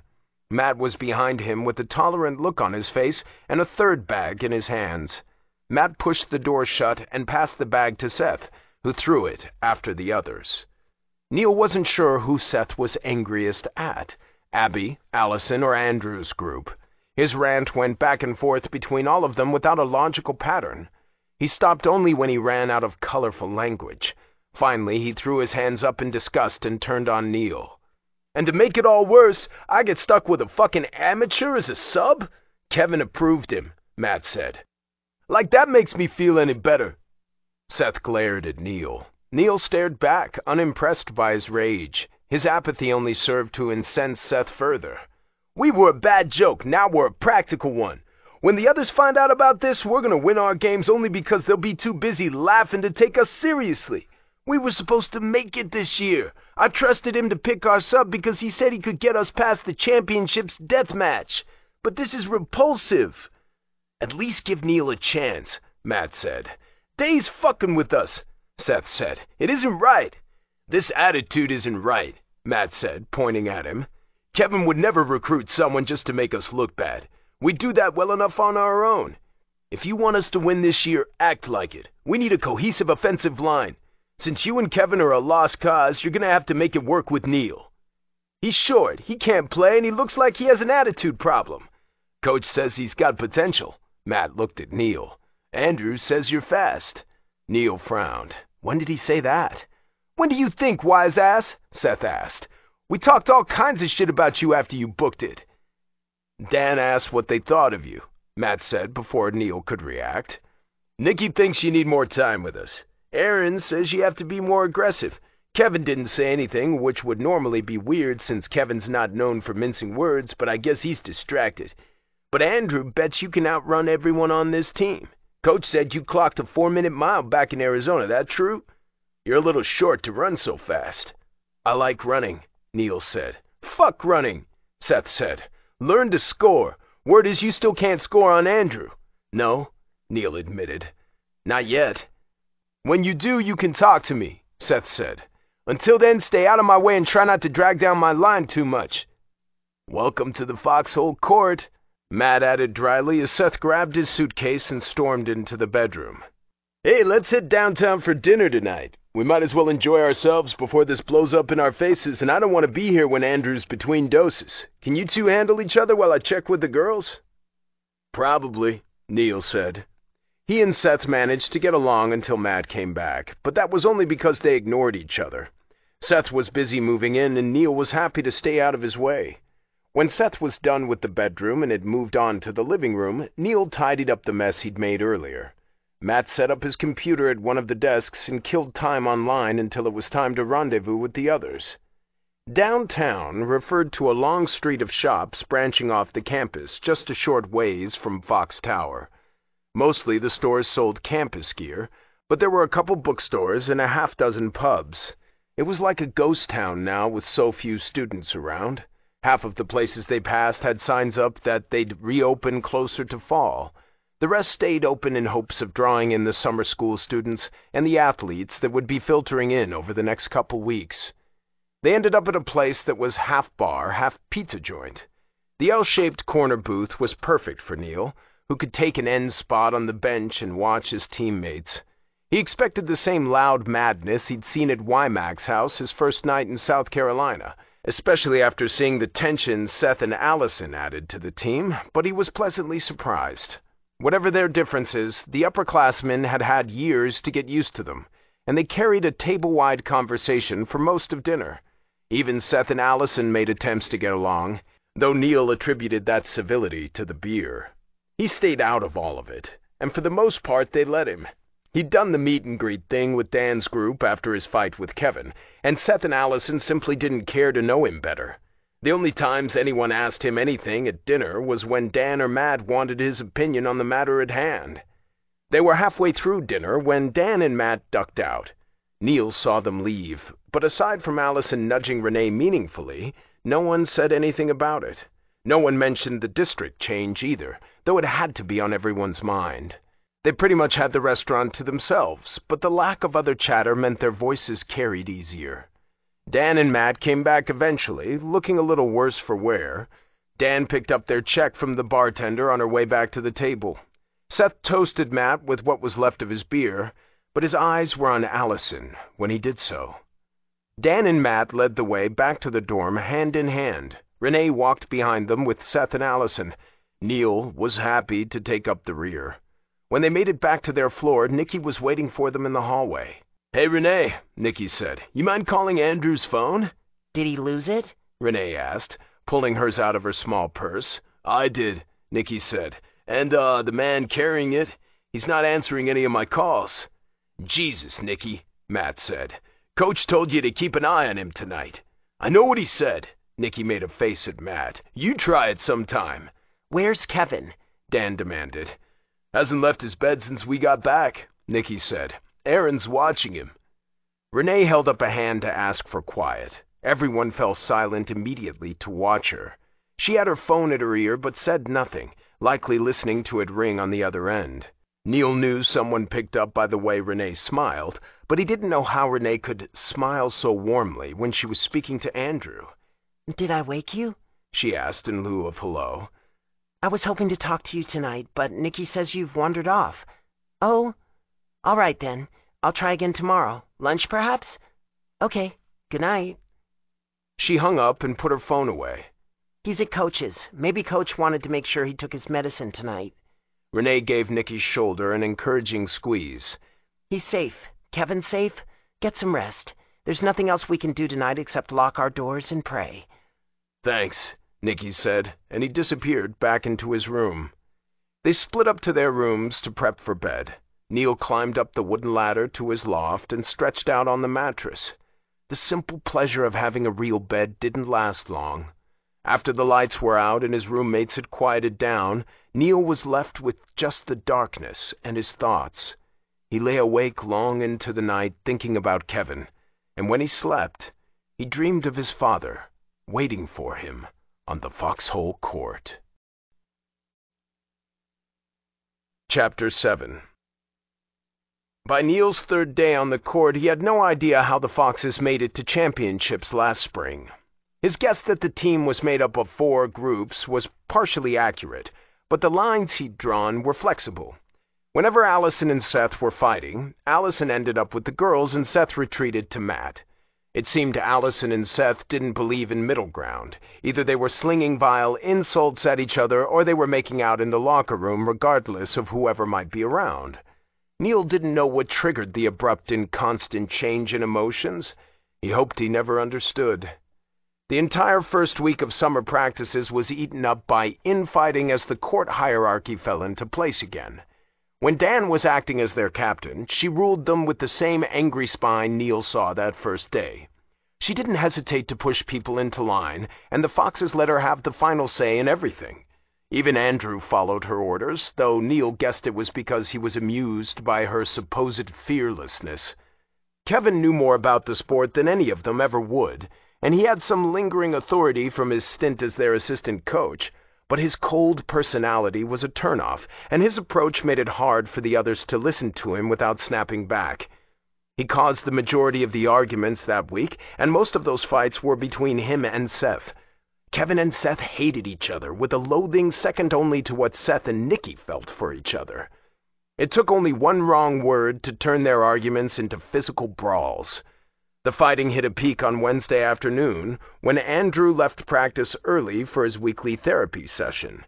The second he vanished, Seth went for Kevin with fists flying. Matt was the brute force that kept them in line when Dan's words weren't enough. Because of Kevin's injury and Andrew's apathy, Matt was also the best player the Foxes had. Neil privately thought Matt should have been named captain because of the solidarity he could bring to the team. Whatever happened between him and Andrew last year, he seemed to have an understanding with the cousins, which meant the Foxes had a solid defense line. His relationship with Kevin was harder for Neil to figure out. His skill and commitment meant Kevin was willing to work with and listen to him, but the two of them went from perfect understanding to outright antagonism constantly. It reminded Neil a little of Allison and Seth, except without the desperate sexual undertones. Renee was next in line and the eye of the storm. She doled out friendly advice, encouraged her teammates' efforts, and played mediator occasionally. She didn't get involved in the others' fights, either to take sides or preach peace, and no one argued with a word she said. Even Andrew seemed quite taken with her. Neil saw them talking off to the side several times throughout the week. It was obvious no one else approved of their odd friendship, but neither goalkeeper paid any mind to the unhappy looks sent their way. Neil wasn't sure what to make of it. He was less sure what to think about Renee, so he avoided her whenever he could. The rest of the Foxes fell in under them in an ever-shifting order. Seth's position on the team varied the most. He was the team's only fifth year, since everyone else from his starting line had quit or flunked out by now, but he was too much of an isolationist to make much of a difference on the court. His mood was so volatile, Neil was sure he had to be on something. Why Abby and Wymack hadn't put an end to it, Neil didn't know. Allison carried weight because of her seniority and her aggressive attitude on the court, but she absolutely loathed the cousins and didn't like working with them. Aaron was a better player than Nicky was, but he kept a clinical distance from it all. Nicky gave it everything he had, but he liked dramatic plays and liked picking fights with Allison and Seth even more. Andrew's position was hard to figure out. His influence over Kevin and his skill made him useful, but he put in as little effort as Wymack let him get away with. Neil didn't have a place in that hierarchy yet. His teammates held so little regard for him he didn't even have the dubious honor of being dead last. He wasn't surprised, since he was an inexperienced newcomer to their mess, but that didn't make it easier to deal with. Dan tried her hardest to include him, checking on him any time she was near him on the court, but she had her hands full managing the rest of her team. Allison didn't take Neil seriously. Matt was too far away to help, and Neil didn't want to deal with Renee. The cousins were keeping their distance this week. That left Seth and Kevin. Kevin and Seth had to deal with Neil since he was on their line, but Neil would rather they ignored him entirely. Nothing he did was right in their eyes. They tore him apart and kicked him aside as useless, no matter how hard he tried. Neil hated their attitudes, but he was determined not to lose his temper in front of the team again. Luckily, the strikers were as willing to fight over him as they were with him, so he took what comfort he could in watching Seth and Kevin duke it out with fists and sticks. Wymack rarely interfered in the fighting. He let them brawl and then punished them with intense cardio and excruciating drills. Seemed he'd long ago decided his team could only function by testing themselves against each other and establishing their own ranking. Neil thought it madness at first, but as the week progressed, he could see the team finally figuring out the limits and alliances between them. By the time Friday rolled around, Neil was desperate for the weekend. The stress of worrying about Kevin and Rico, the irritation and exasperation over his teammates' behavior on the court, and Kevin and Seth's unending, angry condescension were wearing him down. He couldn't deal with it any longer, but he couldn't escape from it either. He spent all day with the Foxes at practice, then went back to the dorm and saw them all evening, too. Neil was being suffocated by their very presence. All he wanted to do was vanish from campus for the weekend. He had to find some breathing room before he cracked. He'd forgotten about Andrew's plans for him. When Neil left the shower after Friday's practice, he expected everyone else to be gone. Neil rode to practices with the team, sharing the bed of Matt's truck with Allison, Seth, and Renee, but he always ran back to the dorm alone afterwards.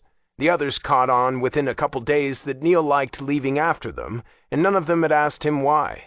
They didn't try to change his mind and stopped waiting on him after the second day. Maybe it was a Fox thing, knowing when there were boundaries they really shouldn't cross and questions they'd never get answers to. Neil wasn't sure, but he appreciated it. Friday was different, though. Neil lugged his dirty uniform into the locker room and saw Nicky waiting on one of the benches with a black gift bag. You survived your first week, Nicky said. Did you have fun? Is it going to be like this all summer? Pretty much, Nicky said. At least it's never boring, right? Neil dropped his uniform in one of the laundry baskets, checked his locker to make sure it was secure, and turned to find Nicky standing right at his back. Neil put a hand up to shove Nicky out of his space. Nicky was expecting it, and pushed the black bag into Neil's open palm. This is for you, Nicky said. Andrew said you don't have anything appropriate for where we're going. He told me what size to get you, and I picked it out. Trust me, it's awesome. Neil stared at him, thrown. What? You didn't forget about our party, did you? Here. Nicky hooked the twine handle over Neil's fingers. Neil watched him do it, trying to remember the last time someone gave him a gift and coming up blank. That his first one should be from Andrew was unsettling. Nicky misinterpreted his discomfort as suspicion and laughed. There's no catch. It's more for us than you, honestly. We can't be seen with you in public if you look like a raggedy hobo. No offense. He waited a beat before finally realizing something wasn't right. Neil? Thank you, Neil said but even he heard the uncertainty in it. Nicky studied him. Neil stared back, refusing to give anything else away. Finally, Nicky tweaked Neil's hair. We'll pick you up at nine, all right? I suggest napping until then. We'll be out all night. We've got all the right contacts to keep the party going until dawn. Nicky grinned and gave Neil's hair another tug. Speaking of, ditch them tonight. Your contacts, I mean. Neil's stomach roiled. Shut up. Nicky gave an exaggerated look around as if checking for eavesdroppers. Look, it's not like they're a secret. Anyone who's looking can see the ring in your eyes that means you're wearing lenses. I saw 'em day one. I just didn't think they were fashion lenses until Andrew said so. And seriously, Brown, how boring can you be? I like Brown. Andrew doesn't, Nicky said. Take them out. No. Please, Nicky said. No one's going to see you but us, and we already know they're a lie. Don't wear them. Or what? Neil asked. Nicky's silence was answer enough. Neil was ready to brush that warning off, but he caught himself. He was sure he could hold his ground against Andrew, but he wasn't facing Andrew alone. He was going out with Andrew's entire group, half the state away from here. Nicky was honestly trying to help him get the night off on the right foot. Neil didn't think much of that consideration. He knew which side Nicky would take if things got ugly. Nine, Nicky said again, when Neil didn't answer, and left. Neil gave him a few minutes' head start. When he was sure the cousins were long gone, he jogged across campus to the library and killed a few hours scouring the news in the computer lab. He picked up a small dinner on the way back to the dorm at one of the university's three convenience stores. His dorm room was empty. He dimly remembered Matt saying something about going to the movies with Dan. Neil didn't know where Seth was, but luckily he was still gone when it was time for Neil to get ready. He was alone, but Neil checked the lock on the dorm door before gathering his clothes. The bedroom didn't have a lock, which bothered him, but the bathroom did. He shut himself in there to get ready. When he was finished changing, he took a long minute to study his reflection. He wasn't sure what to make of the result. No matter how many times he and his mother changed their identities and languages, one thing stayed the same. They aimed for nondescript fashion that would blend in with an everyday crowd. Neil wore faded tees and plain jeans and worn sneakers, generally in pale colors that helped wash him out further. This outfit was the complete opposite, and every piece of it was black. The cargos were light and cut to accommodate a pair of heavy boots. The shirt was long-sleeved, tight, and fashioned to look like it'd torn through in places. A charcoal inner layer peeked out through the gashes, hiding Neil's skin, but he ran his hands over the cloth a dozen times to make sure there weren't any open holes.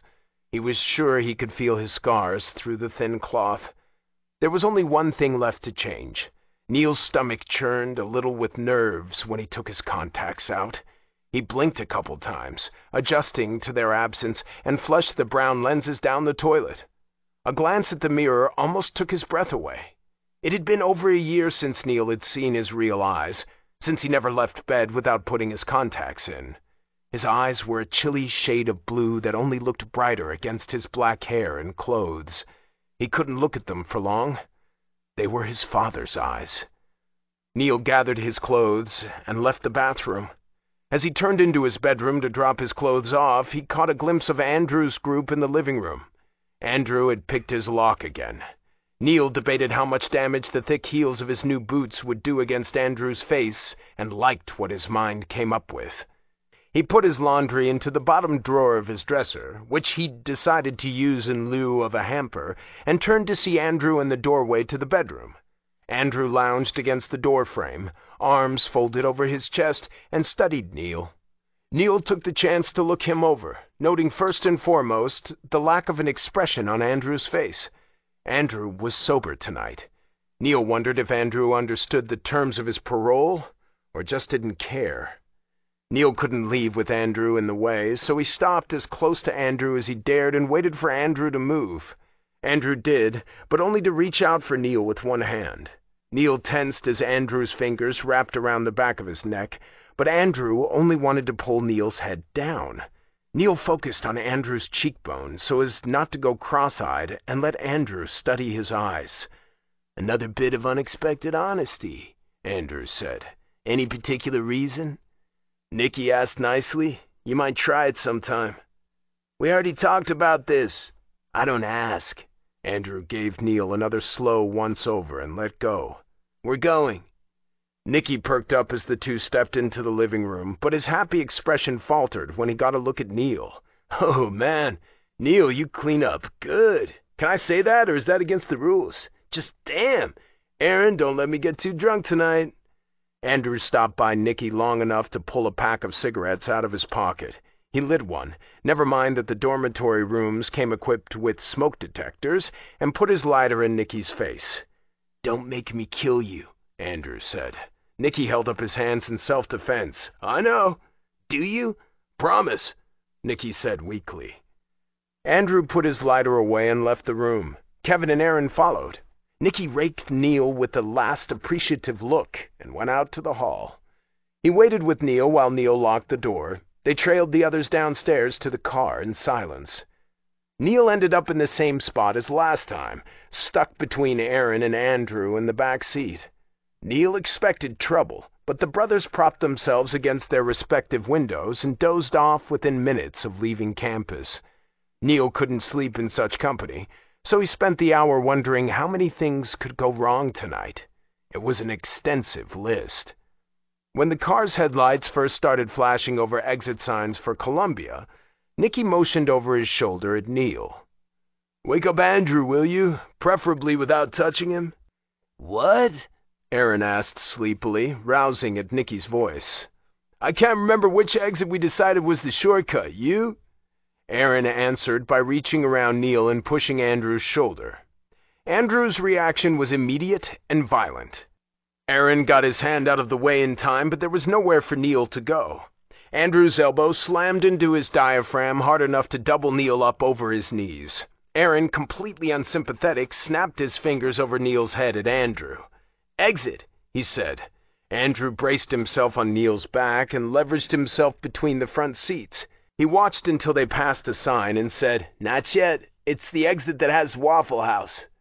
This is South Carolina, Nicky said. Every exit leads to Waffle House. Still breathing, Neil? Yes, Neil said hoarsely. I think. Andrew dropped back into his seat and let go of Neil. Neil managed to sit up, but he couldn't help pressing a hand to his shirt. It felt like Andrew's elbow had blown a hole right through him. He flicked a look at Aaron, who shrugged at his silent accusation, and then at Andrew. Andrew didn't return it, too distracted by his hands. He had them up in front of him, but it wasn't until a car passed going the other direction that Neil realized what he was looking at. In the flash of light from passing headlights, Neil saw Andrew's fingers were trembling. Nicky? Andrew said. Nicky glanced back. He couldn't see tremors in the darkness, but he saw where Andrew was looking. Nicky swept across lanes toward their exit. We're almost there. Pull over. We're on an exit ramp. Now! Nicky didn't argue again. He pulled off onto the almost non-existent shoulder, braking so hard Neil expected the car to fishtail. Horns blared as cars whipped past them. Andrew shoved his door open, leaned out of the car as far as he could, and dry heaved into the weeds alongside the road. Neil was sitting close enough to him to feel the way Andrew's entire body shook with the effort. It sounded like Andrew was tearing his esophagus to shreds. Where are your crackers? Nicky asked when Andrew was left gasping for breath. He took them earlier, Kevin said. All of them? Nicky asked, horrified. Jesus, Andrew! Shut up, Andrew said and spat a couple times. He reached blindly for Kevin's headrest, found it on the third try, and pulled himself back inside the car. Just get us there. Nicky floored it, but once they entered the outskirts of Columbia, night traffic slowed them down. Their first destination was a restaurant called Sweeties. It was too late for dinner, but the parking lot was packed.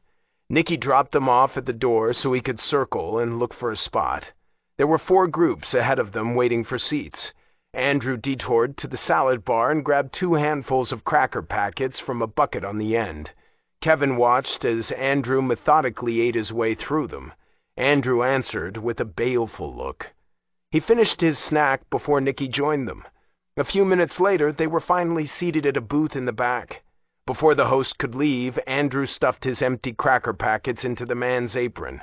The host didn't even bat an eye at such rudeness, but left them with their menus.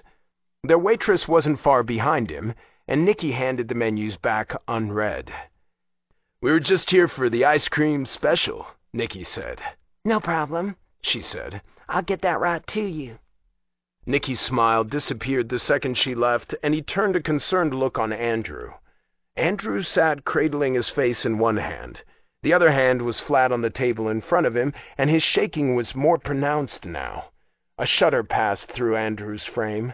Andrew sucked in a long breath through clenched teeth. Kevin pulled a bottle of pills out of his pocket and set them on the table, halfway between himself and Andrew. Just take it. Andrew went perfectly still as he stared at the bottle. Fuck you. Neil finally understood. You're going through withdrawal. Andrew ignored him. Put that away before I shove it down your throat. Kevin frowned, but did as he was told. It didn't take long for the ice cream to arrive. Their waitress passed out bowls and set a pile of napkins in the middle of the table. As soon as she left, Andrew scattered the napkins with an impatient hand. Underneath them all was a pile of packets full of pale yellow powder. We're in public, Aaron said. Andrew ignored him in favor of ripping open two bags and dumping them into his mouth. Nicky nudged Neil. Try the ice cream. You'll love it. Neil obediently dipped into the mound he'd been served, but he didn't let Nicky or the food distract him from Andrew. Andrew collected the rest of the packets and hid them in one of his pockets. Moving was a mistake, judging by the tight look on his face. Andrew pressed the side of his hand hard against his mouth and swallowed so hard Neil heard it across the table. It took Andrew another minute before he relaxed enough to start eating. Whatever he'd taken must have dulled the edge of his withdrawal, because he was back to a calm facade by the time he finished eating. When the bill arrived, Andrew pushed it Aaron's way, and Aaron clipped a small stack of twenties to the check.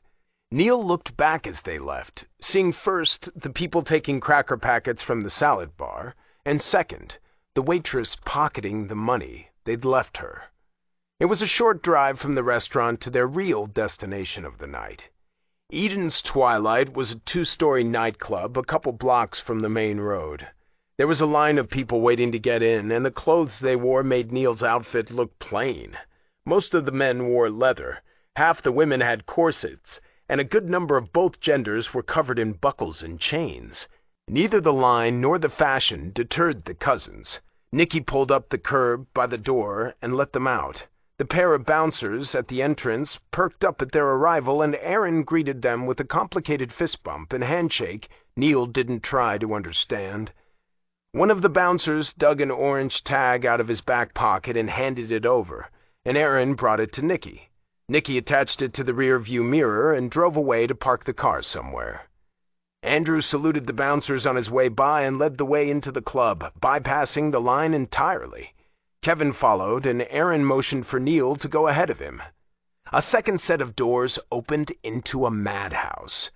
The four were standing on a dais that wrapped around the floor and was crowded with tables. Stairs led down to a packed dance floor. Somewhere, stairs led up to the second floor, which was more a balcony than anything else. The DJ was off the floor on a platform of his own, positioned halfway between floors. Speakers taller than Neil lined the walls, and Neil could feel the bass crunching against his bones. Neil stopped staring so he wouldn't fall behind and followed Kevin around the room. It took a bit of searching before they found a table. It was covered with glasses, but the stools were abandoned, so they claimed it. Andrew cleared away the cups while Aaron hunted down two more chairs. As soon as they were set, Andrew snagged his fingers in Neil's collar and pulled Neil after him toward the bar. Three bartenders were on staff, but Andrew was interested in a specific one and willing to wait for him.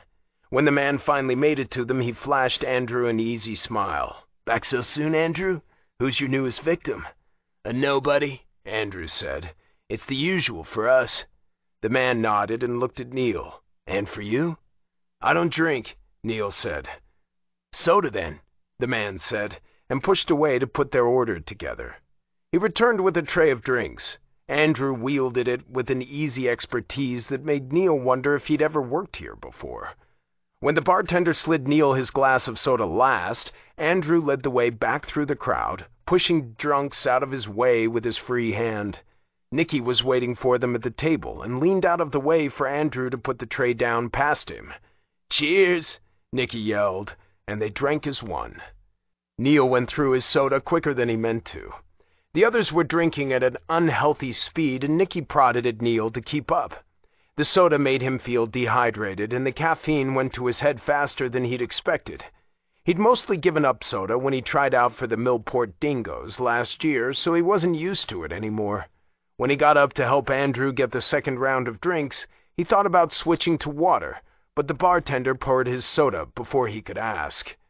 Andrew's packets from Sweeties reappeared as soon as they made it back to the table. Andrew waggled one at Neil in taunting invitation. When Neil just looked at him, Andrew smirked and passed them out to the others instead. Even Kevin took one, which Neil found disappointing for some reason. Cracker dust, Nicky said as he ripped his packet open. Heard of it? Tastes like sugar and salt and gives you a small rush. Sure you don't want in? Drugs are stupid. Ouch, Andrews said with a cold smile. That's judgmental. I'm not going to apologize for thinking you're being idiotic. Is your spine the spine of the righteous? Andrew wondered. Are you trying your best to step on my toes because you're feeling the tragic weight of the holier-than-thou? Righteousness is for people who don't know any better. Easy, easy, Nicky said, distributing shots around the table. The bartender had put a bit of soda in a shot glass for Neil for this round, and Nicky set it down in front of Neil. Dust isn't bad. It just makes the night more interesting. You think Kevin would risk his future over a night out at the club? What future? Neil asked. Kevin shot Neil a black look, but Nicky intervened before he could say anything. Drink with us if you won't dust with us, Nicky said, holding his open packet in one hand and his shot in the other. Down the hatch on three. Arguing would be fruitless when the four had left their common sense at the door, so Neil picked up his glass in silence. Nicky counted them off, and Neil knocked his shot back. As soon as it hit the back of his throat, Neil knew he'd made a serious mistake. His sodas had tasted sweet, but this shot was almost unbearably so, and the aftertaste on Neil's tongue wasn't sugar. Neil lurched to his feet, but Andrew grabbed him by his hair and slammed him back into his seat. A cruel twist pulled his head back at a dangerous angle, and Andrew slammed Neil's hand flat against the tabletop. Neil lifted his other hand to pry Andrew's fingers off, but Nicky caught his wrist. Just noticed, did you? Andrew asked. You're an idiot. You, Neil sputtered. Did you think you were safe because you were up there ordering your own drinks? Roland knows what it means when I bring outsiders here. Neil wrenched his hand out from under Andrew's, but Andrew gave his head a warning yank. A bolt of heat went down Neil's neck. Neil hissed in pain and went still. Andrew slid out of his chair and leaned against Neil, letting Neil take his weight while he checked Neil's eyes. Almost there, he said. Give it a minute, and then it'll really hit. Until then, why don't you go have a little fun? The night is still young. Neil hadn't seen Aaron get up, but he was waiting behind Neil when Andrew let go. Neil reached for Andrew with lethal intent, but Aaron grabbed the back of his chair and pulled hard enough to topple it over. The world spun in a sickening rush even after Neil hit the ground. When Aaron tried to pull Neil to his feet, Neil swung at him and missed. Neil could feel the drugs eating through his system. His heart pounded harder than the bass did, shaking him apart from the inside out. It took both Nicky and Aaron to get Neil up. They hauled him away from the table. Neil stumbled more than once, unable to feel the ground under his feet. He tried pulling out of Aaron's grip, but he didn't succeed until they'd reached the stairs down to the dance floor. Then Aaron let go without warning. Neil tripped down the stairs with only Nicky to break his fall.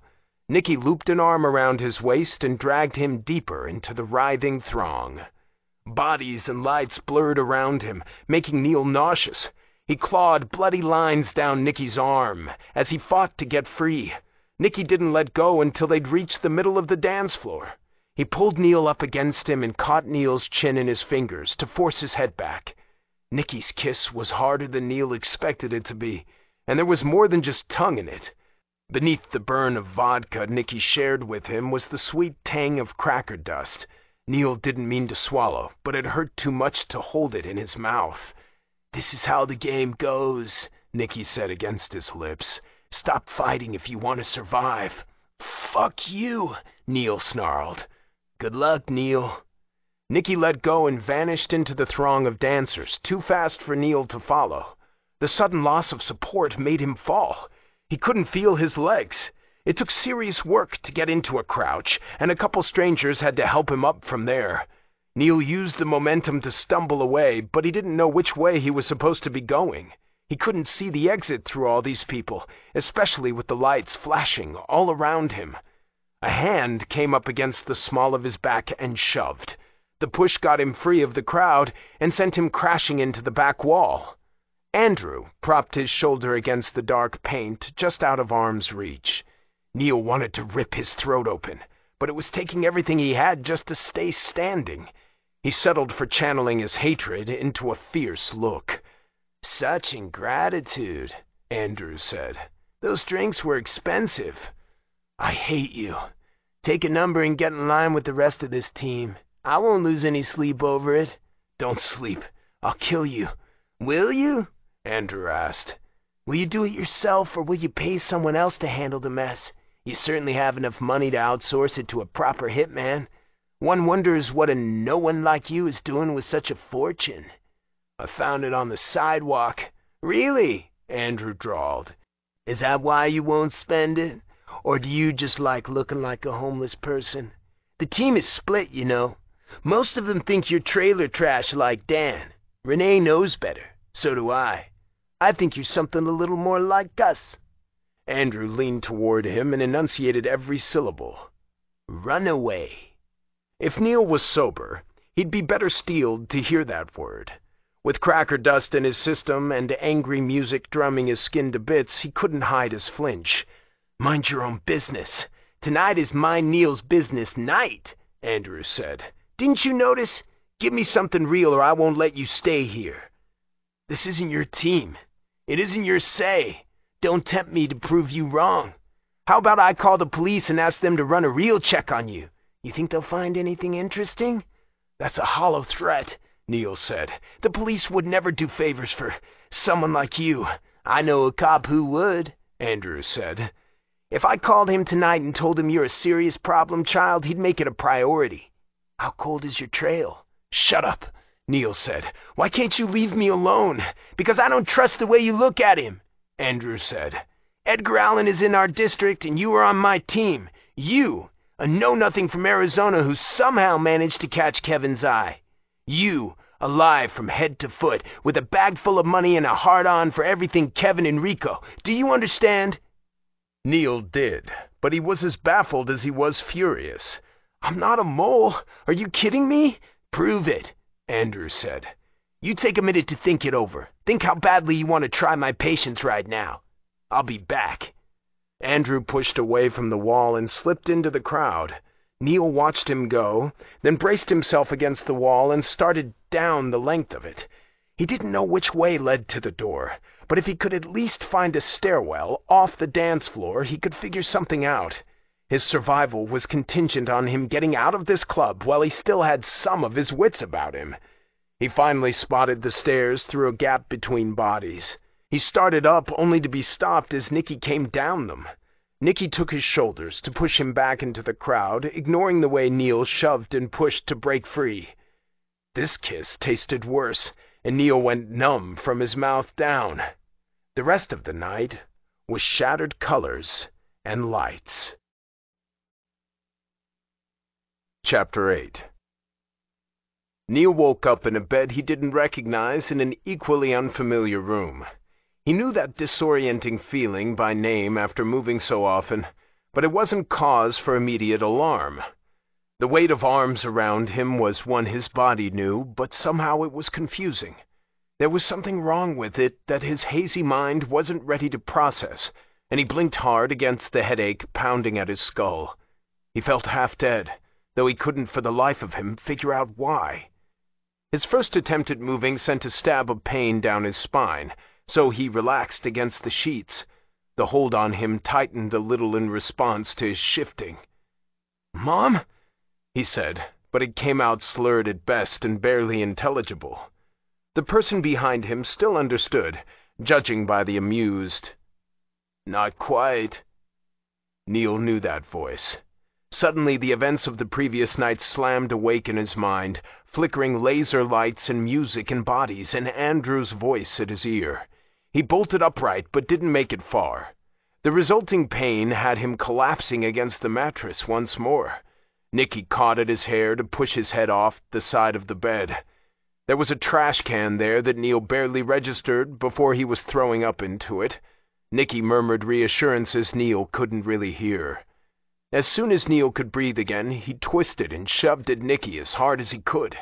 He was too sick and weak to push Nicky off the other side of the bed, but the boots he was still wearing would leave bruises on Nicky's arms and chest. Hey, hey, Nicky said, trying to deflect him. It's fine. Ouch! Relax, will you? Don't you fucking touch me, Neil said savagely. Nicky retreated from Neil and sat on the edge of the bed instead.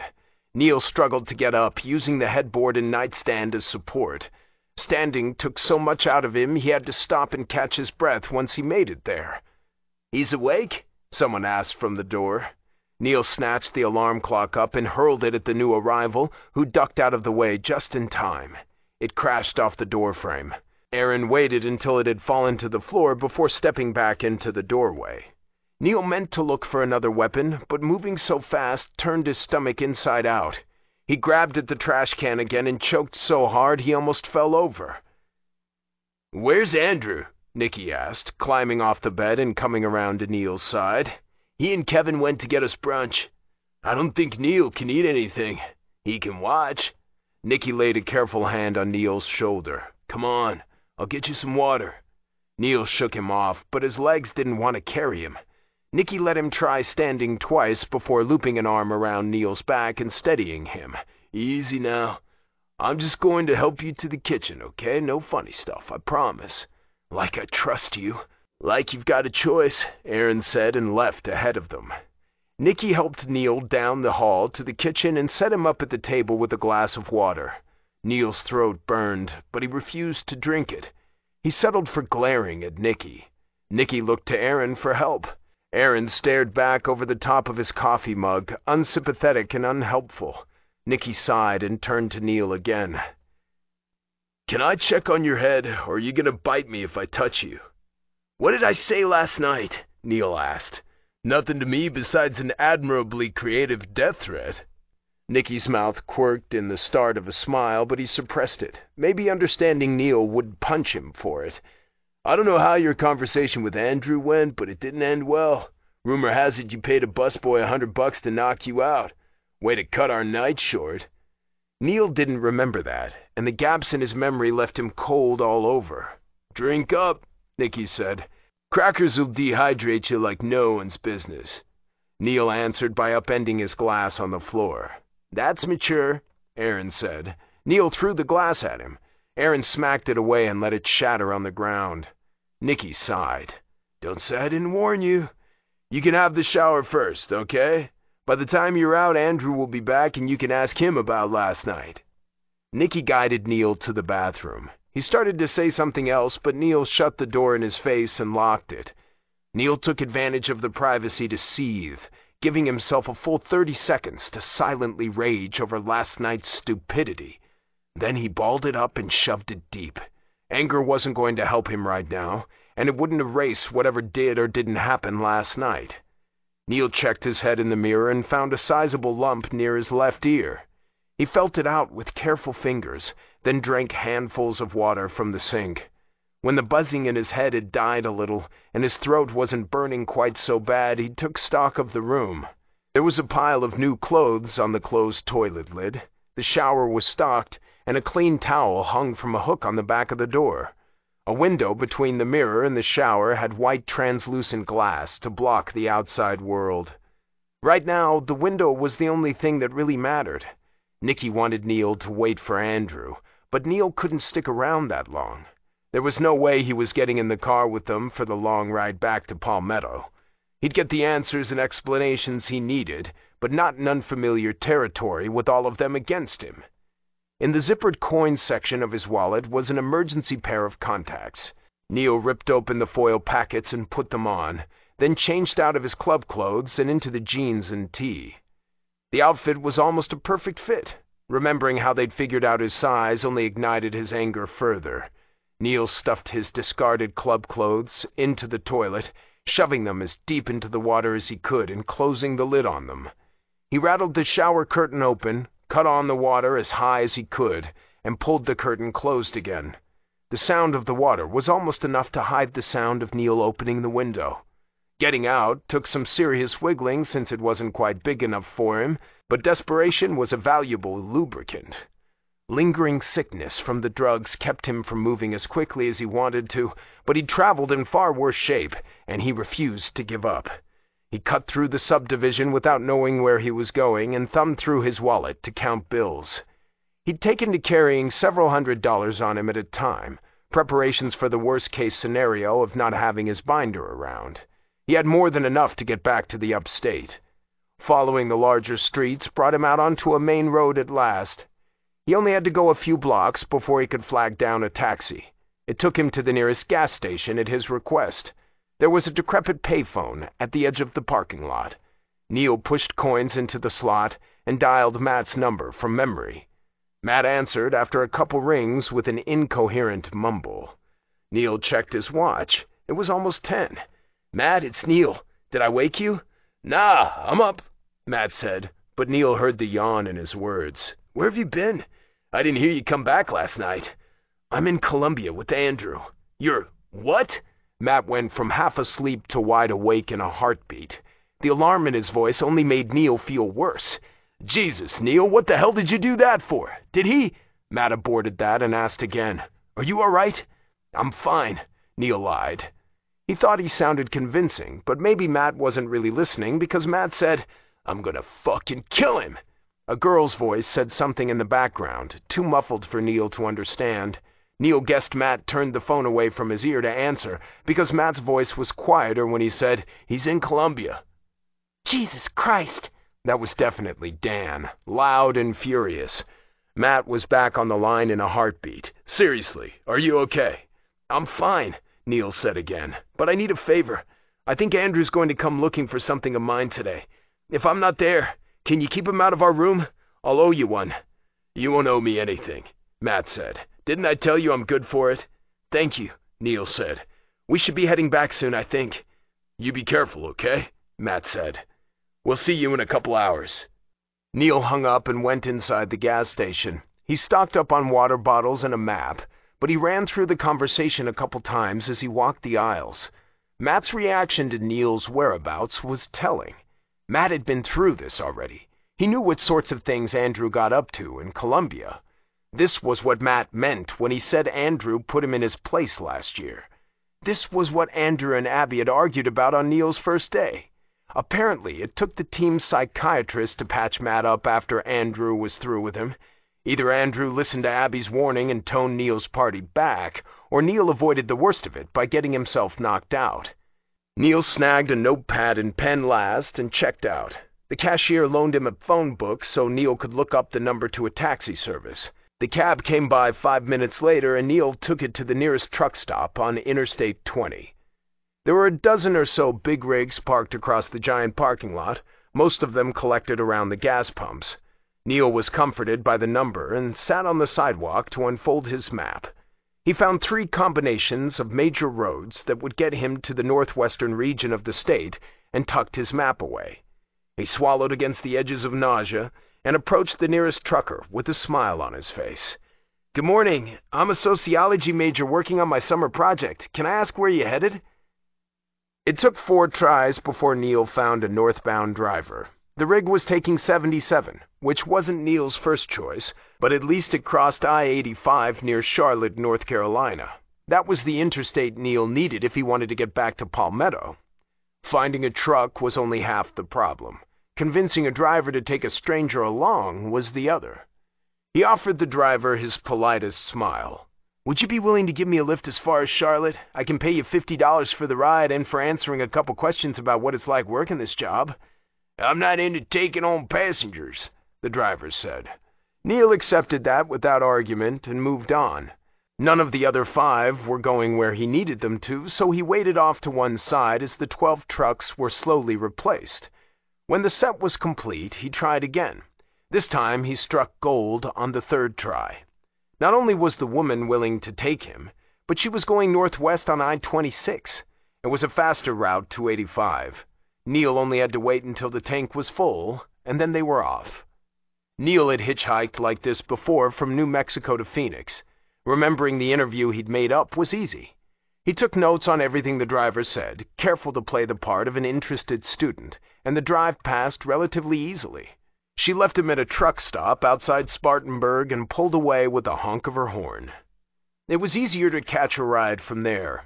Neil went through the interview all over again. The driver had questions for him as well, and Neil made up his answers as he went. It took some work to convince the driver that yes, he was fine getting dropped off on the interstate, but Neil got what he wanted. The truck pulled off onto the shoulder a quarter mile from Neil's exit. Neil paid him and climbed out onto the grass. It was a little afternoon by then. The queasiness had faded, but his head still ached. Neil took his exit on foot and walked to the nearest gas station. He bought a couple bottles of water, sat outside on the sidewalk to drink them, and bought a few more. While he waited for the pounding to die down, he studied his map. It was about 11 miles to campus from here. The road was small enough he wouldn't likely catch a ride, but Neil was okay walking it. It'd be faster to run that far, but he wasn't feeling well enough to try it. Without truckers to distract him, Neil could use the walk to think. The only clear memory he had of last night was Andrew's accusation. He didn't know what else Andrew had asked him, or what he'd said in response. Hopefully he'd been smart enough to lie through his teeth, despite the drugs. One thing was for sure, though. Neil couldn't afford another night out like that. If Andrew really thought Neil was a threat to Kevin, how far would he go to prove it? Neil didn't want to see what came next, but avoiding that meant compromising. He had to tell Andrew something. The truth was out of the question, but Andrew would smell a lie a mile away. What Neil needed was something in between that could explain everything. His money, his appearance, and his obsession with Kevin. Neil spent the entirety of the three-hour walk sorting out a perfect half-truth.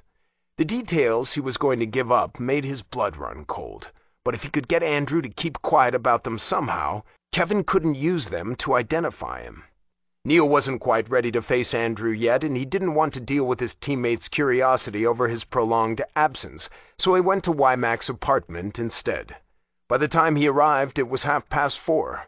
Wymack had made Neil keep the spare key, but Neil knocked on his door anyway. Wymack wrenched the door open like he wanted to take it off his hinges, but surprise washed out the fury on his face when he saw Neil. "Where the hell have you been?" Wymack demanded looking Neil up and down. Andrew got back from Columbia hours ago. Matt called me to say you weren't with them. I took a different route. Yeah? Wymack gestured at his drenched clothes and sweaty skin. What'd you do, run here? Walked, Neil said, and Wymack stared at him. Neil realized too late Wymack was being sarcastic. He couldn't take it back, so Neil traced his path in the air with a finger. I hitchhiked to Spartanburg, then to North Lake, and I walked here from there. I know it's kind of sudden, but can I stay here for a little while? Wymack grabbed his elbow and hauled him inside. He slowed just long enough to slam the door behind Neil. Are you stupid or just crazy? Do you have any idea what could have happened to you between here and there? What were you thinking? I was thinking I wasn't going to ride back with them, Neil said. You should have called me, Wymack said. Me or Abby or any of the upperclassmen. All you had to do was say you didn't want to stay with Andrew. Any of us would have come and gotten you. Neil stared at him, too startled to respond. Wymack threw his free hand up in exaggerated disgust and dragged Neil down the hall to the kitchen. Stretch out and drink some water, he said, letting go of Neil. Neil did as he was told, but watched as Wymack stormed out of the kitchen again. Wymack paced up and down the hall with angry, heavy footsteps. On his second pass, he had his phone out and at his ear. He was out of sight when someone picked up on the other end, but Neil heard his furious voice, loud and clear. You have five seconds to get your retarded psycho ass to my apartment. You even think about telling me no, and I swear to God I'll throw Kevin's contract down a garbage disposal. Neil didn't think Wymack stayed on the line long enough to get an answer, because he was off the phone when he came back a couple seconds later. He was carrying a towel and an armful of clothes, all of which he shoved at Neil. You're a sopping mess. Get out of my sight and clean up before I wring your neck. Neil took everything down the hall to the bathroom and locked himself in. He kept the water tepid as he washed away the day's heat and sweat. The clothes Wymack lent him were ridiculously big on him, but at least they covered his scars. Neil bundled his dirty clothes into the wet towel and left the bathroom with them. He felt relaxed for the first time all day, but that faded at the sound of Wymack's angry voice. Neil crept down the hall toward the living room. Andrew was standing silent in the middle of the room as Wymack went up one side of him and down the other. Judging by the impatient look on his face, Andrew was still sober. He was also facing the door, which meant he spotted Neil first.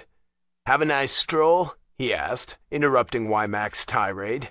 Neil returned his cold stare with a heated, Fuck you. Wymack snapped his fingers in front of Andrew's face, trying to get Andrew to look at him instead of Neil. I don't know what the beef is between you two, but it ends here and now. Abby and I made it clear we wouldn't tolerate a repeat of last year, Andrew. This isn't a repeat. The edge in Andrew's voice said he'd already argued this point several times. We only gave him crackers. You think he'd have made it back here on his own otherwise? Don't only me. What the fuck were you thinking? What were you thinking bringing him here? Andrew returned. Neil decided to cut in before Andrew shared any of his theories. Coach, I need to talk to Andrew for a minute. Can we use your office? No, Wymack said. I don't trust you two not to kill each other, so you're staying right here until this is resolved. That left only one option, but Neil hated losing his wild card so early in the game. He hoped Wymack couldn't speak German, and switched languages to lay into Andrew. What the hell is your problem? How can you threaten Nicky for coming on to me but condone drugging me out of my mind against my will? Why can't you just leave me alone? That wiped the irritation off Andrew's face. It was forever before Andrew answered in German. That's unexpected. Did no one tell you I hate surprises? What makes you think I care? How many languages do you speak, runaway? Neil ignored that. Tell me why you did that. I already did. Andrews said. I'm still waiting for your answer. I answered you. I told you I'm not a mole. You're insane if you think I am. Then correct me. Give me a reason. Besides the obvious, Andrews said. If I can't get an answer from you, I'll get it wherever I can. How about I start with your parents? Good luck, Neil said, feeling cold all over. They're dead. Did you kill them? He said it so casually, like he was asking for the time, that Neil could only stare at him for a minute.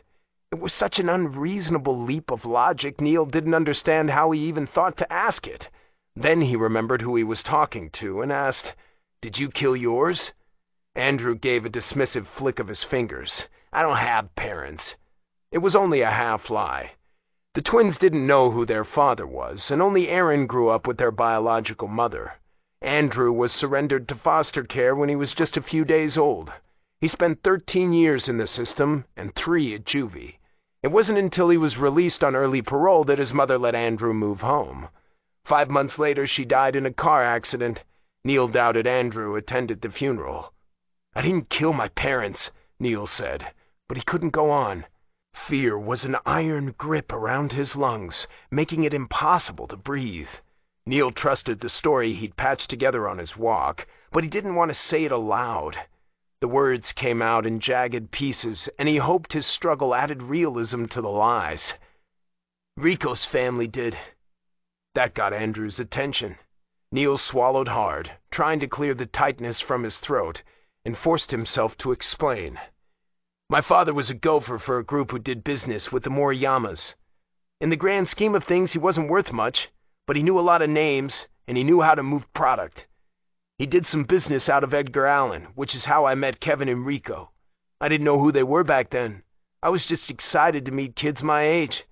I thought we were going to be friends. Then my father started getting cocky, started getting stupid, and tried skimming from payments. He took Moriyama money that was meant for his boss. They found out, of course. The Moriyamas executed him and my mother before his boss could get to him. I took what he'd stolen and ran. I've been running ever since. Andrew wasn't smiling anymore, but Neil was. He felt it as it curved across his lips, and he knew it was a sick, ghastly expression. He dug his fingernails into his mouth, trying to claw the look off his face, but it was frozen in place. I'm lucky Kevin doesn't recognize me, Neil said. I don't know if he even remembers meeting me, but I remember him. Seeing him helps me remember my parents. He's all I have left of my real life. But if Kevin or Riko recognizes me and word makes it back to my father's boss, I know what will happen to me. Andrew said nothing for so long Neil thought he'd blown it, but finally Andrew moved. Wymack shifted his weight, ready to intervene if things turned violent, but Andrew only came to stand right in front of Neil. Then why did you come here? Andrew asked. Because I'm tired, Neil said, trying to sound defeated. It didn't take much effort. I've nowhere else to go, and I'm too jealous of Kevin to stay away from him. He knows what it's like to hate every day of his life, to wake up afraid every day. But he's got you at his back telling him everything's going to be okay. He has everything, even when he's lost everything, and I'm... Neil didn't want to say it, but the word was already there, broken and pathetic between them. Nothing. I'll always have and be nothing. Andrew reached up and forcibly uncurled Neil's fingers from his mouth. He pushed Neil's hand out of the way and stared Neil down with nothing between them. Neil didn't understand the look on his face. There was no censure over Neil's crooked parents or pity for their deaths, no triumph over having backed Neil into admitting so much, and no obvious skepticism for such an outlandish story. Whatever this look was, it was dark and intense enough to swallow Neil whole. Let me stay, Neil said quietly. I'm not ready to give this up yet. That strange look left Andrew's eyes. His expression cleared to stony indifference, and he let go of Neil. Keep it if you can. You and I both know it won't last long. Neil's stomach gave a nauseating flip. He'd been lying since he'd first learned to speak. What he'd just told Andrew was 50% truth, the most honest thing he'd ever tell someone about his life, and Andrew took it without batting an eye. Neil didn't know how to feel about that. He should be relieved, because it meant Andrew might be done asking him questions, but it went deeper than that. He wondered for a moment if Andrew could handle the entire truth so calmly, but that was too dangerous and stupid to consider. I'll be gone by our match against Edgar Allan, Neil said. I don't look now how I looked then, but I can't risk Riko's family recognizing me. Such an unexpected will to survive from someone who has nothing to live for. Next time we have a little heart-to-heart like this, maybe I'll ask you to justify that. Let's not talk like this ever again. Let's not, Andrew agreed. Neil hesitated, then asked, Are you going to tell Kevin? Don't ask me stupid questions.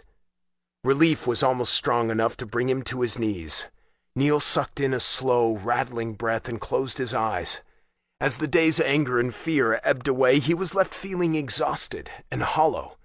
Maybe Andrew's night out in Columbia had been awful, and maybe he'd never wanted to say these things out loud, but having the air cleared between him and Andrew to some degree took an enormous weight off his chest. He'd convinced Andrew to back off and leave him alone. The Foxhole Court was his until their match against the Ravens. It wasn't freedom, and it wasn't safety, but it was breathing room. That was enough. We're leaving, Andrew said in English. Neil opened his eyes. Where are we going? Back to the dorm, Andrew said. Your teammates have been annoying us ever since we got back, demanding we return to Columbia and scour the streets in search of you. He can stay here if he wants, Wymack said. I can call Dan to let her know he's safe. Andrew didn't look at Wymack. Neil wants to come with me. A day ago, those words might have been an order or a threat, but today Neil heard only truth. He'd chosen the Foxes. He'd chosen to trust Andrew, whatever that meant and whatever consequences it brought down the road. There was no reason or need to hide behind Wymack now. Thanks for the shower, Neil said to Wymack. I'll wash your clothes and bring them back on Monday.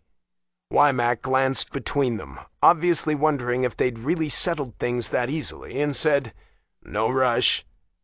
Going now, Andrew said, and led Neil out. Wymack must have called ahead anyway, because when they got back to the dorm, all of the Foxes were in the hallway waiting for them. Kevin, Aaron, and Nicky were leaning against the wall near their suite door. The upperclassmen stood in a small clump in the middle of the hallway outside Dan's room. Neil wanted to skip the questions and hide in his room, but as soon as he was close enough, Dan caught his shoulders and patted him down for injuries. Are you okay? Dan asked. I'm fine, Neil said. Andrew? Kevin asked. Andrew paused in his doorway long enough to look at Kevin. I'm washing my hands of this. He's your problem now. He disappeared into his room. Aaron and Nicky exchanged looks before following. Kevin was the last to leave, and not without sending Neil a searching look first. Neil watched the door close behind them, then faced the rest of his teammates. Dan still looked angry, and Matt looked wired for a fight. Seth and Allison were already heading for Neil's room, likely bored by the peaceful resolution. Renee's gaze was searching. Neil couldn't hold her stare for long. Coach said you hitchhiked your way back here, Dan said. I'd yell at you for being stupid, but Coach said he handled that already. Lesson learned, Neil said. Next time I'll call for a ride. There won't be a next time. Dan gave a heavy sigh and scrubbed her face. Come on. They went back to Neil's suite. Six piles of cards lay face down in the living room from an uninterrupted game and were surrounded by a graveyard of crumpled beer cans. Allison and Seth were rummaging through the fridge when Neil passed. Renee continued to the living room to get her cards, but Dan and Matt followed Neil to the bedroom. They stopped in the doorway and watched as Neil went to his safe. Neil traced the lines of it with his fingers and tugged on the combination lock. It didn't look tampered with, but he couldn't check the contents with an audience. You were right, Matt said. Andrew tried to get in. We didn't let him, Dan said. He didn't make it further than the front door. Thank you, Neil said. Thank Renee, Dan said. She doesn't take sides all that often. It's so much easier when she does, though, Matt said. Andrew seems to like her, Neil said. They've got an understanding. Matt said, but didn't explain. We're between rounds in our game. You should join in. It'll help clear your head, I think. Spending too much time with Andrew's lot will rattle anyone. I'm probably going to crash early, Neil said. It was a long day. We'll take our stuff to my room, Dan said, and they closed the door on their way out. Neil waited until their voices faded before unlocking his safe. He found everything where it was supposed to be. As he slipped the lock into place again, he realized his hand was trembling. He held up his shaky fingers where he could see them better and wondered at the equally weak flutter in his chest. Hope was a dangerous, disquieting thing, but he thought perhaps he liked it.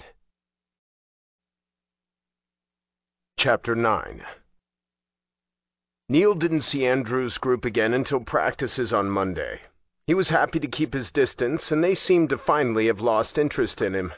When they had to interact on the court, they kept it short and civil. Even Kevin seemed to have forgotten his lines. His barbed remarks were gone, replaced by a heavy, unwavering stare that somehow made Neil feel even more insignificant than he had before. Neil refused to miss his condescension, but being the bug in Kevin's microscope made him jumpy. He was still trying to sort it out when he climbed into bed that night, but he didn't have long to dwell on it. Someone pounded on the suite door, too heavy-fisted to be one of the girls. Matt was on his computer in the other room, and Neil heard his chair creak as he got up to investigate. Neil didn't hear what he or their visitor said, but he definitely heard the door bang closed against someone's unyielding body. Kevin, I swear to God! Kevin's name was enough to get Seth out of bed. The fifth-year senior threw his covers back and rolled off to the side of his bed. Faced with both Seth and Matt, Kevin had no choice but to retreat, and the door slammed closed a couple seconds later. Neil stared at the bedroom door, heart hammering in his chest. Kevin wouldn't have come over here for either of them, which meant he was looking for Neil. Neil didn't know why, but he desperately hoped it didn't have to do with his conversation with Andrew. Why had he assumed Andrew would keep his story a secret? Andrew and Kevin were connected at the hip. Sleeping after that was almost impossible, and getting up for practice the next morning was a chore. He braced himself for the worst, but Tuesday was a repeat of Monday, the same casual cold shoulder from the cousins and measuring stare from Kevin. Neil was almost relieved when Kevin caught up to him at the end of practice. He just cut the water off when Kevin rapped once on his shower stall door. The next time I come for you, you will follow me, Kevin said. Why? Neil asked. It's time to collect what's mine, Kevin said. Andrew isn't going to interfere anymore. Neil didn't understand, but Kevin didn't stick around to explain. At ten o'clock, a knock came at his dorm room door again. Neil was watching a movie with Seth and Matt, but he made sure he was the first off the couch. He wasn't surprised to find Kevin waiting on the other side. Seth swore viciously at the sight of Kevin in the doorway. The movie sounds abruptly cut off as someone paused it, and the couch creaked as the others got up. What part of you're not welcome here do you not understand? Matt demanded. Kevin ignored them and shoved an Exy ball hard against Neil's chest. Let's go. Neil hesitated, but he didn't have long to decide. Seth and Matt were coming up fast behind him, ready for a fight. Neil put his arm out to stop them. If Seth was in front, he might have bowled past Neil to get his hands on Kevin's throat, but Matt pulled up short. I'll be back later, Neil said over his shoulder. Are you stupid? Seth asked. Yeah, Neil said. Finish the movie without me. I don't mind. Seth huffed and stormed away, but Matt moved into the hall to watch as Kevin and Neil left.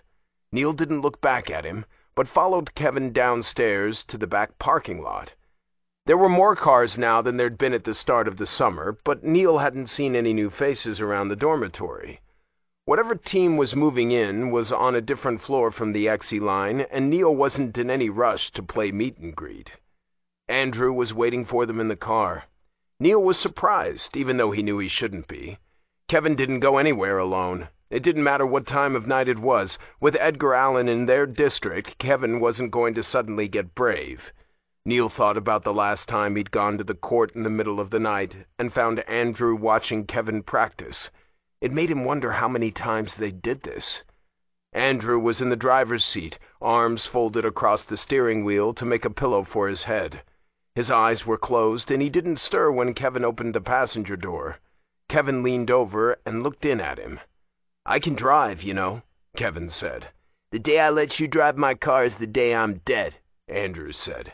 Are you getting in or are we going back to bed? Kevin sighed heavily as if Andrew was being unusually difficult and climbed in. Neil got in the back seat and sat in the middle where he could see both of them. Andrew twisted the key in the ignition as he sat up and drove them to the stadium. Kevin let them through the gates and into the locker room with his keys.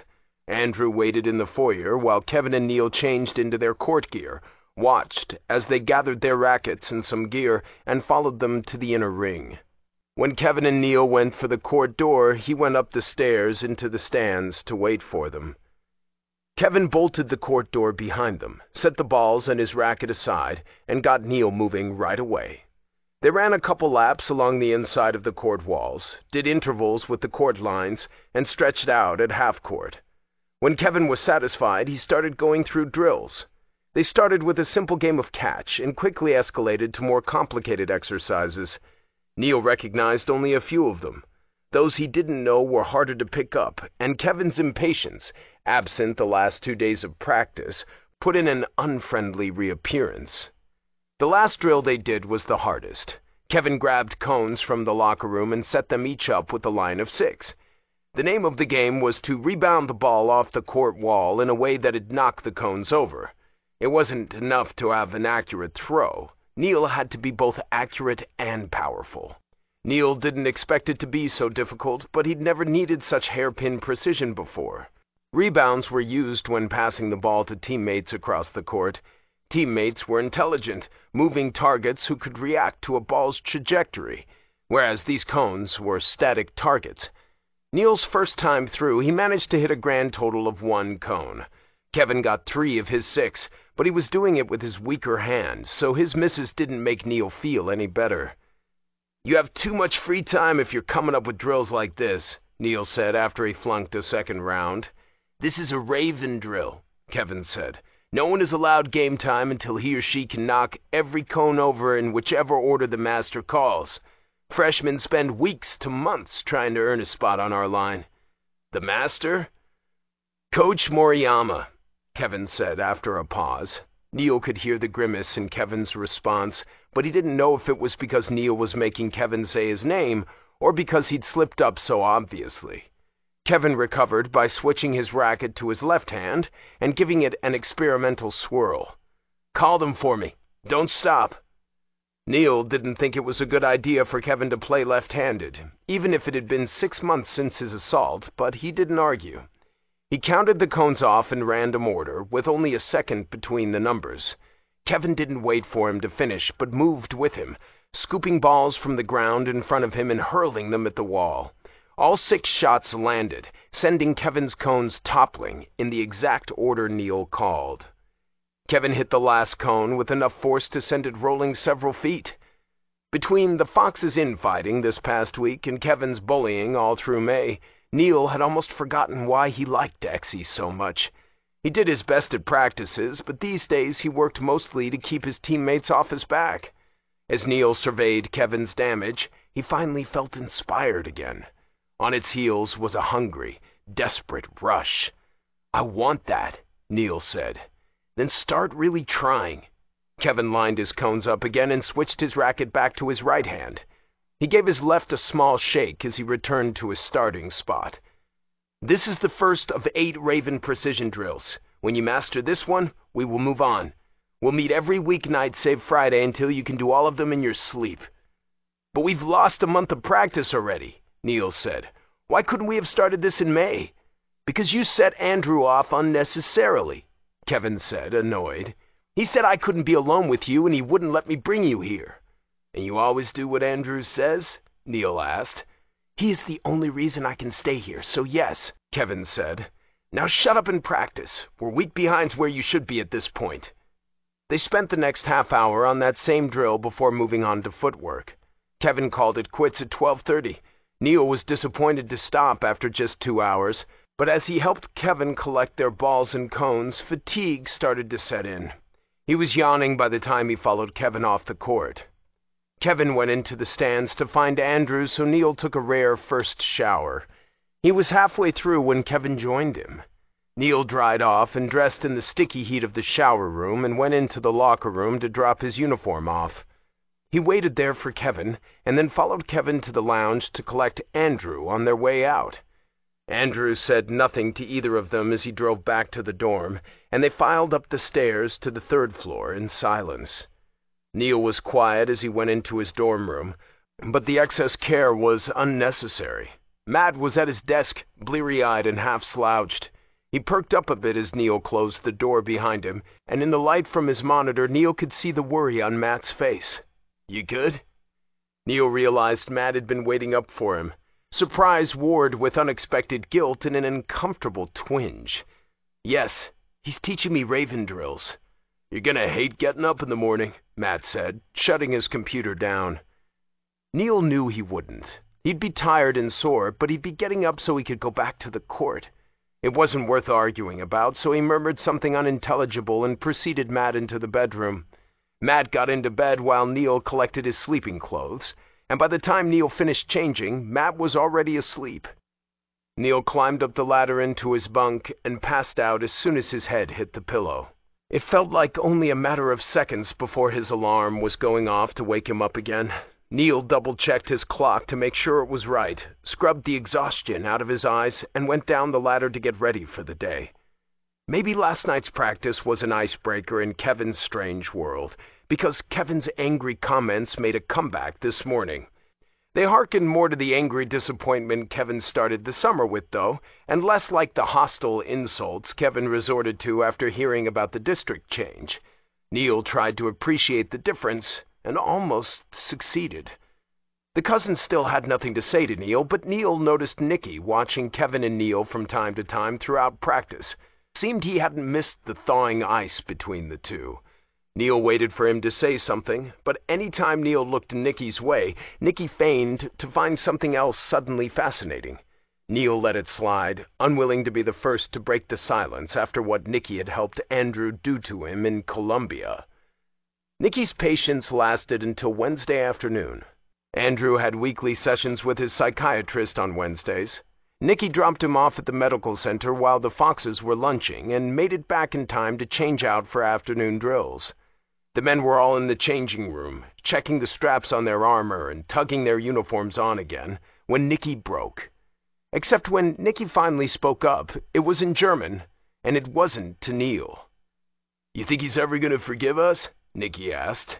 Does it matter? Aaron said. He's not our problem.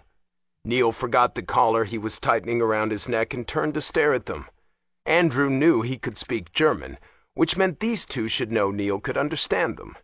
Neil wondered if they expected him to join in, if Nicky was passively inviting him to forget or condemn them without the others listening in on it, but neither man was looking at him. What do you mean he's not our problem? Nicky asked, but Aaron didn't answer. Nicky waited but lost patience before long. Are we really doing this all over again? You want to fight these guys all the way to graduation? I want to be left alone. This is a team sport. The others had been ignoring them, likely used to the occasional German conversation, but Nicky's strident tone got their attention. Seth glanced over with an irritated scowl, but Matt flicked a curious look between the cousins. Kevin didn't look up, likely used to the occasional squabbling by now. Nicky didn't seem to notice the attention he was getting. You can't live like this, Aaron. I can't live like this. It's exhausting and depressing. Okay, okay? Just okay. This isn't okay. Jesus! Sometimes you're so much like Andrew, it's horrifying. Aaron's expression was livid. Fuck you. Hey, Matt said loudly. Break it up, you two. What the hell? Aaron pushed off the bench and stormed out, leaving Nicky glowering after him. Matt looked from the door to Nicky, frowning. Nicky? He asked.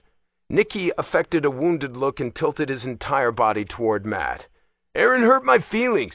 Kiss it better, Matt. Faggot, Seth said, stalking out. Matt wasn't swayed. You guys all right? Nicky feigned confusion. Of course we are. Why? Matt looked at Kevin, then Neil, waiting for one of them to back him up. Kevin ignored him, so Neil gave a slight shrug. Matt let it go and finished getting ready. Nicky gathered the last of his uniform and left a couple seconds later. Neil watched him go. It wasn't an act. They wouldn't have let their argument take such a personal turn if they knew Neil was listening to every word. But that meant Andrew hadn't told them, and Neil didn't know why Andrew would keep such a secret from his own family. Maybe it slipped his mind when he medicated Saturday night, but it was a big thing to forget. Neil didn't know what game Andrew was playing or what he expected to get in return for his silence. He kept an eye on Andrew when Andrew made it back from Betsy Dobson's office, but when he might have had the chance to ask, he let it slide. Andrew was drugged and happy. Neil didn't want him to change his mind in a burst of scatterbrained amusement. That night, Kevin was at his door again. Neil bid his disgruntled teammates good night and followed Kevin to the car. Andrew was smoking in the driver's seat, but stubbed his cigarette out upon their arrival. He took them to the stadium. waited for them to change, and went up into the stands as they continued to the court. When Kevin locked the court door behind them, Neil asked, How often do you two come here? Every night, Kevin said. Neil looked over his shoulder at the stands, but he couldn't see Andrew. Isn't he bored of this by now? He's never going to practice with you, so why does he humor you? He will, Kevin said. He just doesn't know it yet. I didn't take you for an optimist. Kevin ignored that and started setting out cones for interval runs. Let's go. Neil pushed Andrew out of his thoughts and focused on Kevin's drills. They had two weeks of practice before the ERC made an official announcement regarding the district change. The day's practice was over and the team was back at the dorm when Wymack called to warn them. Matt flipped on the TV and went to ESPN to see the segment. They'd missed seeing the news itself, but were in time to see the reactions on the news show. The anchorman was gesturing wildly and talking a mile a minute. One of his guests was shaking his head in exaggerated disapproval. The other kept trying and failing to interrupt. Here it comes, Matt said. They'll be all over us like white on rice. Coach's phone is going to be ringing off the hook for weeks. I didn't sign up to be a part of a freak show, Seth said, cracking open another can of beer. Let's just send him back north and be done with it. Why do you hate him? Neil asked. Seth looked at Matt. Told you this kid was stupid. Why do you hate him so much? Neil clarified. That you'd wish such a thing on him. Because I'm sick of him getting everything he wants just because he's Kevin Day, Seth said. When Matt started to say something, Seth pointed a warning finger at him and kept going. Do you know what fame gets you, shitface? Everything. All he has to do is ask for it, and someone will give it to him. Doesn't matter what, doesn't matter who. The world is dying to give him anything he wants. When he broke his hand, his fans cried for him. They flooded our locker room with letters and flowers. The amazing Kevin Day can't play anymore, they said. Their lives were over. They grieved the loss forever. But tell me, Seth said, leaning forward on the couch to stare at Neil, when's the last time anyone cried for you? Never, right? They're there for Kevin every step of the way, but where were they when we needed them? So you're jealous, Neil said. Seth made as if to throw his beer at Neil. His life is not more important than mine just because he's more talented. You have to admit your attitude makes it hard for anyone to care about you, Neil said. You and Kevin both have impossible attitudes, but he can play better. Of course they chose him. Look here, short bus, Seth started, incensed. He has a point, Matt cut in. This is your last year, Seth. Maybe it's time for a fresh start. Give the people someone to rally behind and you'll win them over. What's the point? Seth slouched back on the couch again. We're the laughing stock of the NCAA and Edgar Allan is going to massacre us this fall. It doesn't matter what I do. No one will ever recruit a Fox to the pros. Awesome attitude, Seth, Matt said. Way to encourage the rest of us. I am encouraging you, Seth said. I'm encouraging you all to stop being stupid. You're not going to get anywhere so long as you play for this team. You're too big of a coward to try, Matt said. Neil and I will prove you wrong. Right, Neil? I'm just here to play, Neil said. I don't care about the future. Matt stared at him. You don't really believe that? Neil shrugged. Afraid so. Matt looked between them. Seth raised his beer in a silent toast, somehow looking both smug and angry. I can't believe you two, Matt said at last. Neither man answered him. Matt looked to the ceiling for answers, then said, I guess our dinner plans are scratched. I'm not going downtown if the press is out and about. I don't care how many campus police Chuck gave us.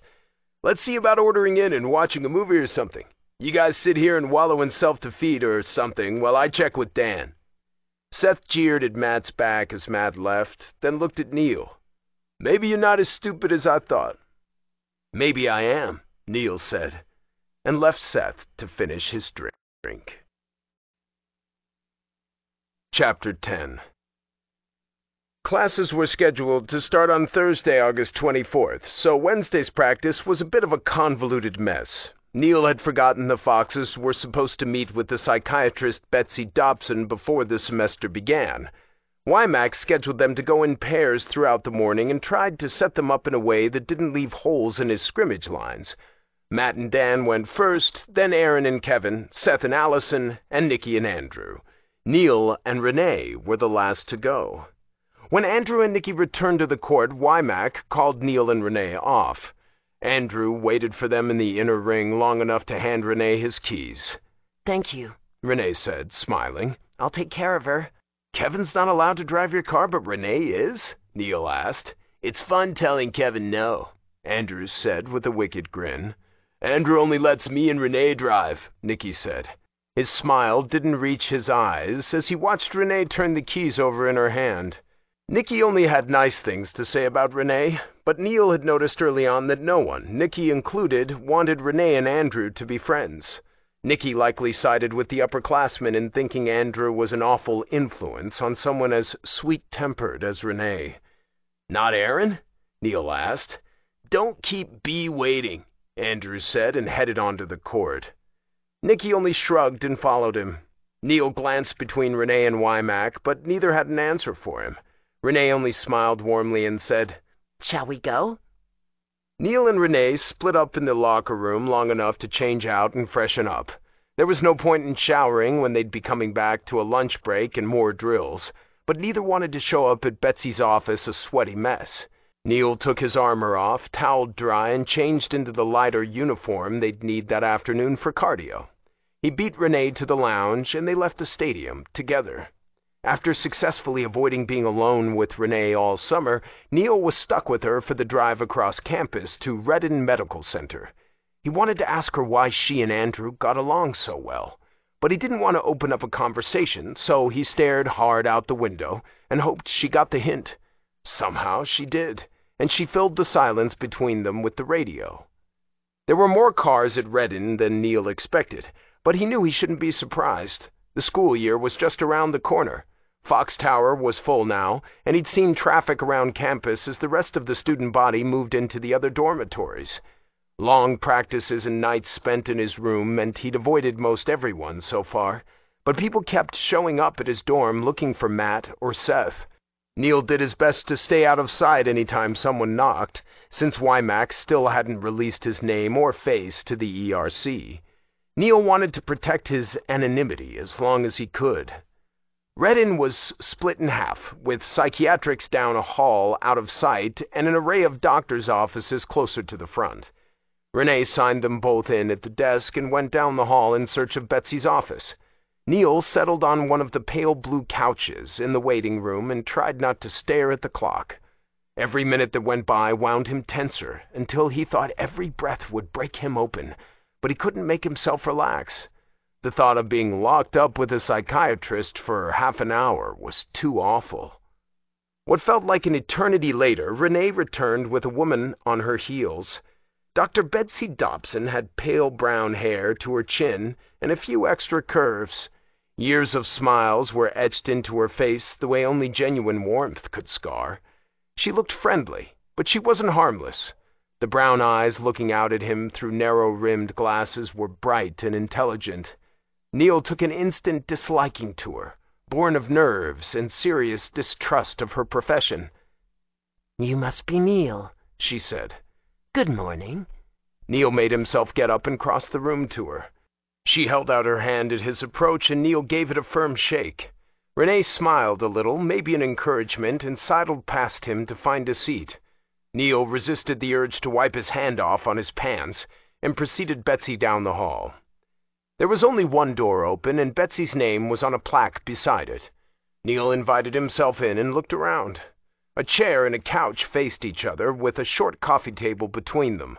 A small potted plant was in the dead center of the table, and pillows were painstakingly arranged on both the couch and the chair. The desk in the corner was clear of everything but a hot plate and kettle. A short bookshelf was against the wall, but only the bottom three shelves had books on them. The top one was covered in glass knickknacks, but even in their clutter they looked clean, as they were all set equidistant to each other. Betsy stepped into the doorway behind him. My name is Betsy Dobson. You can call me whatever you like. I'll answer to just about anything from Betsy to Doc to Hey You. Shall I call you Neil, or would you prefer Mr. Josten? Either one is fine, Neil said. Then for the time being I will call you Neil. If you're ever offended or feel this makes our relationship too personal, just warn me and I will edit it to something more appropriate to our needs. Sound fair? She gave him a moment, then said, Why don't you get comfortable and I'll make us some hot cocoa? Neil sat on the edge of the couch and said, But it's August. Chocolate is good any time of the year, don't you think? Betsy said. I don't like sweets, Neil said. Betsy took a mug and container of cocoa out of one of her desk drawers. As you know, today is a casual appointment so we can get to know one another. This isn't a formal session where I'll be analyzing everything you say for feedback and advice, so don't stress too much about it. Have you seen a counselor before? No, Neil said. I don't know why I have to be here today. Palmetto State made it policy a few years ago, Betsy said. The board expects a lot from all of their students, and more from their athletic representatives. This way, they're allowing you a way to vent some of the pressure and stress they're leveling on you. They're keeping an eye on their investment, you mean, Neil said. That is a way of looking at it. Betsy finished stirring her drink and brought her mug to the chair across from his. Tell me a little about yourself, Neil. What do you want me to say? Where are you from? Millport, Arizona. I haven't heard of it. It's a small place. Neil said. The only people who live there are either too old to move out or too young to escape. There's nothing to do except play sports or bingo. We only moved there because it's halfway between Tucson and Phoenix. My mother worked in one, and my father the other. What do they do? Neil hadn't talked about his family much in Millport, but he'd arrived in Arizona knowing who the Jostens were and what their problems were like. The answers he'd kept from his high school classmates and coach would have to be good enough for Betsy. Mom is an engineer, Neil said. Dad's halfway through CDL training. Will they come out to watch your first match? Neil affected surprise. No. Why would they? They don't like sports.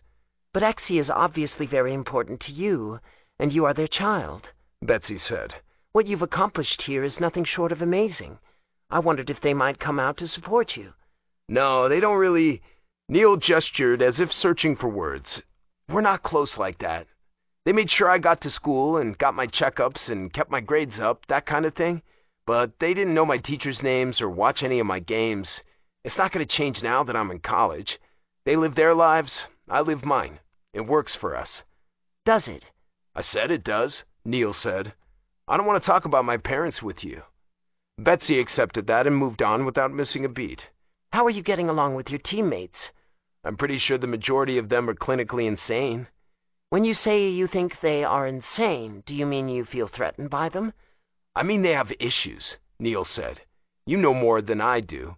Friday's game will probably be a disaster, but I don't think anyone will be surprised. Are you ready for the match?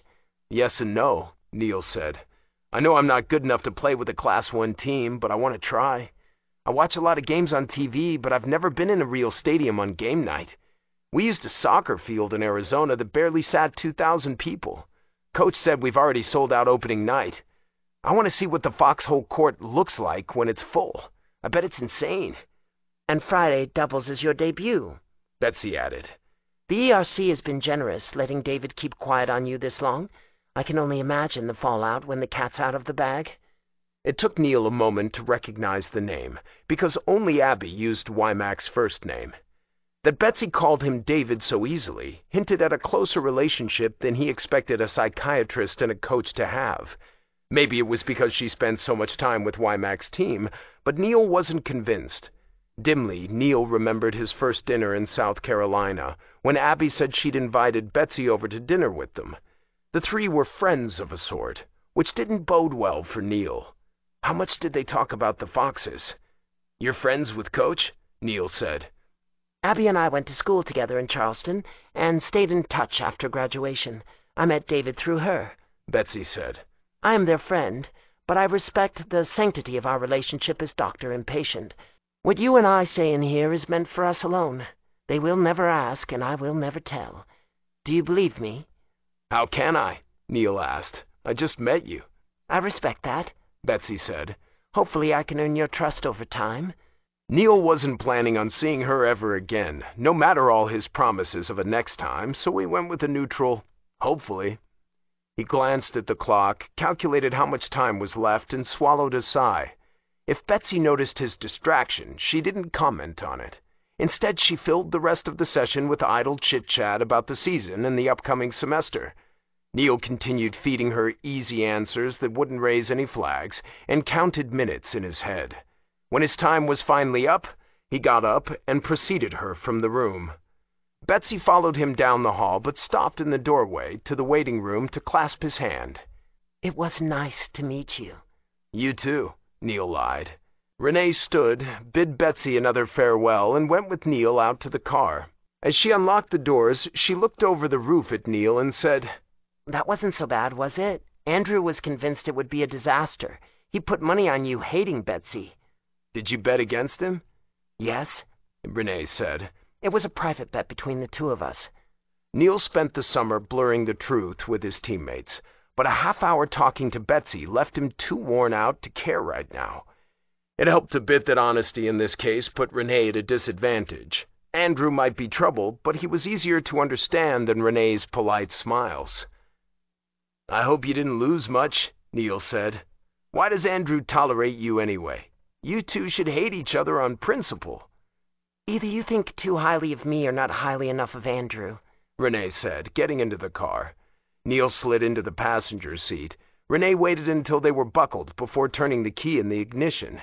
My faith keeps me and Andrew from always seeing eye to eye, but he and I understand each other. There had to be more to Renee than her cross jewelry and pretty smiles if she'd qualified for a spot on Wymack's broken team, Neil knew, but he hadn't thought he'd misjudged her this badly.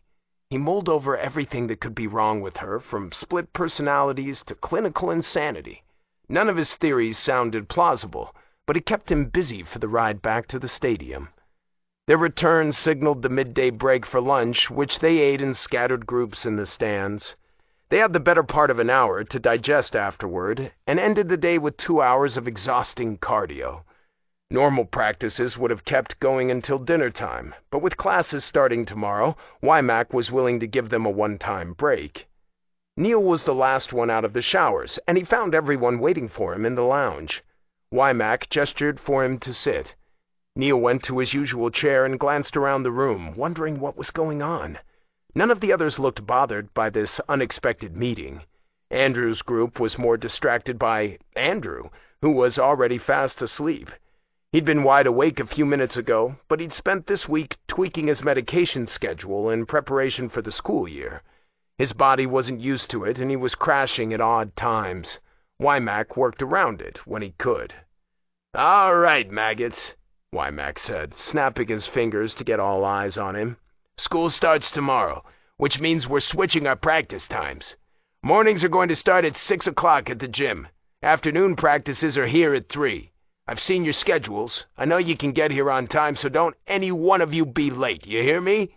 Yes, coach, they said. This isn't our campus anymore, Wymack said. Everyone's checked in and ready to go, which means a lot of people to contend with. Campus police doubled their numbers this summer, but they can't cover everything or everyone. Be smart. Be careful. If someone's looking for trouble, get help. If the press slips past and wants answers, you tell them we're not saying anything until Kathy's show on Saturday. Kathy? Dan asked. Kathy Ferdinand. Wymack took one look at her confused face and scowled at Kevin. Didn't you tell them? There wasn't a need to, Kevin said. Like morning show host Kathy Ferdinand? Matt asked.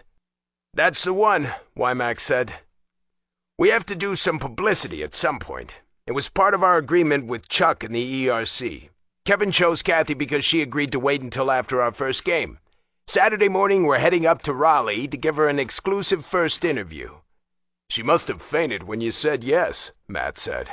When's the last time you made an official public appearance? December 4th, Kevin said. Why didn't you tell us earlier? Dan asked. I'll wake up early to watch it.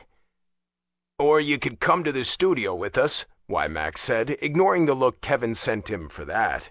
Kathy invited the entire team to the broadcast. If we show, we get front row seats. We've got to take the bus up anyway to fit all these yahoos, so there's plenty of room. Do you, do you want us to sit out? Renee asked Kevin. It doesn't really matter, Kevin said. Nicky grinned and reached over Andrew to pat Kevin's shoulder. He just knows he has to play nice for his show. He doesn't want you to see his civilized side.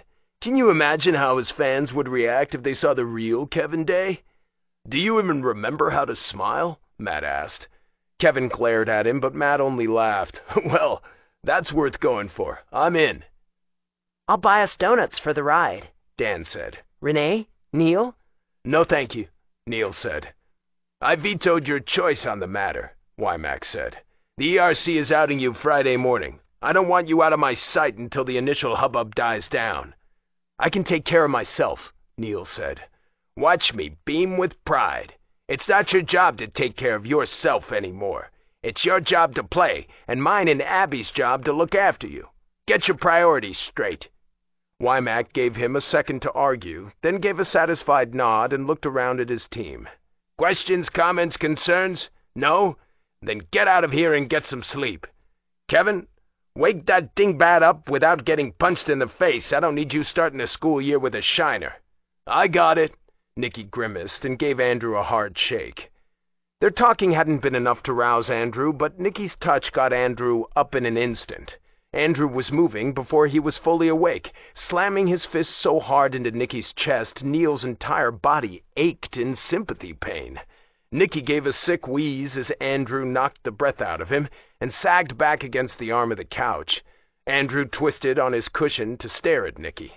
Neil hadn't expected Andrew to look guilty over his reaction, but he certainly didn't expect Andrew's blank-faced surprise either. Nicky, are you dying? Andrew asked. I'm good, Nicky rasped. We're done here, Kevin said. Let's go. Andrew looked around the room, taking everyone and everything in. I missed the powwow. Kevin can summarize it for you later, Wymack said. Clear out of here before I decide you're all better off doing more laps. The locker room emptied in seconds. Morning practice ended at 8 the next morning, so the Foxes could get to their first class on time. It was close enough Neil finally accepted Matt's offer for a lift back to the dorm room. He changed out of his morning sweats into something more appropriate for class, grabbed his messenger bag, and was out the door in time to join the small wave of athletes heading down Fox Towers Hill. Most of the others were wearing their jerseys as a first day celebration, so the sidewalk by the crosswalk was an eyesore of orange and white. Neil's intention was to blend in as long as he could, so he opted to skip the tradition. He wouldn't have a choice tomorrow. The entire team was expected to be in colors on game day. He made it to his English class with time to spare, so he managed to snag a desk in the back corner. The teacher didn't show until the bell rang, and then she came bouncing in with curls flying. She was a perky teaching assistant who acted like freshman composition was the greatest thing they'd ever study at Palmetto State. Neil followed along with her as she went through the syllabus and decided she was mental. Instead of midterms, they'd have reports of varying lengths due. Neil was suddenly grateful for the tutor hours he had to slot into his days. It had made scheduling and registration a headache, but at least he could get some help with this. He was an average writer at best, and this lady made it clear average wouldn't cut it. The only things she wanted to cover today were the syllabus and short self-introductions. As soon as that was finished, she dismissed them with a cheery farewell until the following Tuesday. From there it was off to chemistry, which was a large enough class it was held in an auditorium. Neil took a spot in the top row. It was impossible to see the board from where he was, but at least he had a wall at his back. Unlike his English class, the chemistry professor only spent a few minutes reviewing the syllabus before starting on an overview of introductory chemistry. His voice was an unwavering monotone that could put any living creature to sleep. Neil resorted to stabbing himself with a pen every time he started drifting off. He probably should have taken last night's practices with Kevin off in preparation for today, but he didn't think Kevin would have allowed it. Neil was doomed to spend the school year exhausted. After 75 mind-numbing minutes of science, Neil finally escaped back into the sunlight. The campus had come alive in his absence. The late sleepers and early risers were finally meshed on campus, which meant elbow-to-elbow people on the sidewalks between classes. More than half of the students were sporting school colors, and Neil saw a few headbands with fox ears. The amphitheater in the middle of campus was packed with booths representing various student organizations. Volunteers were ready to hand out paraphernalia and point out buildings for lost freshmen. The clumps around the tables were buzzing with enough energy to power a small town, with most of the talk centered on either Friday's Exy or Saturday's football games. Neil got a small stack of magnets pressed into his hand as he passed. He sorted through them as he walked. There was one for every fall team with schedules printed on each. Neil kept the Exy one, tossed the rest into the trash, and buried his magnet deep in his pocket where he didn't have to look at the dates. Wymack had gotten the finalized fall schedule a few weeks ago. Palmetto State was facing Edgar Allan on Friday, October 13th. It felt close enough to choke Neil. He detoured around students toward one of Palmetto State's three dining halls. Two were for the general student body, the third was for athletes only, justified to the general populace because of teams' training schedules and nutritional needs. All three halls were set up as buffets, but the athletes only ever had one unhealthy thing available a day, whereas the regular dining hall's menus frequently boasted pizzas and a wide selection of desserts. The meal plan included in Neil's contract gave him limitless access to any of the halls, but Wymack strongly recommended he stick to his own. The dining hall was busy when Neil arrived, though it might have just looked busy because it only sat a hundred people. He swiped his meal card at the front register, collected a tray, and tried to pack in enough food to fuel him through the end of practice at eight o'clock that night. Afterward, he was free to return to the dorm, since he'd scheduled most of his classes on Monday, Wednesday, and Friday. His room was empty when he showed up, so Neil settled at his desk with his syllabi. It was only the first day of school, and he already had three assignments a short paper, a 50 page chapter to read, and a page of questions about said chapter. Neil debated for a minute as to which one sounded least painful. Five minutes later, he was still uninspired, so he put his head down on his desk. He didn't realize he'd fallen asleep until a gunshot jarred him awake. Neil bolted upright so fast he sent his pile of textbooks crashing to the ground. Too late he realized the crack he'd heard wasn't a gun, but the lock snapping undone on the suite door. A bemused Matt stood in the doorway. Hard at work already, I see, Matt said dryly. Something like that. I'd say it gets easier, but... Matt shrugged. You should probably cut back on your late practices now that classes are in session. I'm fine, Neil said. He knew he'd never give up those practices. If he had to choose between class work and Exy, the answer was obvious. Neil was only here for a couple more months, he wasn't going to give up a single second of his time on the court, no matter what else it cost him. You say that an awful lot, Matt said. I'm starting to think you don't know what it means. There wasn't really a good way to answer that, so Neil let it slide. Luckily, Matt didn't push it, but crossed the room to his computer. Neil spent the last half hour until practice thinking about October and the Ravens. Chapter 11 Thursday's excitement had nothing on Fridays. The whole school got decked out overnight with vibrant orange and white streamers. Ribbons and banners hung off every sidewalk lamp. Live student bands took over the amphitheater for short concerts, and the student newspaper released that morning gave details for the afternoon parade. Cheerleaders roamed the campus in small packs, flaunting their short skirts and bright smiles and revving up school spirit wherever they could. Traffic around campus that day was horrendous as spectators flooded in and settled down for back-to-back weekend opening home games. None of the Foxes expected to win that night, as they were opening the season against their longtime rivals, Breckenridge. Until Edgar Allan made its move, Breckenridge was the largest and first-ranked school in the district. Fortunately, the football team's chances for Saturday afternoon's game were much better. It would be too much of a downer if Palmetto lost both opening games. Campus police were out in full force that day, helping direct traffic and making sure guests didn't interrupt classes. Neil hated the sight of their blue uniforms, but having them around was better than dealing with the press.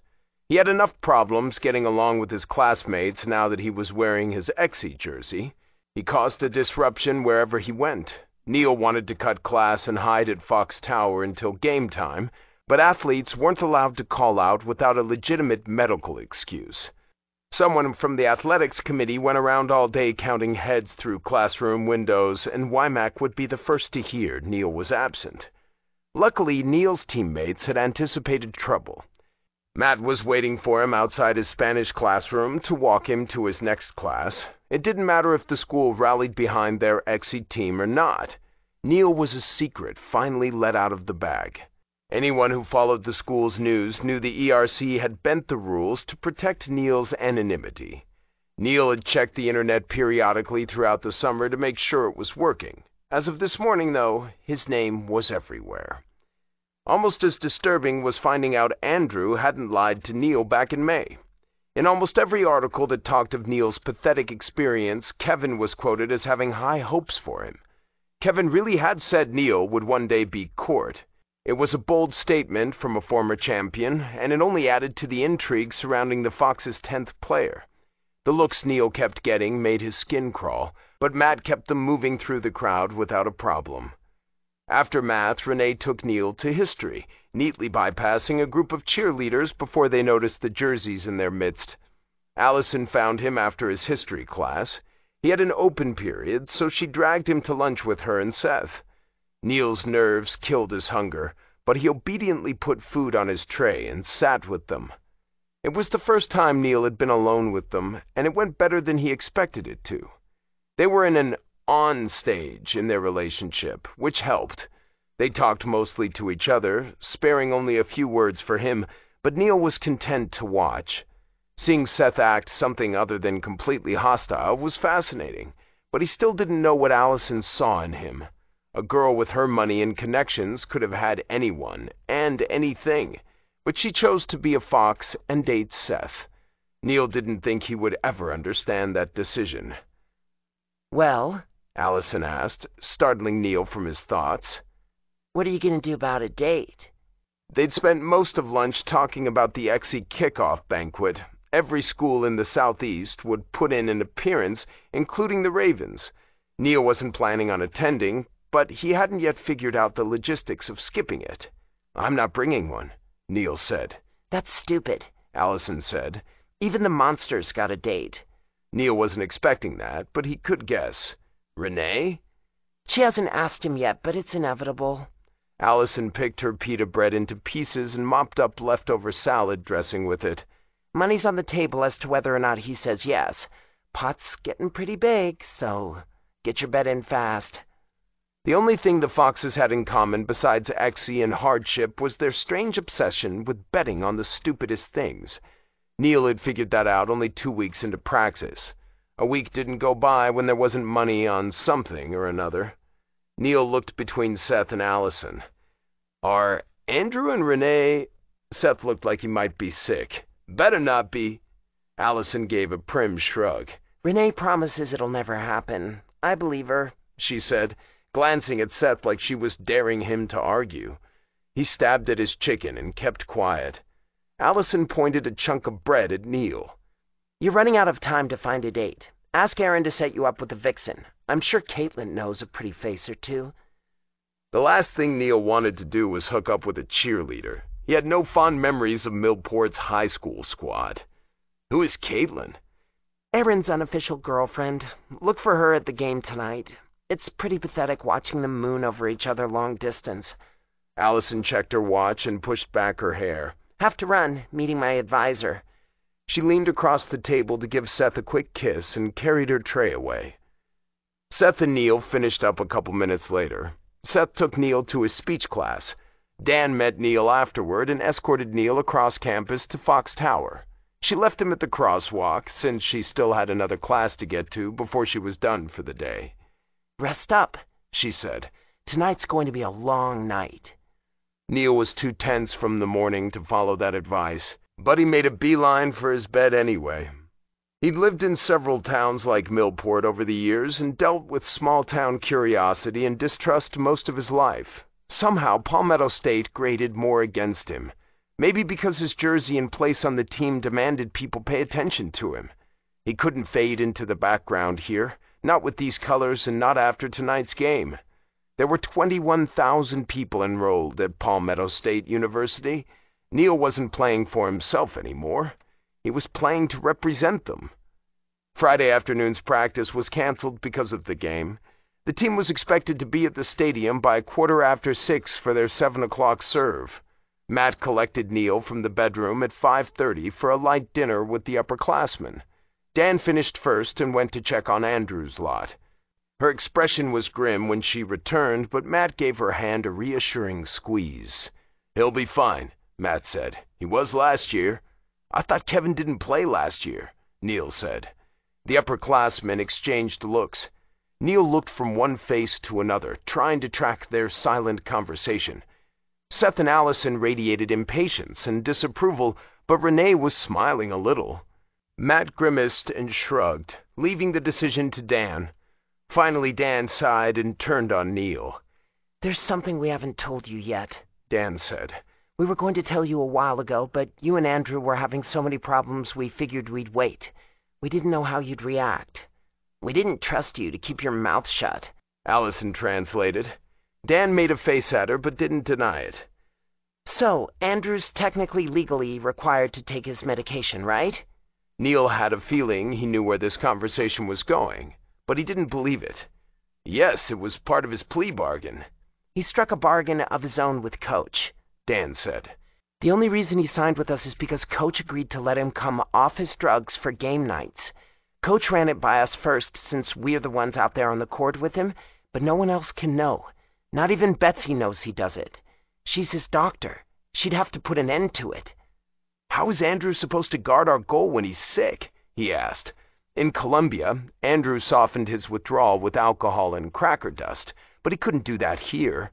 Neil still remembered how violently Andrew shook as he puked on the roadside. He's not sick yet, Matt said. He put his hand up at eye level. Andrew's withdrawal is a three-stage process. Imagine you're flying high all day, then suddenly you stop drugging. First you crash. He smacked his hand down to his waist height. That's stage one. He doesn't get sick until stage two. Andrew adjusts his schedule on Fridays depending on what time our serve is, Dan said. He misses his dose a half hour before the game starts and always plays first half. Usually he can ride stage one until halftime. Then he takes his medicine again and spends the rest of the night on the bench. Neil guessed that was how Andrew slept all the way to Columbia. He almost made it all the way to Sweetie's before getting violently ill. What's stage three? Give him his drugs or get stabbed in the face? Matt said dryly. It's not fun. Luckily, we've only ever seen him get that far once. He won't get that bad tonight, Dan said. Besides, you'll be half the court away from him. We just thought you should have a heads up, even if it's a couple of months late. Are you going to be okay with this? Is it going to jeopardize our match? Neil asked. No more than anything else will, Matt said. Then I don't care, Neil said. He can do what he wants. It wasn't the complete truth, but Neil didn't know how to put his remaining reservations into words. Andrew said he hated this game, so why would he make it worse for himself by coming off his drugs for them? At least medicated, he might find the matches entertaining. The only guess Neil had was that Andrew hated his medicine more than he hated Exy. That was interesting to consider, but Neil didn't have time to think about it tonight. It didn't take long to clean up their dinner mess, and they met Andrew's group in the hallway. Andrew looked on top of the world, as usual, but Kevin's expression was tense. Tonight was Kevin's first season game since his injury, and his debut as a right-handed Fox striker. Kevin had to shine tonight if he honestly wanted to make a comeback. How he was supposed to do that with his weaker hand and a team like the Foxes as backup, Neil didn't know. They left the dormitory early, but traffic was so backed up they were almost late. The stadium had turned into a madhouse sometime between morning practice and now. The parking lots were crammed and security was everywhere, directing fans and watching for drunken foolery. Every gate was open and the guards manning them wielded metal detectors. A line of police cars and two ambulances kept a path clear for the athletes' cars. Two guards stood outside their door, and after a cursory check to make sure none of them were carrying anything illegal into the stadium, they were allowed into their locker room. Wymack was in the lounge and immediately directed them to the changing room. Neil was halfway through the men's door when Kevin snagged his collar and hauled him down the hall to the back door. Kevin pulled it open and pushed Neil ahead of him through it. Neil stumbled a step, caught his balance a second later, and went into the inner court. The Foxhole Court was the second collegiate stadium he'd been in, the first being Edgar Allan's Raven's Nest, but he'd never been in one on a game night. It was one thing to admire the dizzyingly high seats, and another thing entirely when those seats were full. Not all of the 65,000 seats were taken yet, but at least three quarters were. The stadium rumbled with the sounds of tens of thousands of feet. The crowds yelling and laughing were deafening, and this was before the crowd had a reason to be loud. Neil wondered what they would sound like after the Foxes scored. Maybe it'd be loud enough to crack his bones inside him. It didn't take anyone long to notice Neil and Kevin in the inner court. When the closest section went crazy, the sound ignited a small wave up the stands. Orange Notes, the campus band, was still filing into their section, but they reacted to the excitement unquestioningly. The drumline beat out a ferocious rhythm, and a couple trumpets started the school fight song. A few seconds later, the students joined in, yelling the words at one another and the empty court. Don't waste their time tonight, Kevin said at his ear. They came to see you play, so give them something to believe in. They're not here for me, Neil said. They're here to see the famous Kevin Day. Kevin put a hand to Neil's shoulder blade and gave him a small push. Change out. Neil took one last peek up at the stands before heading back to the locker room. Wymack called them to the foyer when they had all their gear on and passed around the Breckenridge Jackals roster. Matt took one look at the starting lineup and made a face. Hey, Seth, looks like Gorilla's back. Shit. Seth held out his hand in a demand for the paper. At least they're taking us seriously from the start, Aaron said. Easy for defense to say, Allison took the roster from Matt and gave it to Seth. Gorilla? Neil asked. Number 16, Hawking, Nicky said, a.k.a. Gorilla. Six and a half feet tall and 300 pounds of pure douchebaggery. You'll know him when you see him, trust me. He looks like a football player that got lost on his way to the field. He's also dumb as a brick, so he sat out of championships last year on academic probation, Matt said. It's kind of a yearly ritual for him. He's defense, Dan said, looking at Neil. And he loves body checks. Don't get between him and the wall, Neil. He'll break every bone in your body if you give him the chance. Don't worry, though, Matt said. He'll probably be too busy killing Kevin and Seth to notice you. This is my reassured face, Neil said, pointing up at his blank expression. Are you done wasting my oxygen yet? Wymack asked. Let's get moving. We're on home court for warm-up. We're doing simple relay shots first. Andrew and Renee twice through each. Andrew, keep them on our side. You hit a single practice shot onto the Jackal side of the court when they're warming up, and I won't start you until second half. Neil looked at Andrew at that. Andrew looked fine so far, but maybe they were still too far out from first serve for him to be feeling any withdrawal. Wymack kept going. Starters down the line. Seth, Kevin, Dan, Matt, Aaron, Andrew. I've got three subs each half, so you'll all get a swap except the goalies. Kevin, you're out if your hand is so much as itches. Don't be stupid tonight. It's been eight months, Kevin said. Don't risk it your first game back, Abby said. Kevin grimaced, but gave up arguing. That was good enough for Wymack and Abby, so they set the Foxes scrambling for their helmets and rackets. They lined up at the door in order of playing position, with Dan out of place at the front as their captain. Wymack had an earpiece in that linked him to the announcer's booth. When he heard the okay, he led his team out to the benches. Neil's helmet muffled some of the crowd's screaming, but his ears were still ringing when he followed the Foxes onto the court. Neil knew the Fox team was the smallest in the NCAA, and Breckenridge one of the largest, but he hadn't expected the difference to feel so vast. The tan and black Jackals seemed crowded on their half, making the Foxes look pathetic and small on theirs. Neil tried not to feel intimidated. When that failed, he put everything he had into warm-up drills instead. The twenty minutes flew by faster than he thought they would, and they were shepherded off the court by the referees, the Jackals out the door north, the Foxes out the south. The announcer's voice just barely carried over the crowd's racket, but as it got closer to game time, someone thought to turn up his volume. By the time he called the team's rosters, his voice was echoing off the court walls. As their names were called, the Foxes lifted their rackets in silent salute. The crowd roared in response to each one, and Orange Note's drumline pounded away on whatever their sticks could reach. For the Breckenridge Jackals, the announcer said, and went through the list of players slotted to play tonight.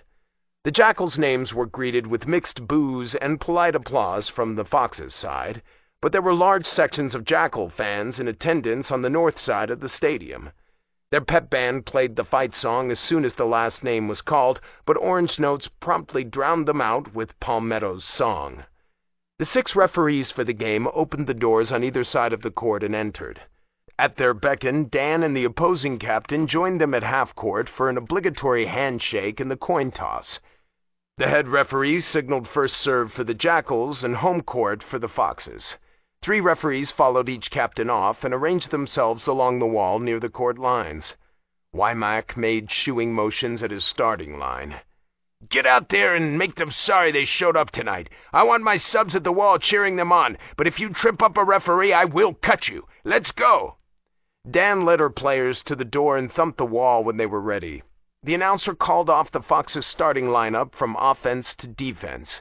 Kevin was the first onto the court, and the entire stadium had a fit at the sight of him. It didn't matter what school the fans were here to support. Kevin was in uniform after an eight-month absence. All predictions said he'd never play again, but he carried a racket with him to half court like he'd always known he would return.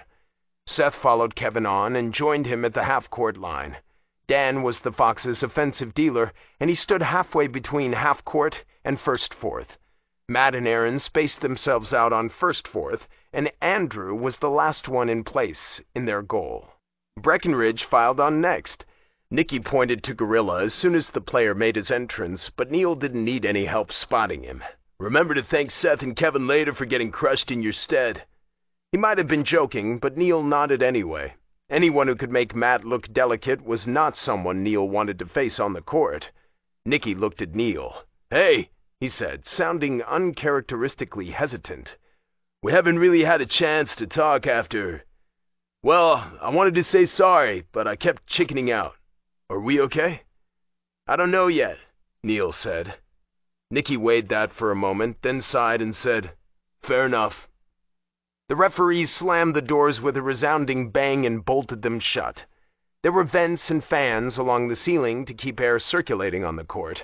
The vents would let out echoes of serves and checks, but the players would have to yell for their voices to filter out into the stadium. Neil didn't know what they were saying to each other now as they waited for the game to start, but he doubted it was pleasant, seeing as how Seth was flipping off one of the Jackal's strikers. Seth turned the gesture on Kevin a couple seconds later. Oh, Lord, Abby said at Neil's back. They could at least pretend to get along when playing against this team. Not a chance, Nicky said. Ten bucks says they hit each other inside fifteen minutes. I'm not taking that, Allison said. You could try to be optimistic about the first game of the season, Renee said. Maybe you saw who we're up against? Nicky said, pointing at the opposing team. You really think optimism is going to help us? I think it can't hurt, Renee said with a smile. Allison started to say something, but the warning buzzer drowned her out. If Neil looked up, he could almost see the scoreboard where it hung over the dead center of court. A clock, the score, and shots on goal statistics were displayed on all four sides, as were screens for replays and close-ups. Right now, the board would be counting down the last minute to game start, but Neil didn't strain to see. He didn't want to take his eyes off the court. He pressed his gloved hands to the wall and leaned forward, trying to see all of it at once. His heart pounded in his chest, sending shuddery heat through every inch of his body. He held his breath, waiting for first serve. The buzzer went off again, and the game began. Breckenridge's dealer flicked the ball into the air and slammed it with his racket. The distinctive crack had jackals and foxes breaking formation and rushing forward to find their marks and places on the court. The nerves Neil felt earlier evaporated under the wild weight of the crowd's enthusiasm. Their screams jarred against his skin, and the stamping of a hundred thousand feet beat in time to his pulse. Two bodies crashed on the court as the game started rough from the get-go. There was a roar of approval from the rafters. The ball hit the wall in front of the subs and went careening away. Dan caught it before it went far and threw it to Seth. Her momentum sent her into the wall further up, and the jackal dealer slammed into her a second later. The wall shuddered under their weight. Dan practically threw him aside to get back into the game, and the subs pounded on the wall in support. Neil raked his gaze along the court, past the Jackal striker that was struggling with Aaron. Aaron and Matt were pushing the Jackal strikers up the court away from goal, but they didn't want to leave too much empty space between them and Andrew. Andrew stood alone on the white line marking the goalkeeper's territory, watching the game unfold in front of him. He spun his racket in a circle, mocking the Jackal's efforts with that carefree stance. The ball hit the farther wall down the court, and Neil turned his attention back to it. Dan was the first to it again, and she sent it high over Seth's head. Seth and Gorilla raced each other up the court to catch the ball on the rebound. Seth caught it, but couldn't hold it for long. He carried it only half a step before Gorilla took a swipe at his racket. It didn't look like much of a strike, but it sent Seth's racket flying. Gorilla caught the ball as it bounced off the ground and turned to heave it all the way down the court. It hit the wall a few inches to the right of the home court goal. Andrew watched it bounce away. One of the jackal strikers got around Matt and ran for it. Andrew stopped spinning his stick and shifted, readying himself just in time. The striker took a fast shot on goal and Andrew beat it forcefully away, sending it right back down the middle of the court. The jackal dealer tried to catch it, but it was going faster than he anticipated and it bounced out of the net of his racket. Dan stole it from him. He bowled her over in surprise, and the ball went rolling away. Dan beat her stick against the ground in anger as she scrambled back to her feet to chase him. The jackal dealer already had the ball and was running toward home court. At a girl, Abby said. You've got him. Dan couldn't catch up to him in time to stop him from passing the ball, but she didn't slow. She slammed into the dealer hard enough to send them both sprawling. Jackal fans roared in outrage, demanding a card for that trick, but the referees didn't move. Body checks were only legal when played by or against players who were carrying the ball, but allowances were made for hits that happened in the first two seconds after the ball left a player's net. Officials knew sometimes athletes were simply going too fast to stop in time. It allowed a loophole for spiteful collisions like Dan's, but that only made the game more fun for the fans. Aaron was small enough he could duck under his striker's arm. He intercepted the ball in an impossible move and kept spinning back to face home court. He passed the ball to Andrew without slowing and was back on his feet a heartbeat later. Andrew hit the ball with an underhand swing to clear it out of home court. The ball bounced off the ceiling and fell back into the fray. Move it, Foxes! Wymack roared. Let's go, Foxes, let's go! The Vixens called out further down. The crowd picked it up and echoed the chant back to the cheerleaders. The other subs joined in, but Neil was numbed into silence by the speed and skill of the game. He'd watched his teammates fall apart to infighting all summer long, but now he finally saw them as a whole. As much as the Foxes disliked each other at times, they disliked their opponents more. They were still too fractured to be truly great, but they were good enough to give him chills. Neil finally understood how the Foxes made it to third place last fall and scored a spot in championships. Unfortunately, Breckenridge was better. Twelve minutes into the game, they finally broke the Foxes' defense line. A Jackal striker caught the ball and carried it right into Aaron. Aaron was bowled over, giving the striker a straight path to the goal, and all of the Jackals crushed forward inside the first fourth line. The striker got dangerously close to goal before taking a shot. Andrew snapped it right back at him, bouncing it off his helmet. The jackal dealer caught the ball next, and Dan was a second too slow to stop him from aiming for the goal. Andrew deflected that shot as well, but the jackals were pressed too close for him to clear the ball. He aimed high, but Gorilla was close enough and tall enough to snag it from the air. Get it out of there! Wymack yelled at the wall. Gorilla knocked aside two foxes like they were nothing and ran for the goal. Matt threw himself into Gorilla like his life depended on it, taking them both out. Matt's unguarded striker caught the ball and fired, and the goal flared up red behind Andrew. Breckenridge's fans went crazy as the buzzer sounded first point.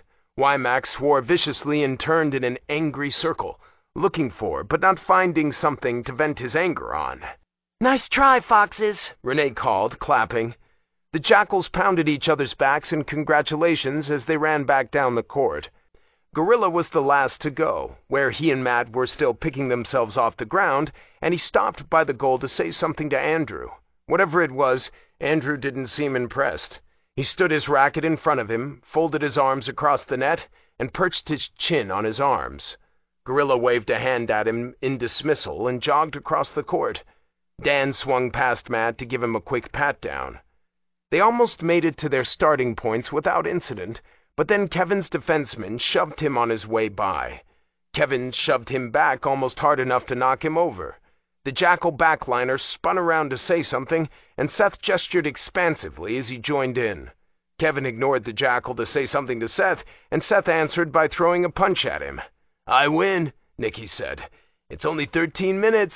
No one took your bet, Abby said, sounding weary as she watched Kevin and Seth fight. Don't you bet on these retards, Wymack said. Dan caught up with the two and shoved them roughly apart. She stuck her finger in Seth's face as she chewed him out, then did the same to Kevin. Kevin and Seth finally spread out on half court to take their spots. The referees by the doors waited to see if they needed to intervene, then decided Dan had handled it appropriately and let it go. The game started up again with another Breckenridge serve, but the Foxes were fired up and angry from losing the first point.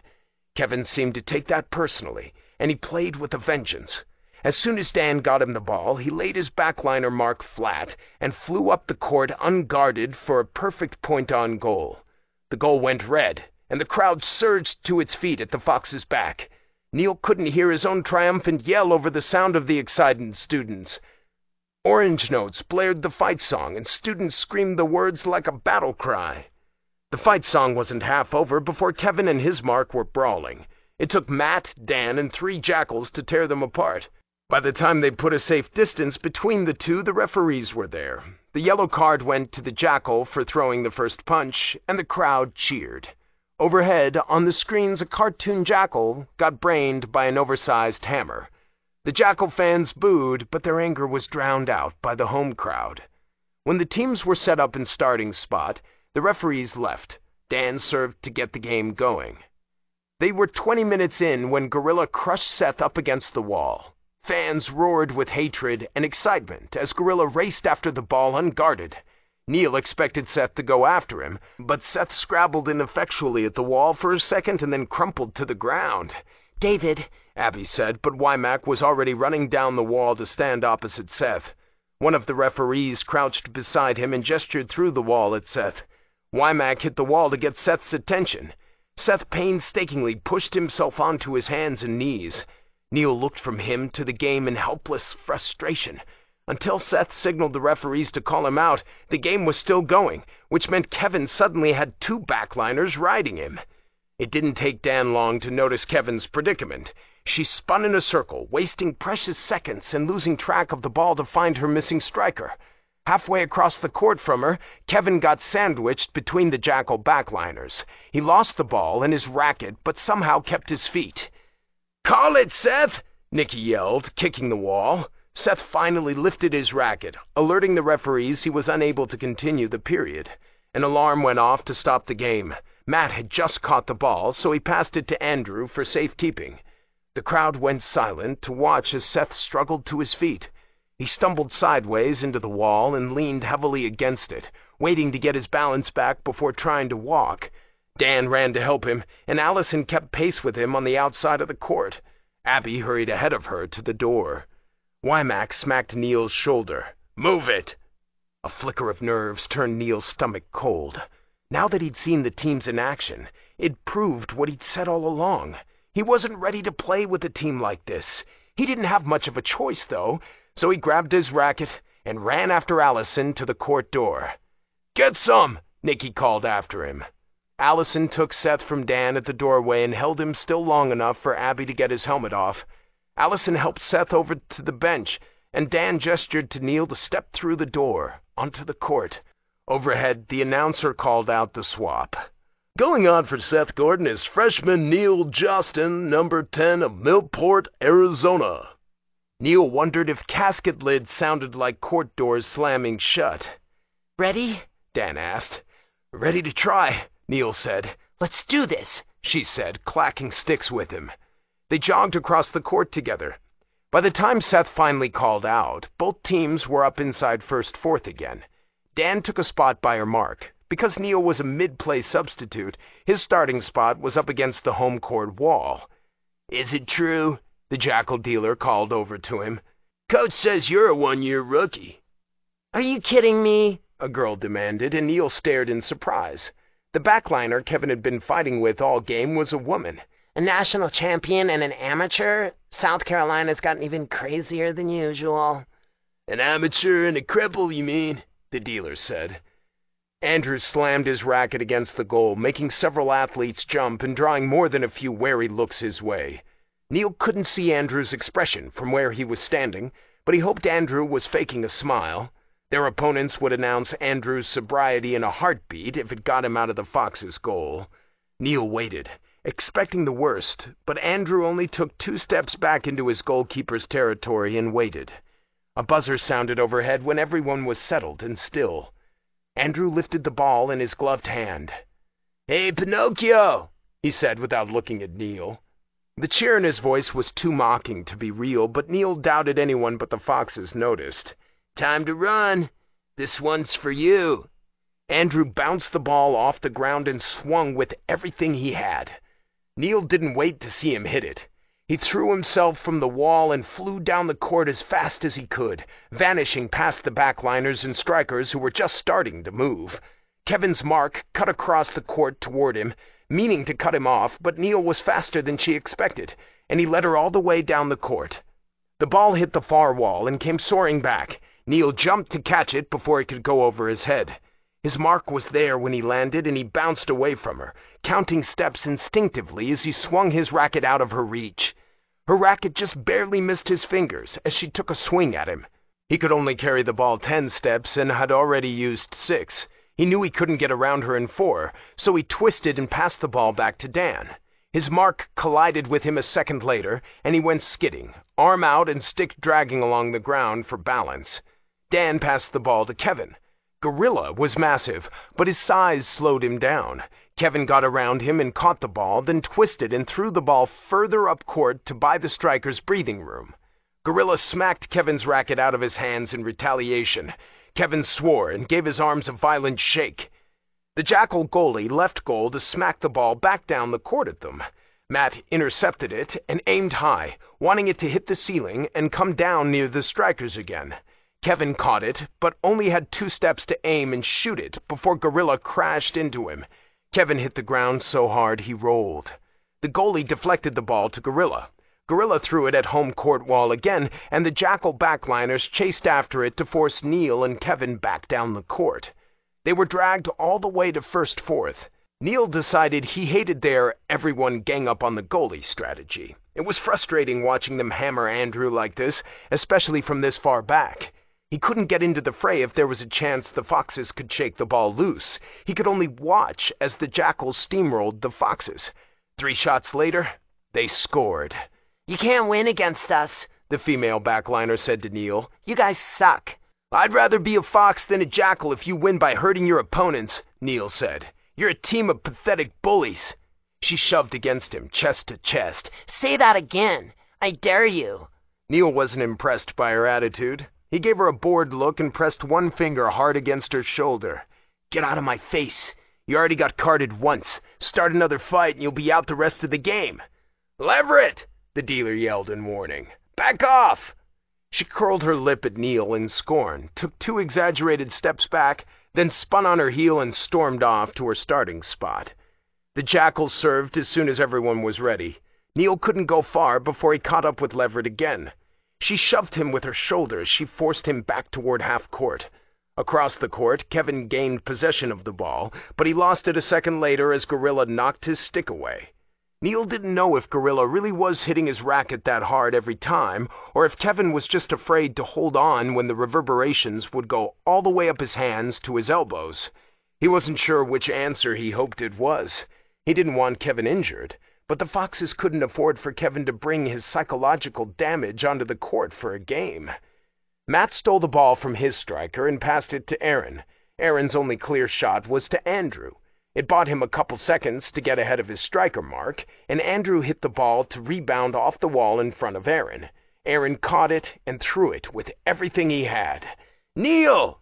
Neil was already moving, following the arc of Aaron's racket and realizing the pass was meant for him. Leverett swiped at his racket, trying to ruin his catch, and Neil grit his teeth at the twinge in his wrists. He brought his stick around to beat hers out of the way. It cost him the precious second he needed to snatch the ball, and he almost overextended his arm to catch it. Leverett rammed into him, trying to knock him over, but Neil hugged his racket close, protecting the ball between his body and his net. Leverett snapped his racket again to pop the ball free. Neil took another step back to brace himself, gave her a chance to catch the ball, and shoulder slammed her hard enough to knock her to her ass. He snagged the fallen ball and bolted with it. Fucking whore! she yelled after him. Neil carried the ball ten steps and threw it to Kevin. Kevin caught it, only to get his racket smashed away again. Gorilla pounded past him after the ball. Kevin pressed his left hand to his gut and twisted in search of Matt. Get him off of me! Matt didn't answer, but he heard.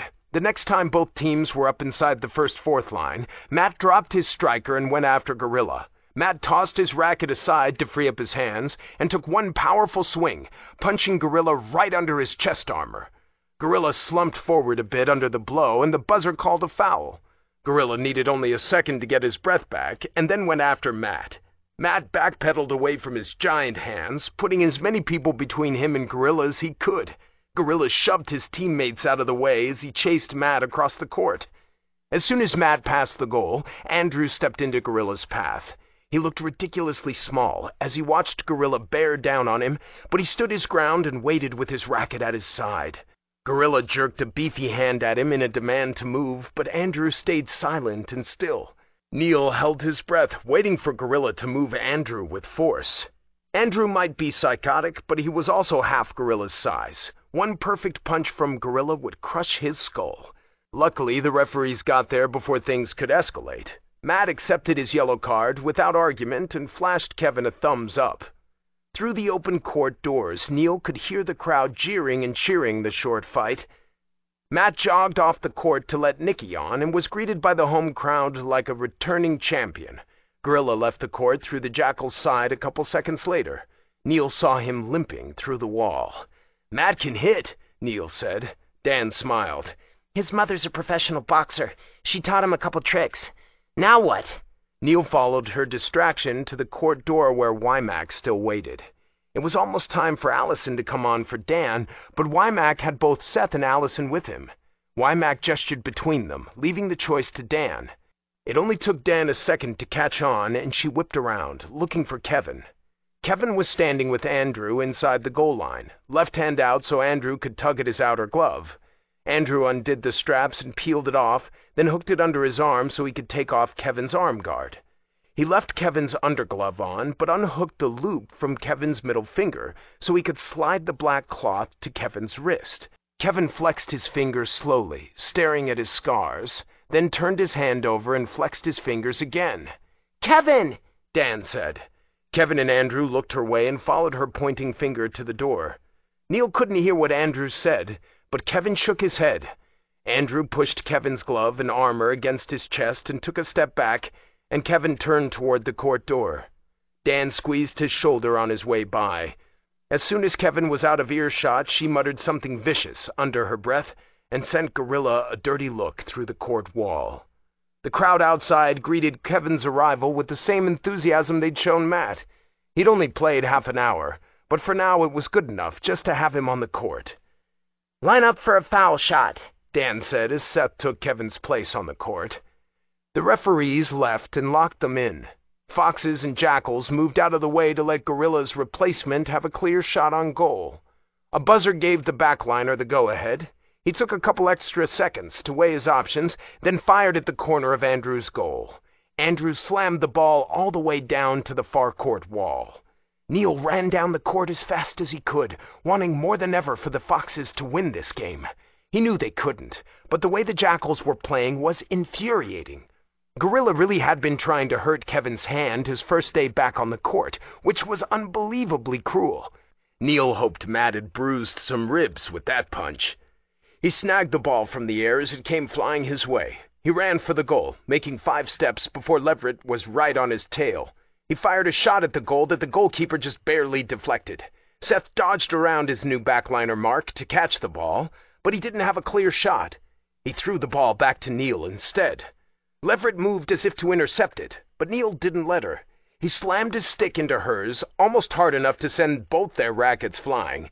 She cursed as she lost her grip, and then there was nothing to stop Neil from getting to the goal. He caught the ball and carried it all ten steps, calculating angles and the goalkeeper's body language as he ran. His last step was a half step that helped tilt him forward, and he put everything behind his throw. The goal lit up red as Neil's ball hit home. The buzzer went off overhead, and Neil wheeled around for half court as his teammates cheered. Leverett stepped in front of him. You got lucky. You're getting slow, Neil said. She moved as if to hit him, but stopped before taking the swing, maybe thinking about her yellow card. Neil pushed her roughly out of the way and kept going. She spat obscenities at his back that he ignored. He was more interested in Seth, who'd crossed the court to give his shoulder a violent clap. Neil clacked rackets with him as they split up for their spots on the half-court line. Dan whooped behind Neil. Let's do that again, foxes! Neil didn't score again until he came on during the second half. Two points weren't enough to earn his place on the line, but it made him feel better about standing on their court. It was almost enough to ease the sting of their eventual loss to Breckenridge at seven points to nine. The season had just begun, after all, and Neil had until October to improve. Chapter 12 When Neil's alarm went off at one the following morning, it took a minute of groggy staring before he remembered why he was getting up. He stuffed his alarm clock under his pillow, wished Kevin and Wymack both an early death, and dragged himself to the edge of his bed. Matt's alarm sounded when Neil was halfway down the ladder. Seth grumbled something rude across the room when Matt didn't immediately turn it off. Matt's pillow muffled whatever he said in response, but his tone was unfriendly. Neil stopped at the bottom of the ladder to scrub sleep out of his eyes. Matt finally found his alarm and silenced it. Seth huffed, noisily rolled over, and started snoring again right away. Matt glowered blearily across the room at him before looking at Neil. Matt looked as miserable as Neil felt. Wymack warned them last night they'd have an early start today, but there was no way the Foxes could start the season without a small party. Andrew's group predictably sat out of it, but Neil and his roommates had ended up hanging out in the girls' room. The upperclassmen put away most of a bottle of vodka, even without Neil and Renee helping them. At the same time, they all thought it would be worth it. After getting less than an hour of sleep, Neil wasn't so sure. Someone pounded on their suite door. Neil went down the hall to answer it. The hall light was brighter than Neil expected. Neil rubbed his eyes again, both to get the spots out of them and so he wouldn't have to look at Wymack. It should be impossible for Wymack to look so awake at this hour, but there he was, looking completely refreshed. Stop yawning and get moving, Wymack said, clapping his hands in Neil's face. We're on a schedule. I want everyone on the bus in five. Neil shut the door in his face and went to get dressed. He was still dead tired when he left his room a minute later, but his mind was waking up to survival mode. Renee gave him a tired smile and a half wave in greeting. Dan stumbled over to Matt, looped her arms around his neck, and fell asleep against him almost immediately. Andrew's group was the last to show. Neil took one look at the wrist braces Kevin was wearing and instantly felt more awake.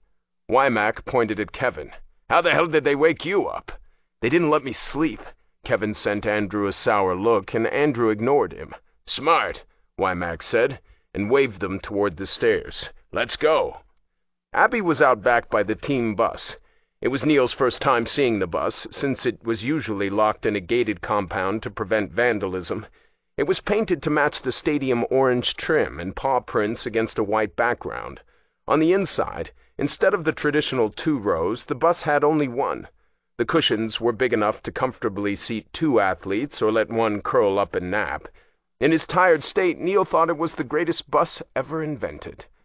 Andrew led his crew all the way to the back. Abby took the first row. Matt and Dan went in behind her, and Renee sat alone behind them.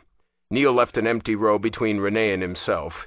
He leaned against the window and stared at the seat back ahead of him as Wymack got settled in the driver's seat.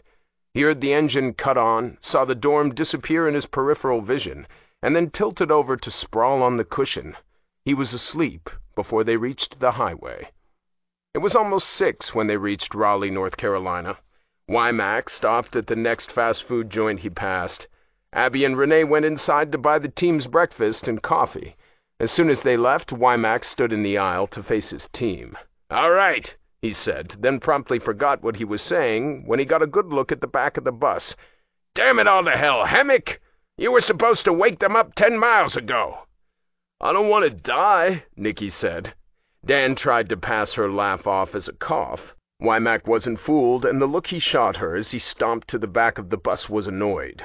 Dan was undeterred and grinned at Renee. Curious, Neil half turned in his seat to watch. Wymack went all the way to the last row, pulled his wallet out of his back pocket, and threw it at Andrew. Judging by the resounding thud, Andrew woke up as violently as always. Wymack put his hand out in a demand. Give it back! Leather creaked as Andrew moved. Andrew sat up a couple seconds later with Wymack's wallet in hand. Wymack stuffed it into his pocket once more and went up a row to Kevin. He planted his shoe against whatever part of Kevin was closest and started pushing him. Up, he said over and over, getting louder each time until he was almost shouting. Get your ass up and moving! Kevin's hand darted into view as he tried to shove Wymack away. Wymack grabbed his elbow and hauled Kevin out of his chair into the aisle. Before Kevin could fall over, Wymack pushed him back, dropping him heavily onto his cushion. Kevin slumped against the back of his chair immediately, looking for all intents and purposes like he'd nod right back off. Wymack smacked the back of his head to wake him up. I hate you, Kevin said with feeling. Breaking news, I don't care. This was your brilliant idea. Andrew leaned to one side to rest against his window and looked out at the parking lot. Are we here? Close enough, Wymack said. You know what to do. Andrew didn't answer, but Wymack didn't push it. He was distracted by Kevin, who was already drifting off again. Wymack gave his shoulder a rough shake. Kevin slept through it, so finally Wymack dragged him out of his chair and sent him on laps up and down the length of the bus. Neil watched him pass. Kevin was walking, but his eyes were barely open. Morning, sunshine. Matt said with exaggerated cheer. Fuck you, Kevin said. Dan yawned into her hand. Glad to see you're still a morning person. Fuck you too. Kevin turned at the driver's seat and headed to the back of the bus. He tried to sit down again, but Wymack turned him around with a hand on his shoulder. Kevin got the hint and kept making laps. Walking kept him awake, but just barely. He looked half asleep every time he passed Neil's seat. Kevin, Andrews said, moving for the first time since he'd slumped against the window.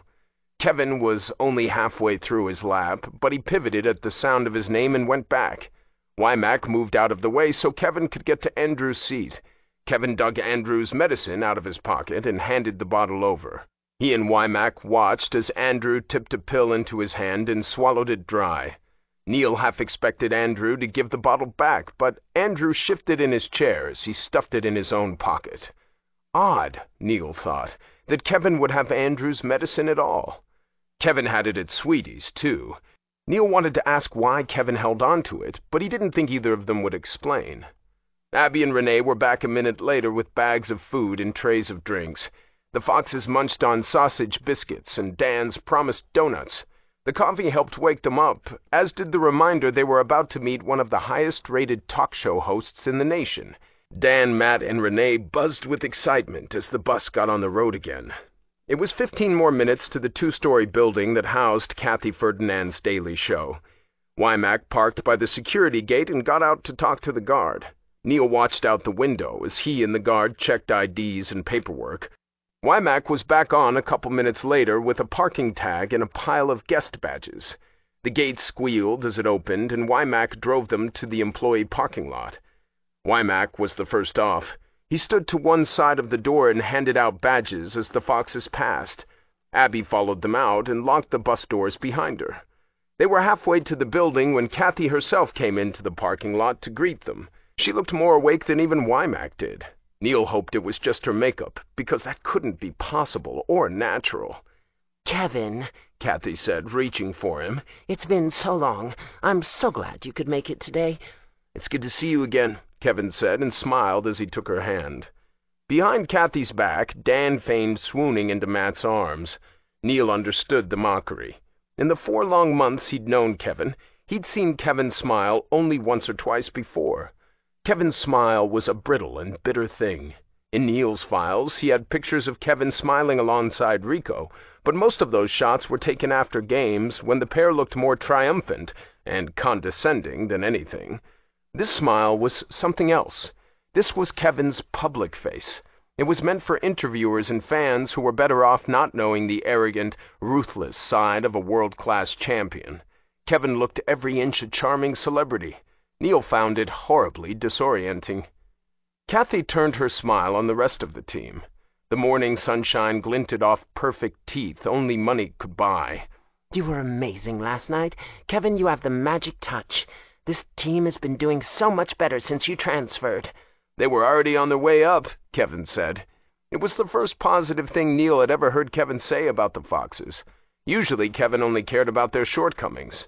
He listened for the lie in Kevin's tone, but Kevin was too good an actor to show Kathy his real feelings about his team. They deserved their Class 1 status. This year will prove it. Brilliant, Kathy said, distracted. She just spotted Neil. The look in her eyes was hungry. Neil Josten, good morning. I suppose you've already heard the good news? As of 11 o'clock last night, your name is the third highest search string for NCAA Exy strikers. That puts you right after Riko and Kevin. How does it feel? Neil's stomach bottomed out. I didn't need to know that. Did you talk to him? Kathy asked Kevin. I didn't think we needed to talk about it, Kevin said. About what? Neil asked. I want you on my show this morning, Kathy said. Neil had to have misheard her. He stared blankly at her, waiting for the punchline. Everyone wants to know who you are, Kathy said, spreading her hands in a grand gesture. You're a mystery addition to the Fox line, a rookie out of a tiny town in Arizona. Coach Hernandez says you picked Exy up in a year by reading a guidebook and showing up to practice. Kevin says you're going to sign with the U.S. court after graduation. Such ambitions and dreams from such a humble beginning, don't you think? It's time for your debut. No, Neil said. It was her turn to stare at him. Neil shook his head. No, I'm not interested. Her smile twitched a little. She reached out as if to pat his shoulder, but Neil backed out of her reach. Abby gestured at him, silently warning him to watch his manners. Neil ignored her. Don't be shy, Kathy said. If you can play in front of 65,000 fans in a game ESPN2 picked up and broadcast live, you can sit on my stage for 10 minutes. This is the easy part. I'm just going to ask a couple questions about why you started playing and where you hope to go from here, that sort of thing. It's all written down so you can think on your responses before you step onto the stage. Your fans deserve answers from you. I don't have fans, and they don't want my answers, Neil said. Be smart, Neil. She spoke with the air of one who'd seen far more of the world than a simple teenager had. Neil wanted to hit her for it. You can't spend this season running from the press when you're playing with Kevin Day. I said no. Impatience finally worked its way into her expression. You're not looking at the big picture. This year can help make the world for you. If you want to get anywhere, you need our help. Everything has fallen so perfectly into place for you. Don't let it collapse so early in the game, or you'll regret it the rest of your life. Kevin, you understand, don't you? He'll do it, Kevin said. It's not your decision, Kevin said in venomous French. He didn't realize what he'd done wrong until he felt Wymack's piercing stare. Andrew's lot knew Neil spoke French. Neil could explain it to the upperclassmen later, and they wouldn't think twice about it. But Wymack, like Andrew, had also heard Neil speak fluent German. Neil ground his teeth and refused to return Wymack's look. I'm not going on stage with you. Kevin's smile never faltered, but his French response was cold. You're being an idiot. I can't be on TV. You already were, Kevin said. You will do this today, or you and I are finished. I will wash my hands of you on the court, and you can struggle your way through mediocrity alone. You can return your court keys to Coach when we get back to campus. You won't need them anymore. It was like getting punched in the chest. That isn't fair. Did you or did you not promise me you would try? But this isn't... I don't want... Did you or didn't you? Neil thought he'd choke on every argument and protest he didn't say. He was sure his breakfast would come back up in another second.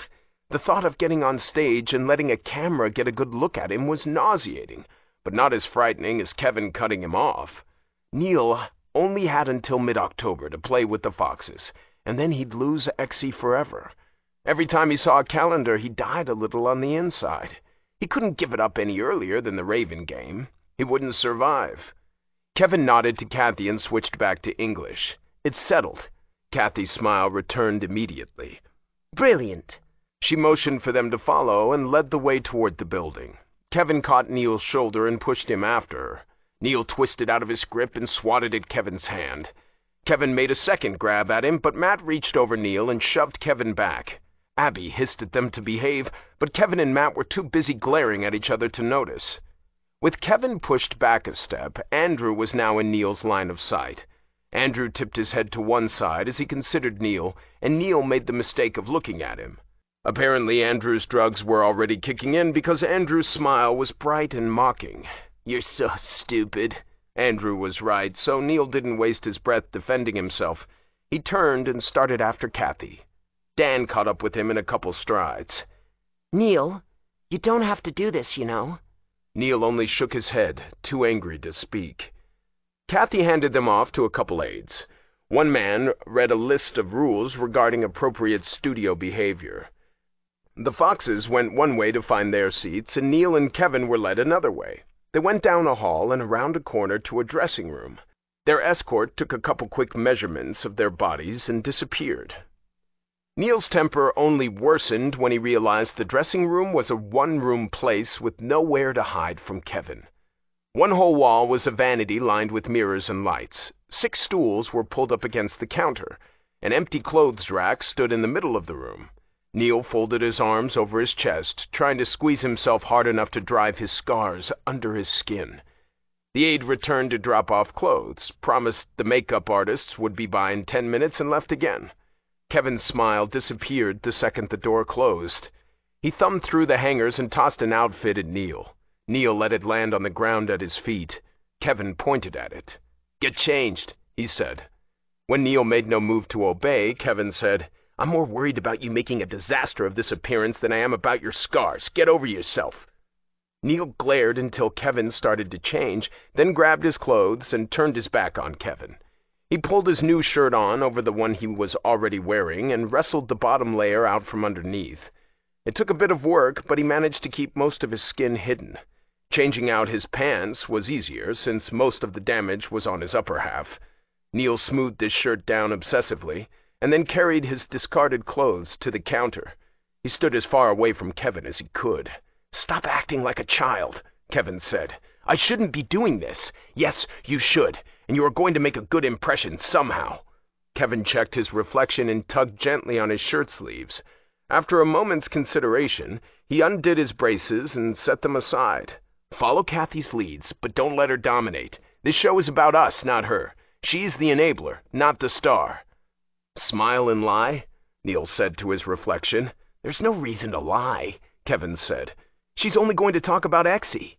No reason to lie. Neil echoed. Says you, who just lied to her face about how much the foxes are worth, who told the ERC... Neil faltered, unable to say the words. He tipped his head forward and pressed his forehead to the mirror.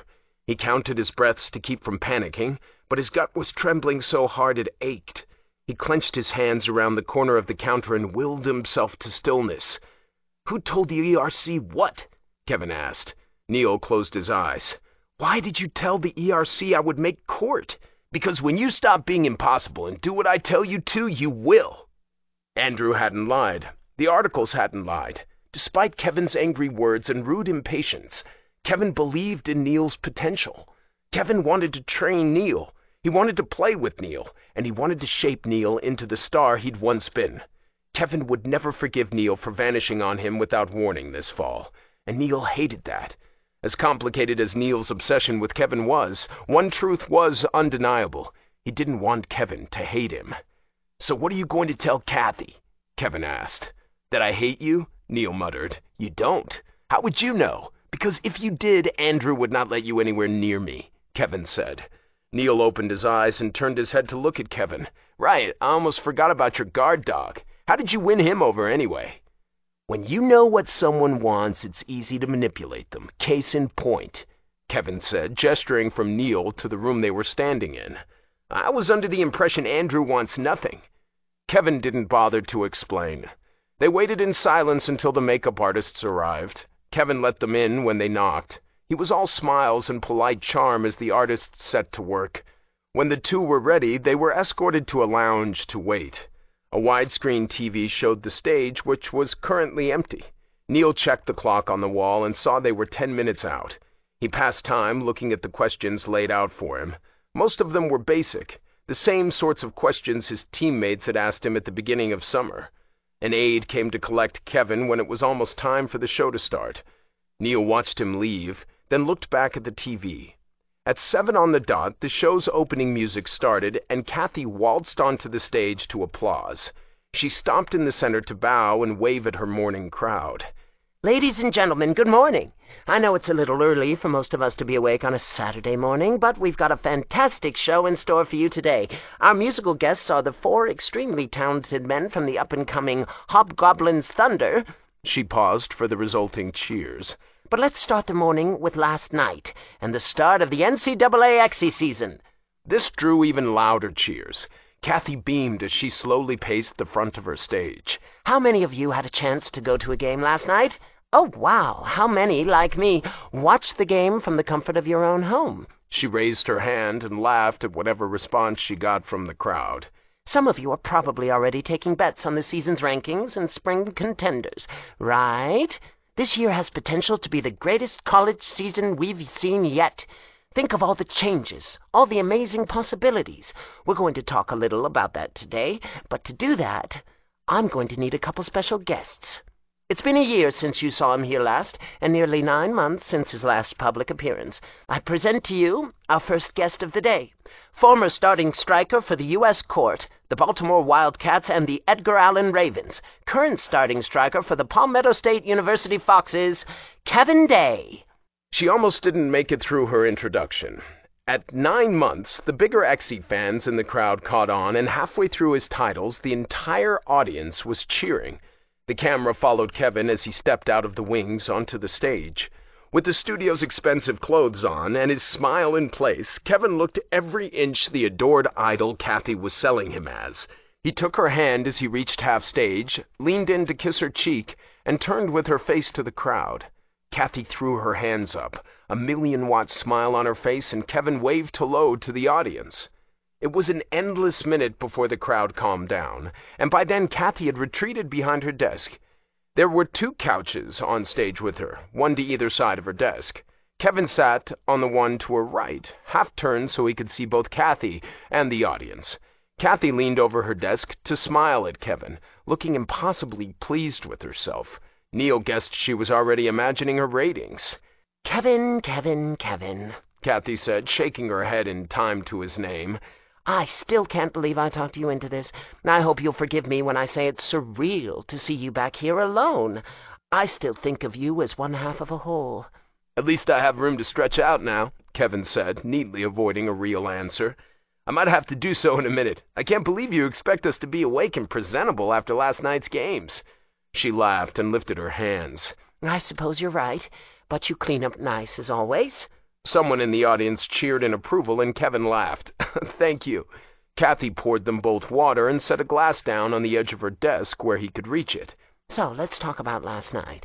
First, what it means that the NCAA season started and you're wearing orange. Please don't take offense to this, as I mean no slight against your new team. But why did you transfer to Palmetto State? I understand you came as an assistant coach, but once you knew you could play again, why sign with the Foxes? I'm sure you had choices. Why would you go from the top of the ladder to the bottom? Coach Wymack was friends with my mother. As I'm sure you know, she taught him how to play. Even after she died and Coach Moriyama took me in, Coach Wymack kept in touch with me. Kevin studied his left hand with a removed look on his face. Last December, I thought I would never play again. I was a wreck. Coach Wymack was the only one I could think of turning to, and he didn't disappoint me. He and his team took me in without hesitation. I enjoy working with them. Kathy reached across the desk and clasped his left hand. Kevin forced his gaze up from his scars to her face and smiled. Kathy smiled back at him and said, I admit I expected you to return to Edgar Allan this fall. Regardless of where you are, it's amazing to see you back in action. You deserve a round of applause for that. The audience was happy to oblige. Kathy squeezed Kevin's hand and let go. Kind of unfortunate that your first game back was against Breckenridge, isn't it? You took three points last night. Fifth year senior Seth Gordon bagged two, and your newest teammate scored two. Let's talk about Neil Josten for a moment, shall we? Of course. You really know how to upset things around here, don't you? Kathy said. What were you thinking, recruiting someone as fresh as Neil? Neil is exactly what the Foxes need right now, Kevin said. His inexperience is inconsequential. We went through a hundred files looking for a striker sub for this year, but Neil is the only one we approached after Janey. We knew as soon as we saw him we needed to sign him. We're just lucky we got there before anyone else did. You went to great lengths to get him, I hear, Kathy said. Refusing to even give the ERC his name, is that right? Our primary concern was keeping Neil safe, Kevin said. Spring was very difficult for Palmetto State. Announcing him as ours would put a target sign on his back. The ERC was initially hesitant to fly blind on him, but they eventually sided with us. You didn't think the ERC could keep his secret? Kevin didn't answer that immediately, likely figuring out the most tactful way to respond. Uh, let me put it this way. Three can keep a secret if two of them are dead. I mean no offense by that, but let's be honest. Sixteen people are assigned to the ERC, and one of them is the coach of a fiercely competitive team. Even gossip shared in confidence can get out and destroy a man's life. It was a lesson Kevin learned the hard way. Neil knew. ERC chatter led to Riko and Kevin's violent fallout. So much work and effort for a single player, Kathy said. I can't wait to see what you make of him. The lounge door opened and an aide leaned in to motion at Neil. One minute. It's time to move. Neil got up and followed the aide down the hall to the wings of the stage. A woman waiting for them had a radio link to Kathy's earbud. She looked Neil over, checking his appearance, and sent Kathy an okay. Why don't we all take another look at him? Kathy said. Let's see the man who replaced Riko Moriyama at Kevin's side. Introducing Neil Josten, the newest Palmetto Fox. Neil clenched his teeth, then forcibly relaxed his expression. The audience clapped in anticipation and Dan cheered his name. Neil buried his reservations deep and crossed the stage to Kathy's desk. She stood up to shake his hand, then motioned at the cushion beside Kevin. They sat at the same time. Kathy poured him water, and Kevin passed the glass to Neil. Isn't this an interesting picture? Kathy asked the audience. Kevin is paired again. She propped her chin on her hand and leaned over her desk to smile at Neil. I'm not exaggerating much when I say you're the talk of the nation, Neil. You're the amateur who caught a national champion's eye. This kind of thing should only happen in fairy tales, don't you think? How does it feel? Undeserved, Neil said. I gave Millport everything I had because I knew it was going to be my only chance. Kevin was the last person I expected to see in Arizona. Lucky for us he found you, Kathy said. You have a natural talent for the game. It's a pity you started so late. Imagine where you'd be today if you'd started a couple years ago. Maybe you would have been snatched up by Edgar Allan or USC, if Kevin's right about your potential. Why did you wait so long? Neil thought of his Little League team and lied through his teeth. I was never really interested in team sports before. I only tried out at Millport because I was new in town and thought it'd help me get to know people. I didn't mean for things to turn out this way. If it bothers you, I'll take your spot, Kathy said with a wink. I don't mind cozying up to Kevin. Would you really come between two strikers? Kevin asked. Is it possible? Kathy asked. It's no secret there was hostility between you and the Foxes strikers last year. Last night made it obvious there are still problems to work through with Seth. That doesn't seem to be the case with you two. Neil slid Kevin a sideways look, but Kevin didn't bother correcting her. Seth graduates in May, so there is less a chance or need to rehabilitate his style to mine. Neil, on the other hand, is just starting out. We have all the time in the world. Kathy pounced on that wording immediately. That implies you see this as a permanent gig. Do you really have no plans to return to Edgar Allan? Does it depend on how well you adjust to playing right-handed this season, or do you intend to graduate from Palmetto State regardless? Kevin's pause rang too loudly in Neil's ears. I would like to stay as long as Coach Wymack will have me. Neil flicked Kevin another look, not liking that vague response. Ah, the Ravens must be sad to hear that, Kathy said. I imagine Riko misses you. We will see each other again this fall. Indeed you will. They're in your district now, Kathy said. Why the major change? I don't presume to understand Coach Moriyama's motivations. You mean they didn't tell you? Kathy's surprise looked genuine. We are all very busy. It is difficult to keep in touch. Well then, Kathy recovered with a bright smile. Have I got a treat for you? Music blared from the speakers, a dark melody with heavy drums. The crowd jumped to its feet and started chanting in unison, King, King, King! Neil looked out at them, recognizing the music, but unable to place it, refusing to believe what the crowd was saying. He spotted the foxes easily, as they were the only unmoving bodies in the crowd. They sat blank-faced with shock. Neil looked back at Kevin's pale face. Movement in Neil's peripheral vision brought his attention back to the wings of the stage. The man who stepped onto the stage wore the same outfit Kevin did, save his version was black from head to toe. When he reached for Kathy's hand, his sleeve billowed around his arm like the wings of his school's raven mascot. The number one tattooed on his left cheekbone told everyone in the audience who'd just walked onto Kathy's stage. It had been nine months since Riko Moriyama and Kevin Day stood in the same room together. Nine months since Riko destroyed Kevin's hand, and now they were reunited on live television. The audience cheered their hearts out, delighted by Kathy's surprise, but they weren't quite loud enough to drown out Kevin's soft voice at Neil's side. The words sounded like a desperate prayer. Chapter 13 The self-proclaimed King of Exy kissed Kathy's cheek in greeting. Whatever Riko and Kathy said to each other was lost in the audience's racket, but Kathy was beaming when she leaned back. Riko took the last few steps to Kevin's couch alone and stood over him. He was smiling, but neither Kevin nor Neil was stupid enough to think he was happy. The only look in his eyes was murder. Any animosity Neil felt toward Kevin for forcing him onto this show evaporated. He couldn't be angry when Riko was here, not when Riko was to Kevin what Neil's father was to him. Petty anger had nothing on this full-fledged terror. Only after the crowd quieted down did Riko speak. Kevin, it's been so long. There was a scuffle and crash in the audience. Neil didn't want to take his eyes off Riko, but it was instinctive to look. Renee was sitting sideways in Andrew's lap, one foot braced against the ground to keep him from shoving her off. She had a hand over his mouth as they both stared up at the stage. Matt had one of Andrew's wrists in both hands. Wymack had the other. The looks on the Foxes' faces ranged from horror to fury. Riko moved, and Neil forgot about his team in favor of staring Rico down. Riko ignored him completely and held his hand out to Kevin in invitation.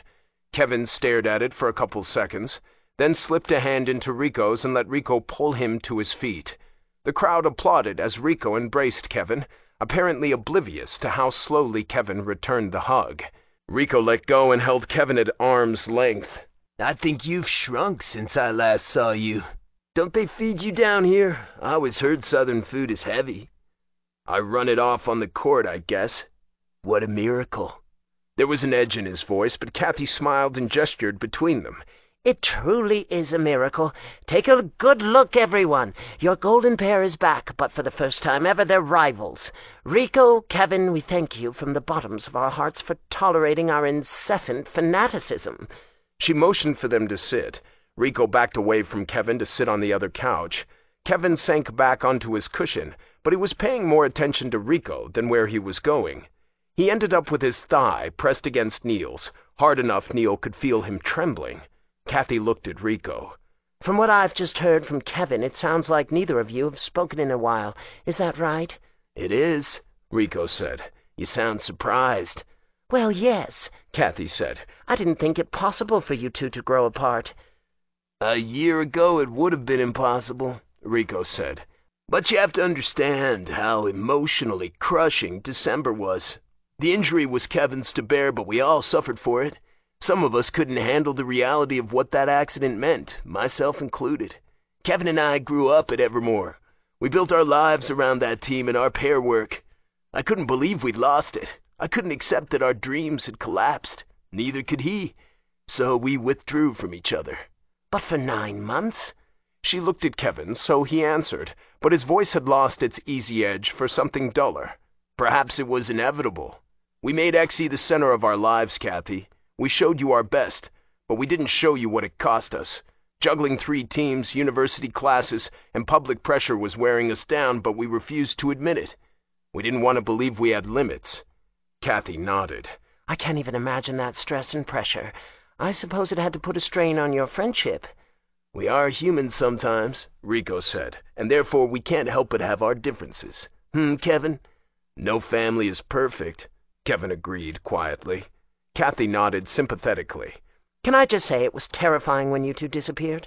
The last we heard, you two had gone skiing to celebrate the end of the semester, and then no one saw either of you in public for a month. I feared the worst, but I didn't realize what the worst really was until Coach Wymack made his announcement.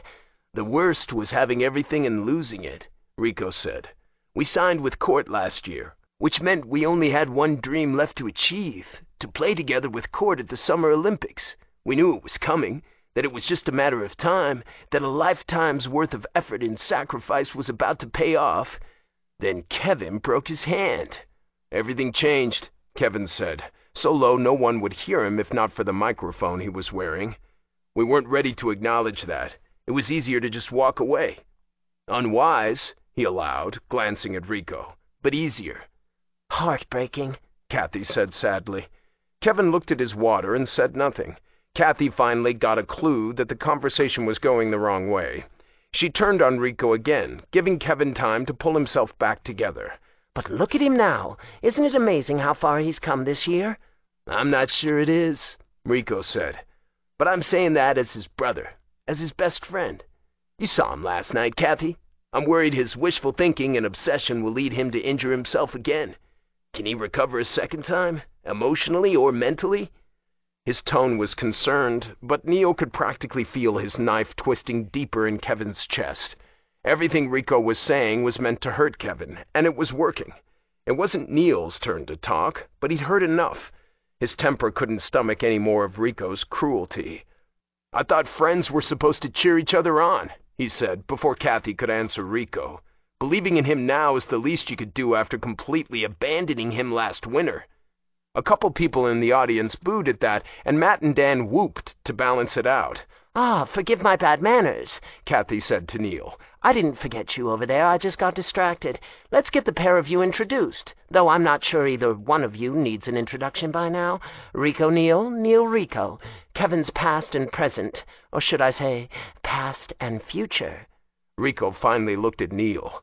To address that accusation of yours, mine and Kevin's relationship is unique and I do not expect you to understand it. Do not impress on us your petty ideas of friendship. Was unique, Neil said, and emphasized again, was. I'm pretty sure your relationship died when he couldn't keep up with your team anymore. Kevin chose to leave Edgar Allan, Riko said. We mourned his absence, but we're glad to hear he found a coaching position. But you're not happy that he's playing again, Neil said. Isn't that why you transferred to our district? You don't think Kevin should be on the court again, so you'll cut him off at the pass. You'll destroy his chance of making a comeback and make him watch as your team succeeds yet again. You're rubbing his face in everything he's lost, and from where I'm sitting, it looks like you're enjoying it. I will ask you only once to tone down that animosity. I can't, Neil said.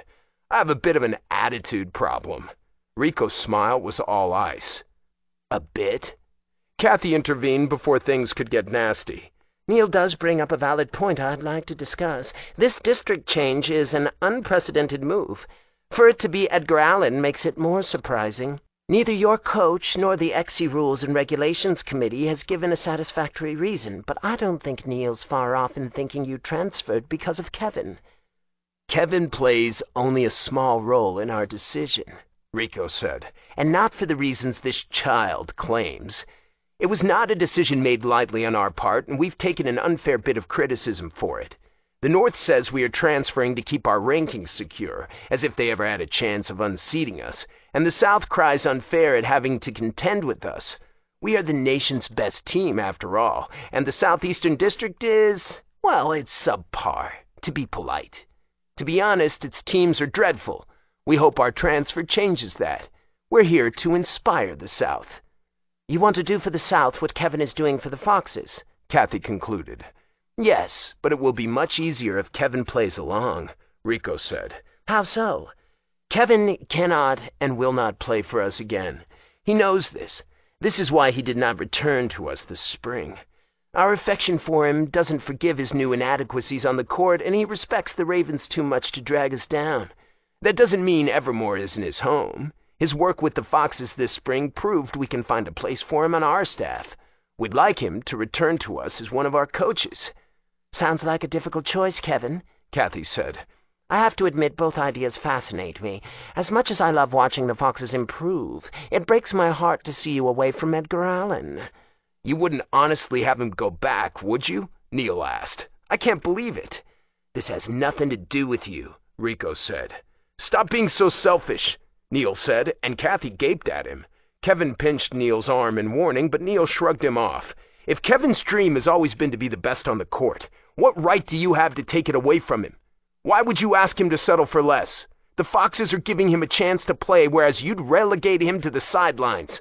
He has no reason to transfer back. Palmetto State is a waste of his talents. Not as much as Edgar Allan was, Neil said.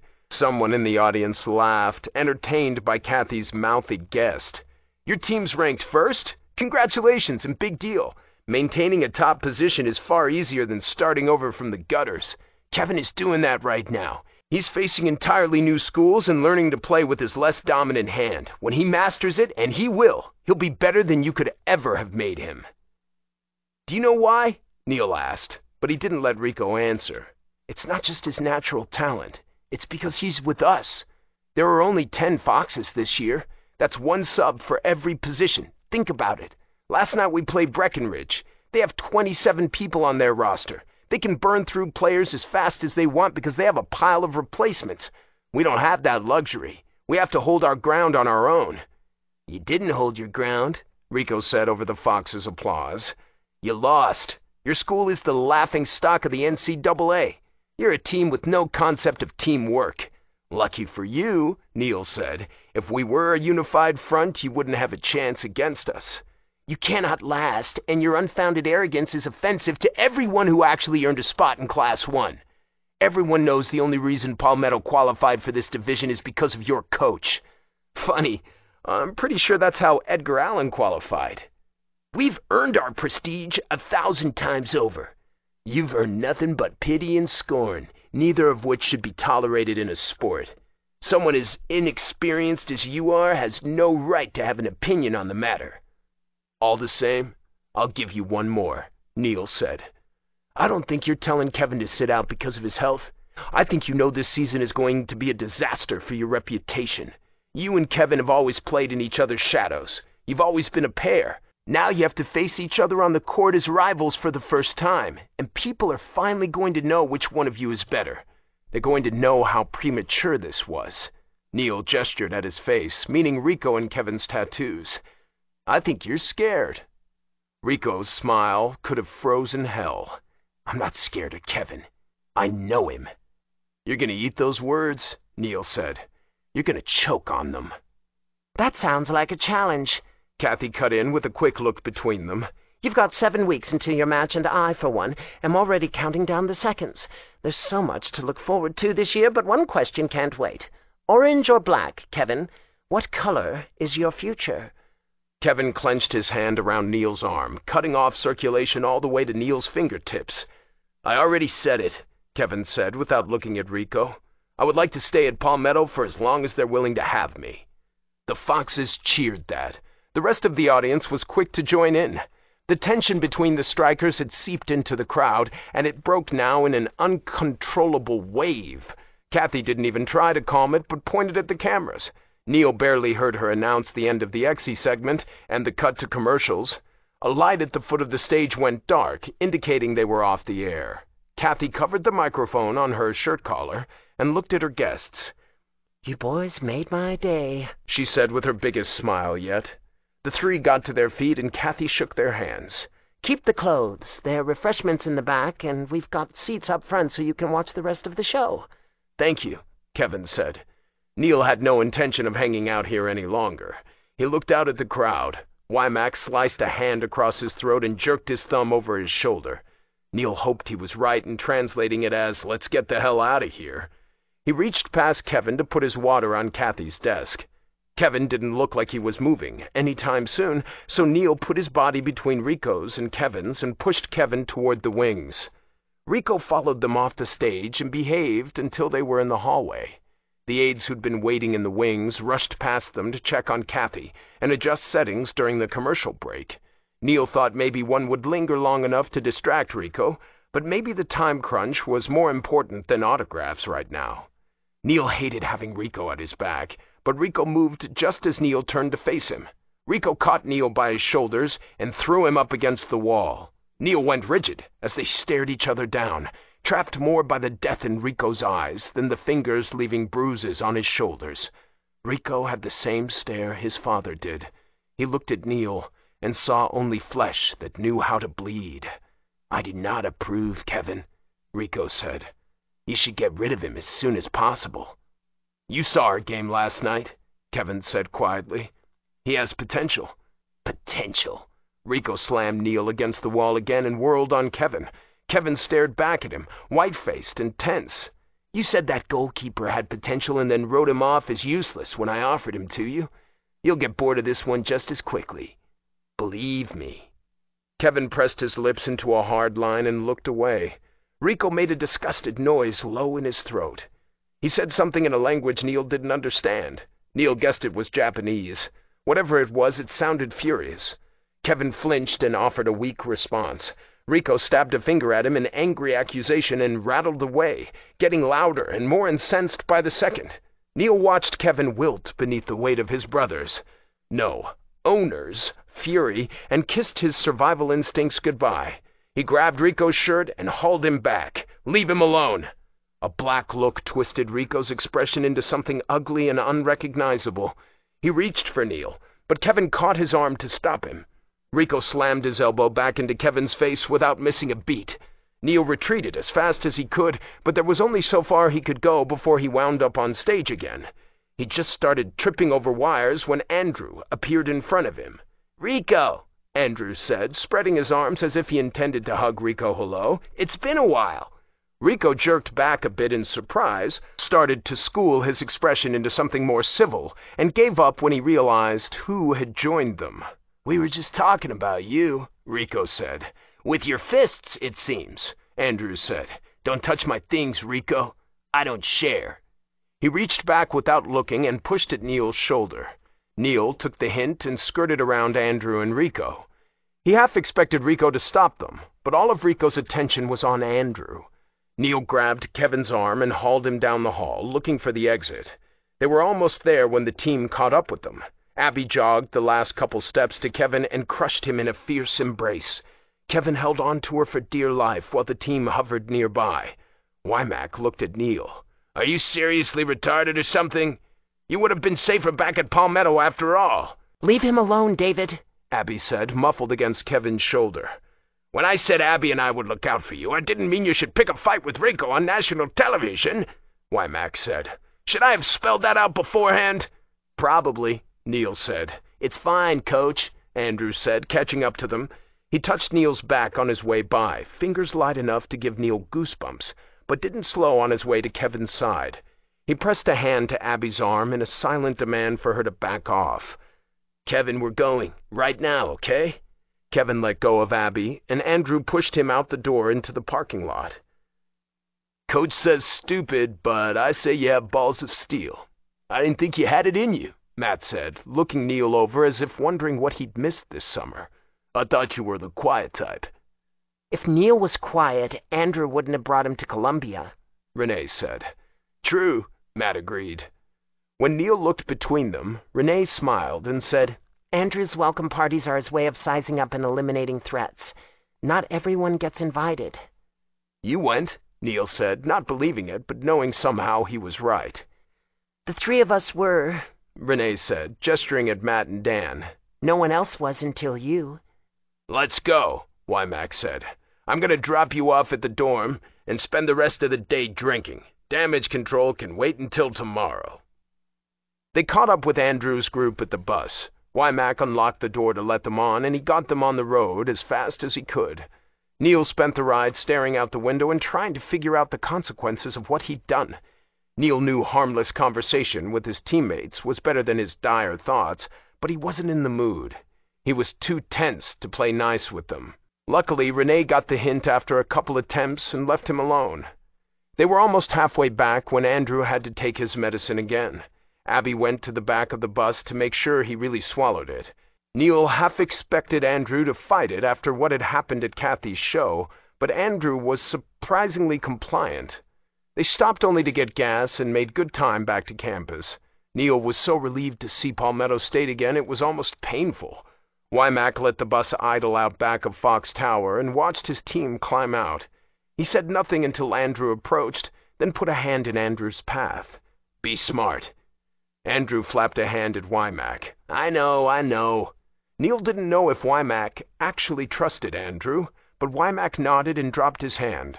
Andrew took the stairs down and didn't slow on his way to the dorm. Wymack didn't leave until they were all inside. They took the stairs to the third floor, and Dan stopped outside Andrew's room. Hey, Dan said as Andrew unlocked his door. Let's have lunch together as a team. We don't have to talk about this morning if you don't want to. Andrew pretended to think about it. No. He opened the door and stepped out of the way to send Kevin a pointed look. Kevin started into the room. Don't worry, Kevin, Dan said.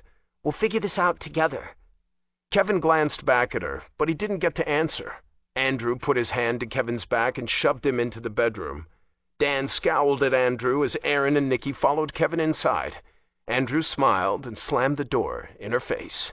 Asshole, Matt said. They're upset, Renee said. They couldn't help him today. They didn't have to, Matt said. Neil did it for them. They went to the men's suite and found Seth and Allison tangled together on the couch. They were watching a movie, dressed, but just barely.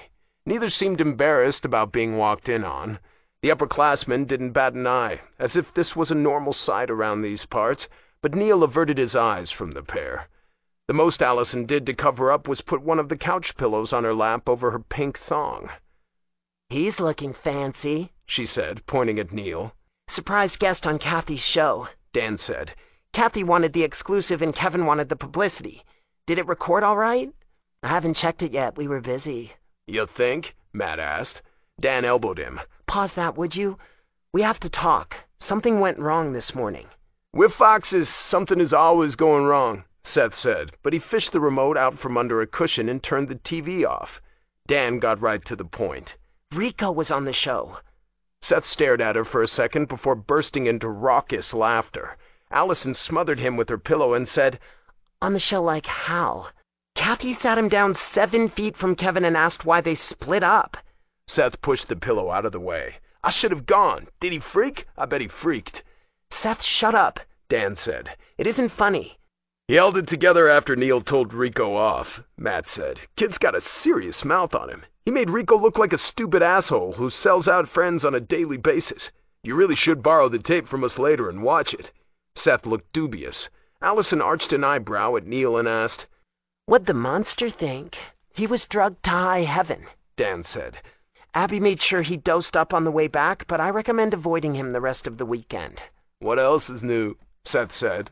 Renee let the silence settle between them for a minute. When it seemed the serious part of the conversation was over, she said, Is anyone else interested in lunch? I'm starving. They ordered a couple pizzas to be delivered to the room. Allison and Seth dressed while they waited, and then Neil took over the bedroom to change out of Kathy's clothes. He buried them at the bottom of the dresser beneath his more practical outfits and tugged on worn jeans and an oversized tee. He and his teammates wasted a few hours with food in a movie. Afterward, talk turned to the season, but the upperclassmen seemed as happy to talk about the Ravens as Neil was to think about them. Allison tolerated the moping for only a minute before distracting them with talk of the banquet. We should go shopping tomorrow, Allison said. I'm going to need time to find the perfect dress. You, she pointed between Matt and Seth, are in charge of getting Neil something real to wear. I've seen everything he owns. I don't trust him to choose something appropriate.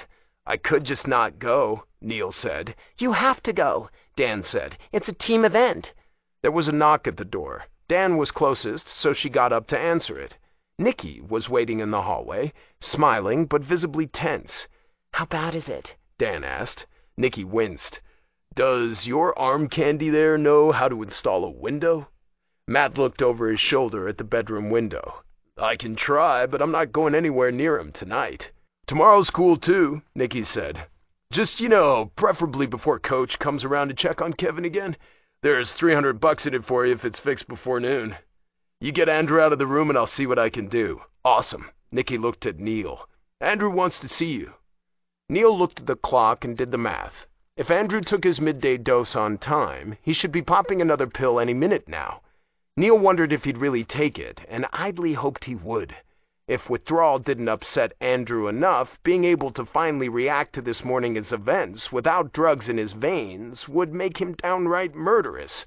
Neil wouldn't want to be Kevin tonight. He got up and followed Nicky down the hall to Andrew's suite. He hadn't been in their room since he'd come to yell at them for breaking into his things, and they were pretty good about keeping their door shut, so it was weird to step inside again. He spotted Kevin first, curled up on one of the oversized beanbag chairs facing away from the door. Aaron was washing dishes in the kitchen and didn't look up as they went by. Nicky pointed down the hall and went to sit with Kevin. Neil went alone into the dark bedroom and closed the door behind him. The cousins had pushed two of their dressers against the wall under the window. Andrew sat on top of them, leaning forward so he could fold his arms across his knees. Neil smelled blood and looked past Andrew at the window. Andrew had taken the screen off in the main room so he could smoke, but this window still had one. It was probably all that saved his hand when he punched a hole in the glass. Andrew wasn't looking at him, but at the bloody hand dangling between his knees. He flexed his fingers occasionally, as if checking the extent of the damage he'd wrought. You could have destroyed your hand with a stunt like that, Neil said. Andrew laughed. Oh my, where would I be then? Off the team, Neil said. Where would Kevin be then? Andrew didn't answer. Neil crossed the room to stand in front of him. Andrew didn't look up, but he smiled wide enough to show Neil his teeth. Oh, Neil, as unpredictable as he is unreal, Andrew said. The last time we spoke, you were afraid Riko would notice you. Either you lied to me or you changed your mind. I do hope it's the latter, because I hate being lied to. I didn't change my mind, Neil said, but I didn't have a choice. There's always a choice. I had to say something. And what a thing to say! You took a swing at Riko on live TV. He's not going to take that sitting down, you know. How's that target on your back feel? Familiar, Neil said. Andrew sat up and slumped back against the screen. Neil glanced down at Andrew's hand as it slid into Andrew's lap, but he couldn't see the actual cuts past Andrew's drying, smeared blood. Give him a couple days and he'll know everything about you, Andrew said. When Neil looked him in the eye again, Andrew smiled. Money greases the wheels in the world easier than blood does, and Riko has access to both. He'll look for a way to get back at you, and it won't take him long to see how cold your trail is. How long do you think it'll take someone with his connections to figure out the truth? Neil was light-headed with nausea. Shut up! What will you do when he finds out? Run? You know I will. I know, Andrew agreed. I can see it. You've got that look in your eye that says you know where every exit to this dormitory is. Neil turned away, but Andrew was faster. He rocked forward and grabbed Neil's collar, dragging him to a halt before he could leave. He left sticky blood on the back of Neil's neck from his messy fingers. Neil reached back and tried to pry him off, but Andrew refused to let go. Hey, Neil, Neil, listen. Running won't save you this time. Let go of me. Don't you understand? Running was only an option when no one was looking. You knew that back in June. It's why you wanted to leave before October. You could have left before Riko knew you existed. You should have left before you insulted him in front of all of his adoring fans. Now you can't go. Riko wants to know who defied him, and he'll get his answers. You can't outrun your past anymore. I have to try, Neil said. Andrew hummed a little in mock disapproval. Hmm. Have to nothing. There you go again, thinking there's only one choice. I thought you didn't want to leave. I don't want to, Neil said. What would it take to make you stay? The question was so unexpected Neil had to turn back. What? Andrew laughed quietly at his shock and leaned forward. Name it and it's yours. It doesn't matter what it is so long as you stand your ground here with us. I can't. You can. You have everything you need to survive. You're just too afraid to see it. I don't understand. Andrew sighed as if Neil was being difficult on purpose. Riko will find out the truth, but he can't tell his brother. For starters, Riko and Ichirou aren't allowed to associate with each other, seeing how they belong to separate branches. More importantly, Coach Moriyama won't let him. This year is about Kevin and Riko, see? He won't want news about you getting out and distracting people from their showdown. They're free to make your life a living hell, and they'll try to use the truth against you, but they can't sell you out yet. Use that time to narrow the angles they can get at you. Kevin wants to make you a star, so let him. Take what he is giving you and make it your shield. It's hard to kill a man when everyone's eyes are on him. Make them love you. Make them hate you. I don't care. Just make them look at you. You have one year to figure it out, Andrew said, putting a finger in Neil's face. For one year, I'll stand between you and the Moriyamas if you stand at Kevin's side. Next year, your life is your problem again.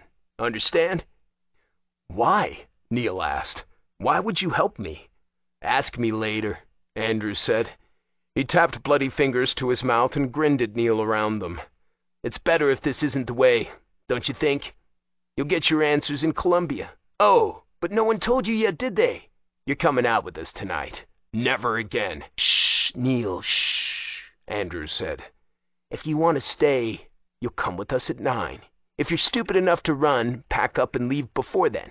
That's three hours almost, for you to make up your mind. Aren't I generous? That's not enough time. I doubt you're a stranger to snap judgments when it comes to saving your skin. You gave your game to Kevin. Give your back to me. Andrew dug his medicine out of his pocket and shook a pill onto the dresser. He snapped the lid on, tossed the bottle to the corner of the room, and plucked the pill up with his bloody fingers. He held it up where he could see it, turning it this way and that like he'd never seen it before, and finally pushed it between his lips. He dropped his hand to his lap as he swallowed and bared his teeth at Neil in a fierce grin. Tick-tock, says the clock. Get out of my room. Neil left as fast as he could, but he only made it as far as the hallway. As soon as he shut the door behind him, his legs locked, and he grabbed desperately at the wall. A spike of panic wrenched his stomach into his throat. He dug the side of his hand into his mouth so hard he tasted blood.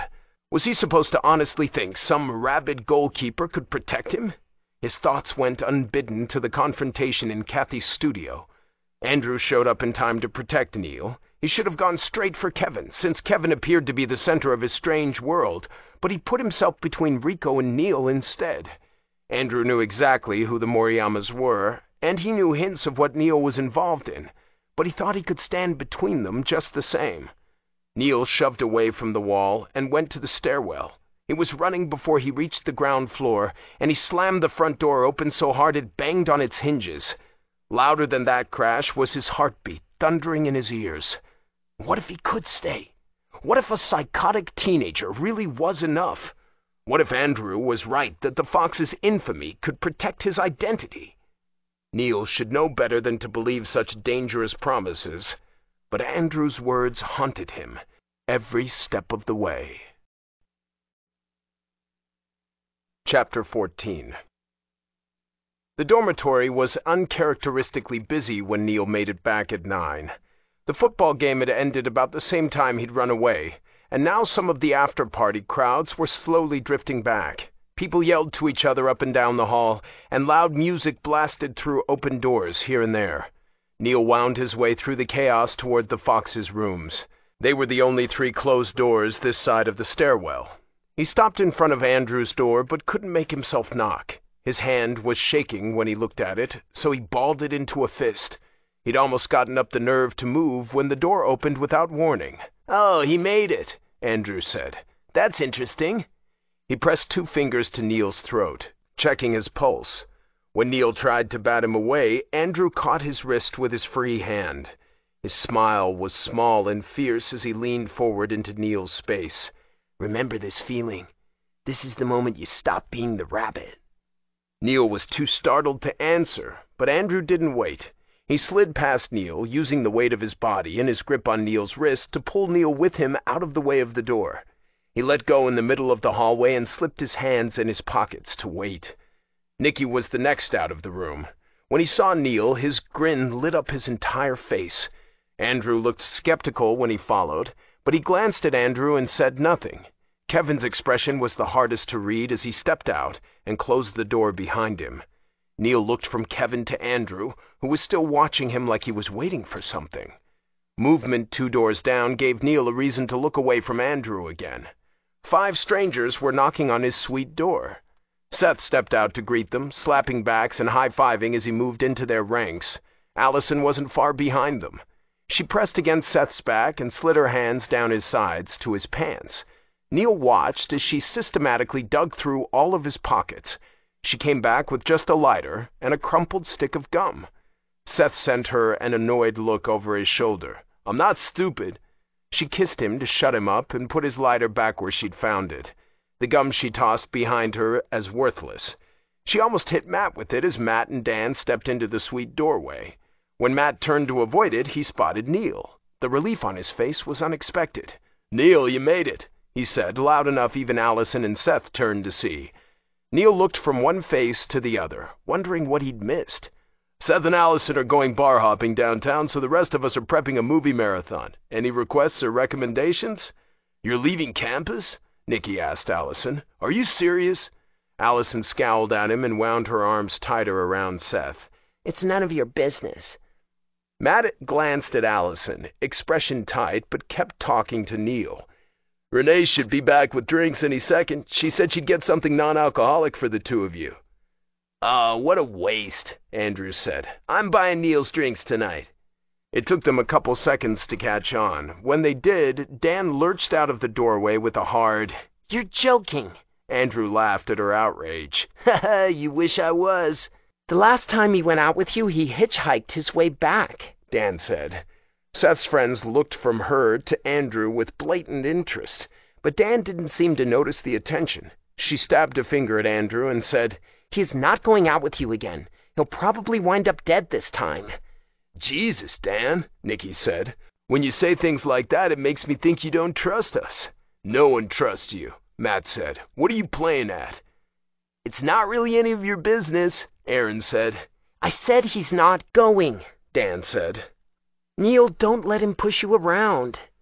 Andrew nudged Neil with his elbow and said in German, Hey, Neil, isn't that amazing? Isn't that touching? Look how they weep over you. Ah, such misplaced concern. Tell them you can take care of yourself. Andrew was daring him to cross a line, to give up a little more of the lie that was Neil Josten. It went against everything Neil knew to give in, but he'd chosen this path.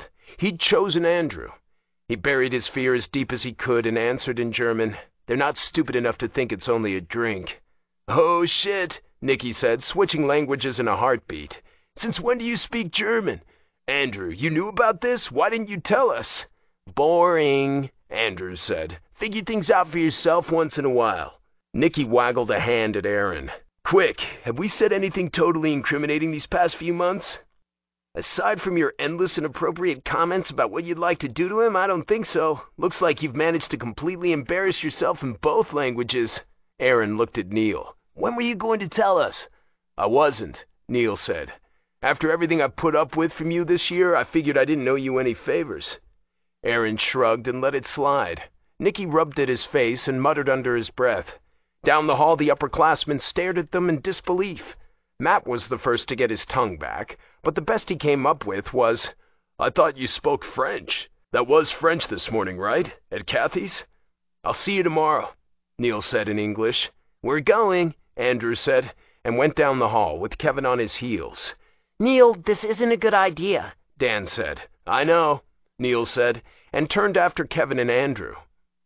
Aaron and Nicky fell in behind him. They went down the stairs as a small procession, a line of black with Neil the sore thumb in the middle. He ended up in the same seat as last time, tucked between the brothers in back. He'd just buckled when Nicky reached back and dropped a bag in his lap.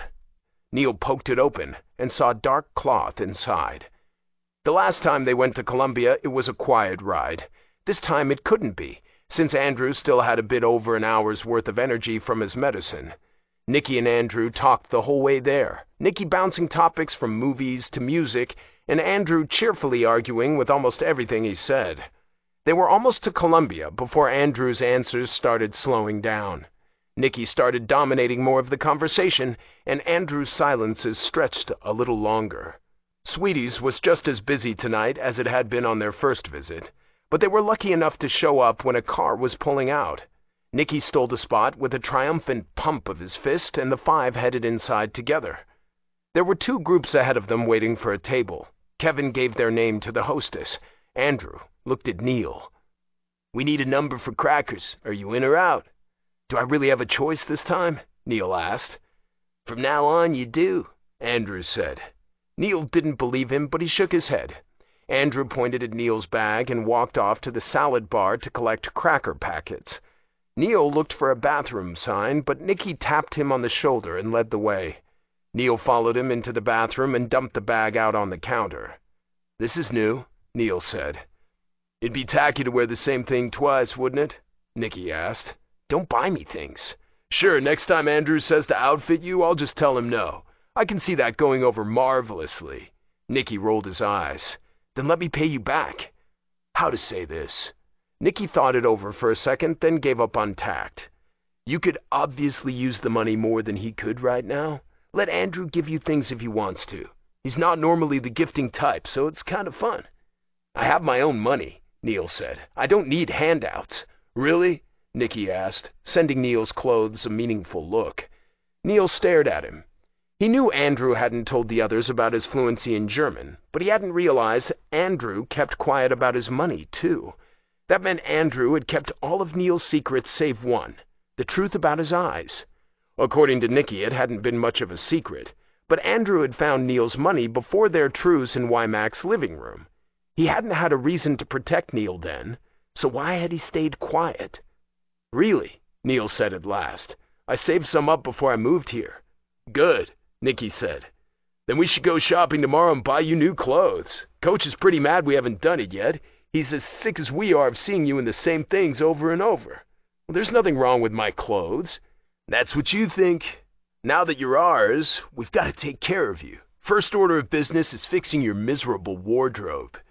Nicky's grin faded a bit at the look on Neil's face. Okay, no, what's with the blank stare? You do know what you're doing out with us tonight, right? Andrew squeezed some sort of explanation into his usual crazy nonsense. Sort of, Neil said. He said he'd have answers for me later. Oh, you've got to be kidding me. Nicky looked pained. This means Andrew is keeping you, same as he kept Kevin. It means you're part of the family now. I don't believe in family. Who does these days? It was a strange thing for Nicky to say, considering he had cousins on the team. Judging by his heavy sigh, Nicky had no problems interpreting Neil's expression. Nicky made air quotes with his fingers. As soon as he spoke, Neil knew whose words he was echoing, but Neil doubted Andrew sounded so tired when he first said it. Being related doesn't make us family. Nicky stuffed his hands in his pockets and turned a pensive look on his reflection. I know why Andrew feels that way. And I understand why he and Aaron can't stand each other, but I'm not willing to give up on them yet. I want to fix this and show them they're wrong. Do they hate each other? Neil asked, surprised. He searched his memories for signs of trouble between the twins and came back with nothing.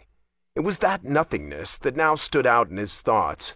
Andrew and Aaron didn't fight, but they didn't really interact either. He'd only seen them speak to each other a couple times. He'd never even seen them sit side by side. Someone always sat or stood between them. Aaron wasn't even allowed to drive Andrew's car. I wouldn't say they hate each other, but they've got some pretty serious issues. Wouldn't you if you were them? Nicky asked. Family means something different with us because it has to. It's not about blood. It's not even about who we like. It's about who Andrew's willing to protect. Neil's stomach twisted with another chilly what if. And he's including me because of this morning? Partly, Nicky said but partly because you're the reason Kevin's going to stay with our team. Andrew's got Kevin's back, but you've got Kevin's attention. You're as freakishly obsessed with Exy as he is. That makes you invaluable to Andrew. Neil weighed that in silence, then finally gathered his clothes and turned to a stall. Nicky touched his shoulder before he could step away from the sink. Look, I know we screwed up last time. Please believe me when I say Andrew was just looking out for the rest of us. He didn't want to take any chances. But things are different now. You're one of us, which means we'll never push you further than you're willing to go. Okay? I guess we'll see. Neil locked himself in the stall and changed. Nicky's stare was appreciative when Neil returned, but for once he kept his mouth shut. Neil started for the door, then doubled back to the sink. He pulled out his contacts and flicked them into the trash. When he looked up at the mirror, bright blue eyes stared back. Neil couldn't be himself, but maybe he could be the Neil he'd given Andrew in Wymack's living room. The others were already seated by the time they made it out of the bathroom. A waitress finished jotting down their orders and stepped out of the way to let Neil and Nicky sit. Nicky went first, graciously leaving the outside seat for Neil. Aaron arched an eyebrow at Nicky. Drown in the toilet? Even quickies take time, you know, Nicky said. Don't make me sick. You know, if you'd get around to popping Katelyn one, you wouldn't be so anal. Nicky ducked when Aaron threw a wadded-up napkin at him. It's true. You are bringing her to the banquet, aren't you? I haven't asked her yet. I think Andrew should ask her and see if she can tell the difference. Andrew's smile was slow. Okay. You aren't funny, Aaron said to Nicky. Shut up. They ate in silence when their ice cream showed up. The money Aaron left on the table was too much for just dessert, so Neil assumed they'd gotten their drugs. The line outside Eden's Twilight was half the size as it was last time. Nicky blamed it on South Carolina's blue laws. Apparently, alcohol sales were prohibited on Sunday, which meant the bars had to stop serving it at midnight Saturday. The group only had an hour and a half to drink, but Nicky promised there was a stash at the house. But whose house is it? Neil asked. Technically it's mine, but I consider it ours. Nicky waved to include the entire group in that. I left Germany so I could be Aaron and Andrew's guardian, did you know? It was me or my super religious parents, and I figured I had a better chance of surviving Andrew. I bought that house so we'd have a place to stay. Dad co-signed it, but Erik helped fund it. I use my monthly stipend to make payments on the mortgage. If you have a house, why did you stay with Abby this summer? Because Andrew didn't feel like driving Kevin back and forth to the upstate for practice every day, Nicky said. He pulled up to the curb, outside Eden's twilight, long enough to collect a VIP parking pass. The others went inside while he went down the street to the garage. It was easier to get a table tonight thanks to the shortened hours, but the club was still more crowded than Neil was comfortable with. Andrew left Aaron and Kevin to guard their seats and brought Neil with him to get their drinks. Roland was the bartender on duty again. Judging by the look on his face, he remembered Neil and couldn't believe he'd returned. He said no, Andrews said. Keep them clean. Neil was half sure this was just a show, but Roland passed him an empty cup and a sealed can of soda. Neil checked the glass for residue as soon as Roland went to mix the others' drinks. Paranoid? Andrews said. If you're such a control freak, you shouldn't be drinking either. I know what my limits are, Andrews said. I'm not going to test them. And dust? Too much crazy in this system for dust to make a difference, I guess. We got into dust for Aaron's sake. He needed something safe to get on when he was coming off everything his mother gave him. Andrew gestured between their faces. Do you remember this game? We're doing the honesty thing again, at least until I grow bored of it. In a moment, you're going to be perfectly honest with me and tell me what I have to do to keep you here. Here's some honesty, Neil said. I don't like you, and I don't trust you. It's mutual, Andrew said. That doesn't change anything. Nicky says you're only keeping me here because of Kevin, Neil said. What happens if Kevin gets bored of me? Keep his interest, Andrews said, and it wasn't really a suggestion. Neil gazed at him in silence, wondering how stupid and desperate he must be to put his trust in someone like Andrew. Can you protect me from my past? Your father's boss? Andrew guessed. The truth burned Neil's tongue, sharp and sour like fresh blood. He swallowed it and said, Yes. Word got around that the Moriyamas didn't trust his people anymore, and his business never really recovered. He's been after me ever since. He was arrested on some small charges a while back, but he won't be in jail forever. You said the Moriyamas can't touch me this year because of Kevin, but he won't stop. If he finds me, he'll kill me. What a mess. Andrew sounded unsympathetic. Easy enough to take care of, though. A group of people shouldered their way up to the bar counter at Neil's back, pushing him into Andrew. Andrew didn't budge beneath his weight. He was something solid to lean against, something violent and fierce and unmoving. Neil couldn't remember what it felt like to have someone hold him up. It was terrifying and liberating all at once. His life was out of his control now. He was giving it to Andrew, and hoping Andrew would keep it safe. Roland returned with a tray of drinks. Andrew took it and motioned for Neil to go ahead of him and lifted the tray over his head. He'd just finished unloading drinks onto their tabletop when Nicky showed up. Neil thought he'd seen them drink fast last time. It had nothing on tonight when they were racing the clock to midnight.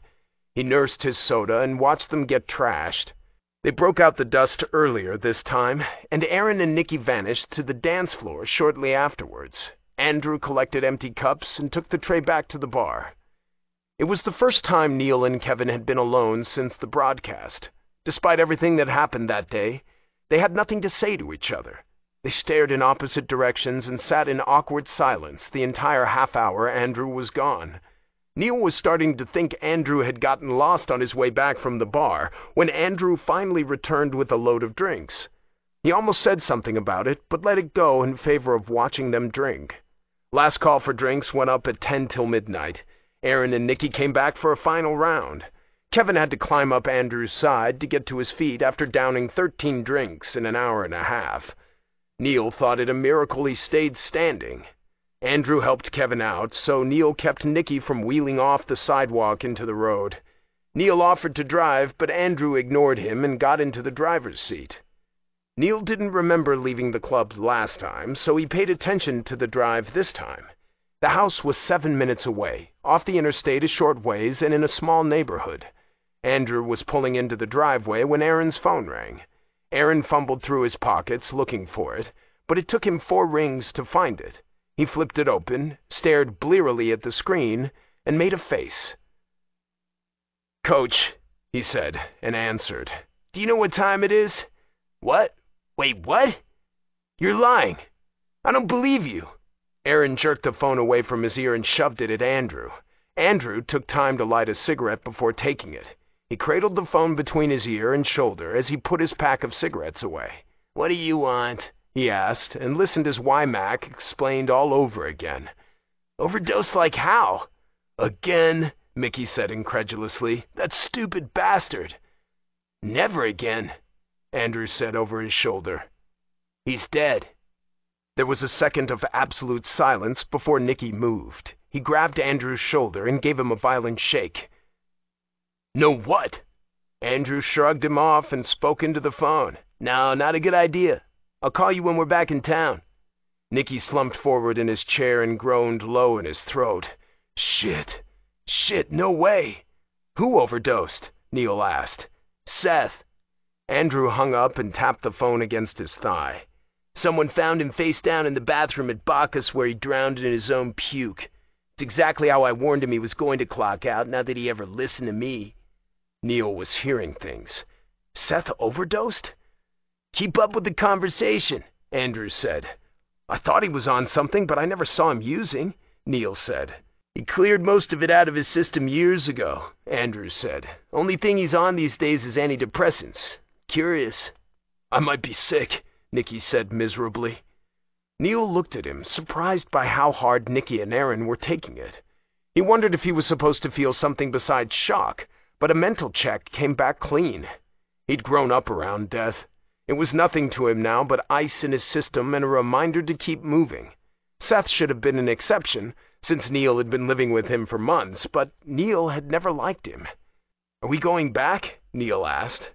When they're all drunk and cracker high and I'm off my meds, I'll be back in jail before you can say threat to society. We'll wait until morning. Andrew got out of the car, but no one else moved. What about the lineup? Kevin asked. Nicky winced. Kevin, the man is dead, like permanently. It's not a major loss, Kevin said. Nicky got out of the car and paced the driveway with his hands linked behind his neck. Neil looked from Aaron to Kevin, and then slid out Nicky's open door. Andrew was fiddling with his keychain on the front porch when Neil caught up with him. Andrew finished whatever he was doing, transferred the keychain to one hand, and pointed his cigarette at Neil's face. That's interesting, he said. That apathy doesn't bode well for your sanity. I don't understand suicide, Neil said. Staying alive has always been so important, I can't imagine actively trying to die. He wasn't, Andrew said, like Neil was being stupid. He unlocked the door, but didn't bother with the lights when he went in. Neil followed him into the dark hallway and left the door open behind him for the others. He wanted a way out for a little while, a few hours where he didn't have to think or feel. Problem was he picked an out that's easy to die on. That's his fault. Is that why you drink? Neil asked. You don't want to feel? Andrew turned to face him. Neil wasn't expecting it and almost ran into him. Andrew dug his fingertip into the hollow of Neil's throat in warning. This close, Neil could smell the alcohol and cigarettes on him. It made him think of his mother burning to ashes on the beach. He reached out without thinking and took Andrew's cigarette away. For some reason, Andrew let him keep it. I don't feel for anyone or anything, Andrew said. Don't forget that. So Kevin's just a hobby for you? Seth didn't kill himself. He couldn't have. What do you mean? Seth only takes his pills when he and Allison are on the outs, Andrew said. When they're together, she's enough to hold him up. She went with him tonight, so she would have made sure he left his pills at home. She knows he likes chasing them with drinks. Neil remembered watching her dig through Seth's pockets. She checked him. I saw her. So did I, Andrew said. If he didn't have his pills on him, how did he overdose? Not by choice, Andrew said. My theory says Riko won this round. Neil stared at him. You don't really think Riko did this? I think the timing's too convenient for it to be an accident, Andrew said. Riko broke Kevin's hand for being better. He crossed districts because Kevin picked up a racket and got back on the court. What do you think he's willing to do to you for calling him useless on national TV? You said our greatest strength is our small size. How strong do you feel now that you've been bumped to our starting line? You think you and Kevin are ready to carry us to championships? And you called me paranoid, Neil said quietly. They were supposed to stay on campus tonight, Andrew said. Renee stopped by after you left and asked how soon we could expect Riko to respond. Kevin said we would hear back tonight. Pity you didn't see the busybodies panic when they realized you weren't at the dorm anymore. I told them you'd be back at nine, so they built their plans around you. Neil remembered how relieved Matt looked to see him in the hallway. More than that, he remembered Nicky's incredulity that Allison and Seth were leaving. Nicky rarely paid attention to the two, and he shouldn't have cared that they were socializing. He reacted because they were deviating from the plan. I don't believe you, Neil said. I can't prove it, but I know I'm right. If you are, then what? Neil asked. I'm willing to gamble with my life. I won't gamble with theirs. They don't deserve that. You don't have to, Andrews said. I do, and I say the odds are good. The Foxes are famous for having terrible seasons, but even bad luck only goes so far. One death is a believable tragedy. Two brings us below the bare minimum number of requisite players to compete. Coach Moriyama wants Kevin and Riko to face off on court, so Riko can't risk disqualifying us. Neil said nothing. Andrew hooked his fingers in the collar of Neil's shirt and tugged just enough for Neil to feel it. I know what I'm doing, I knew what I was agreeing to when I took Kevin's side. I knew what it could cost us and how far I'd have to go. You understand? You aren't going anywhere. You're staying here. Andrew didn't let go until Neil nodded, and then he reached for Neil's hand. He took his cigarette back, put it between his lips, and pressed a warm key into Neil's empty palm. Neil lifted his hand to look at it. The hardware logo engraved in it meant it was a copy. To what, Neil didn't know, but it only took him a moment to figure it out. Andrew used this key to unlock the front door and then took it off the ring on the porch. Now he was giving it to Neil. Get some sleep, Andrew said. We're going home tomorrow. We'll figure this out then. Andrew went around Neil to the front door. He had no sympathy or comfort for his family as they grieved Seth's unexpected death, but he would keep watch on them from the doorway until they were okay again. It was harder than it should have been for Neil to look away from him, but he finally set off down the hall. He passed the den, then backtracked and curled up in one of the recliners. Despite Andrew's promises and confidence, chances were good Neil was going to leave Palmetto State in a casket before spring. Neil thought he would be okay with it.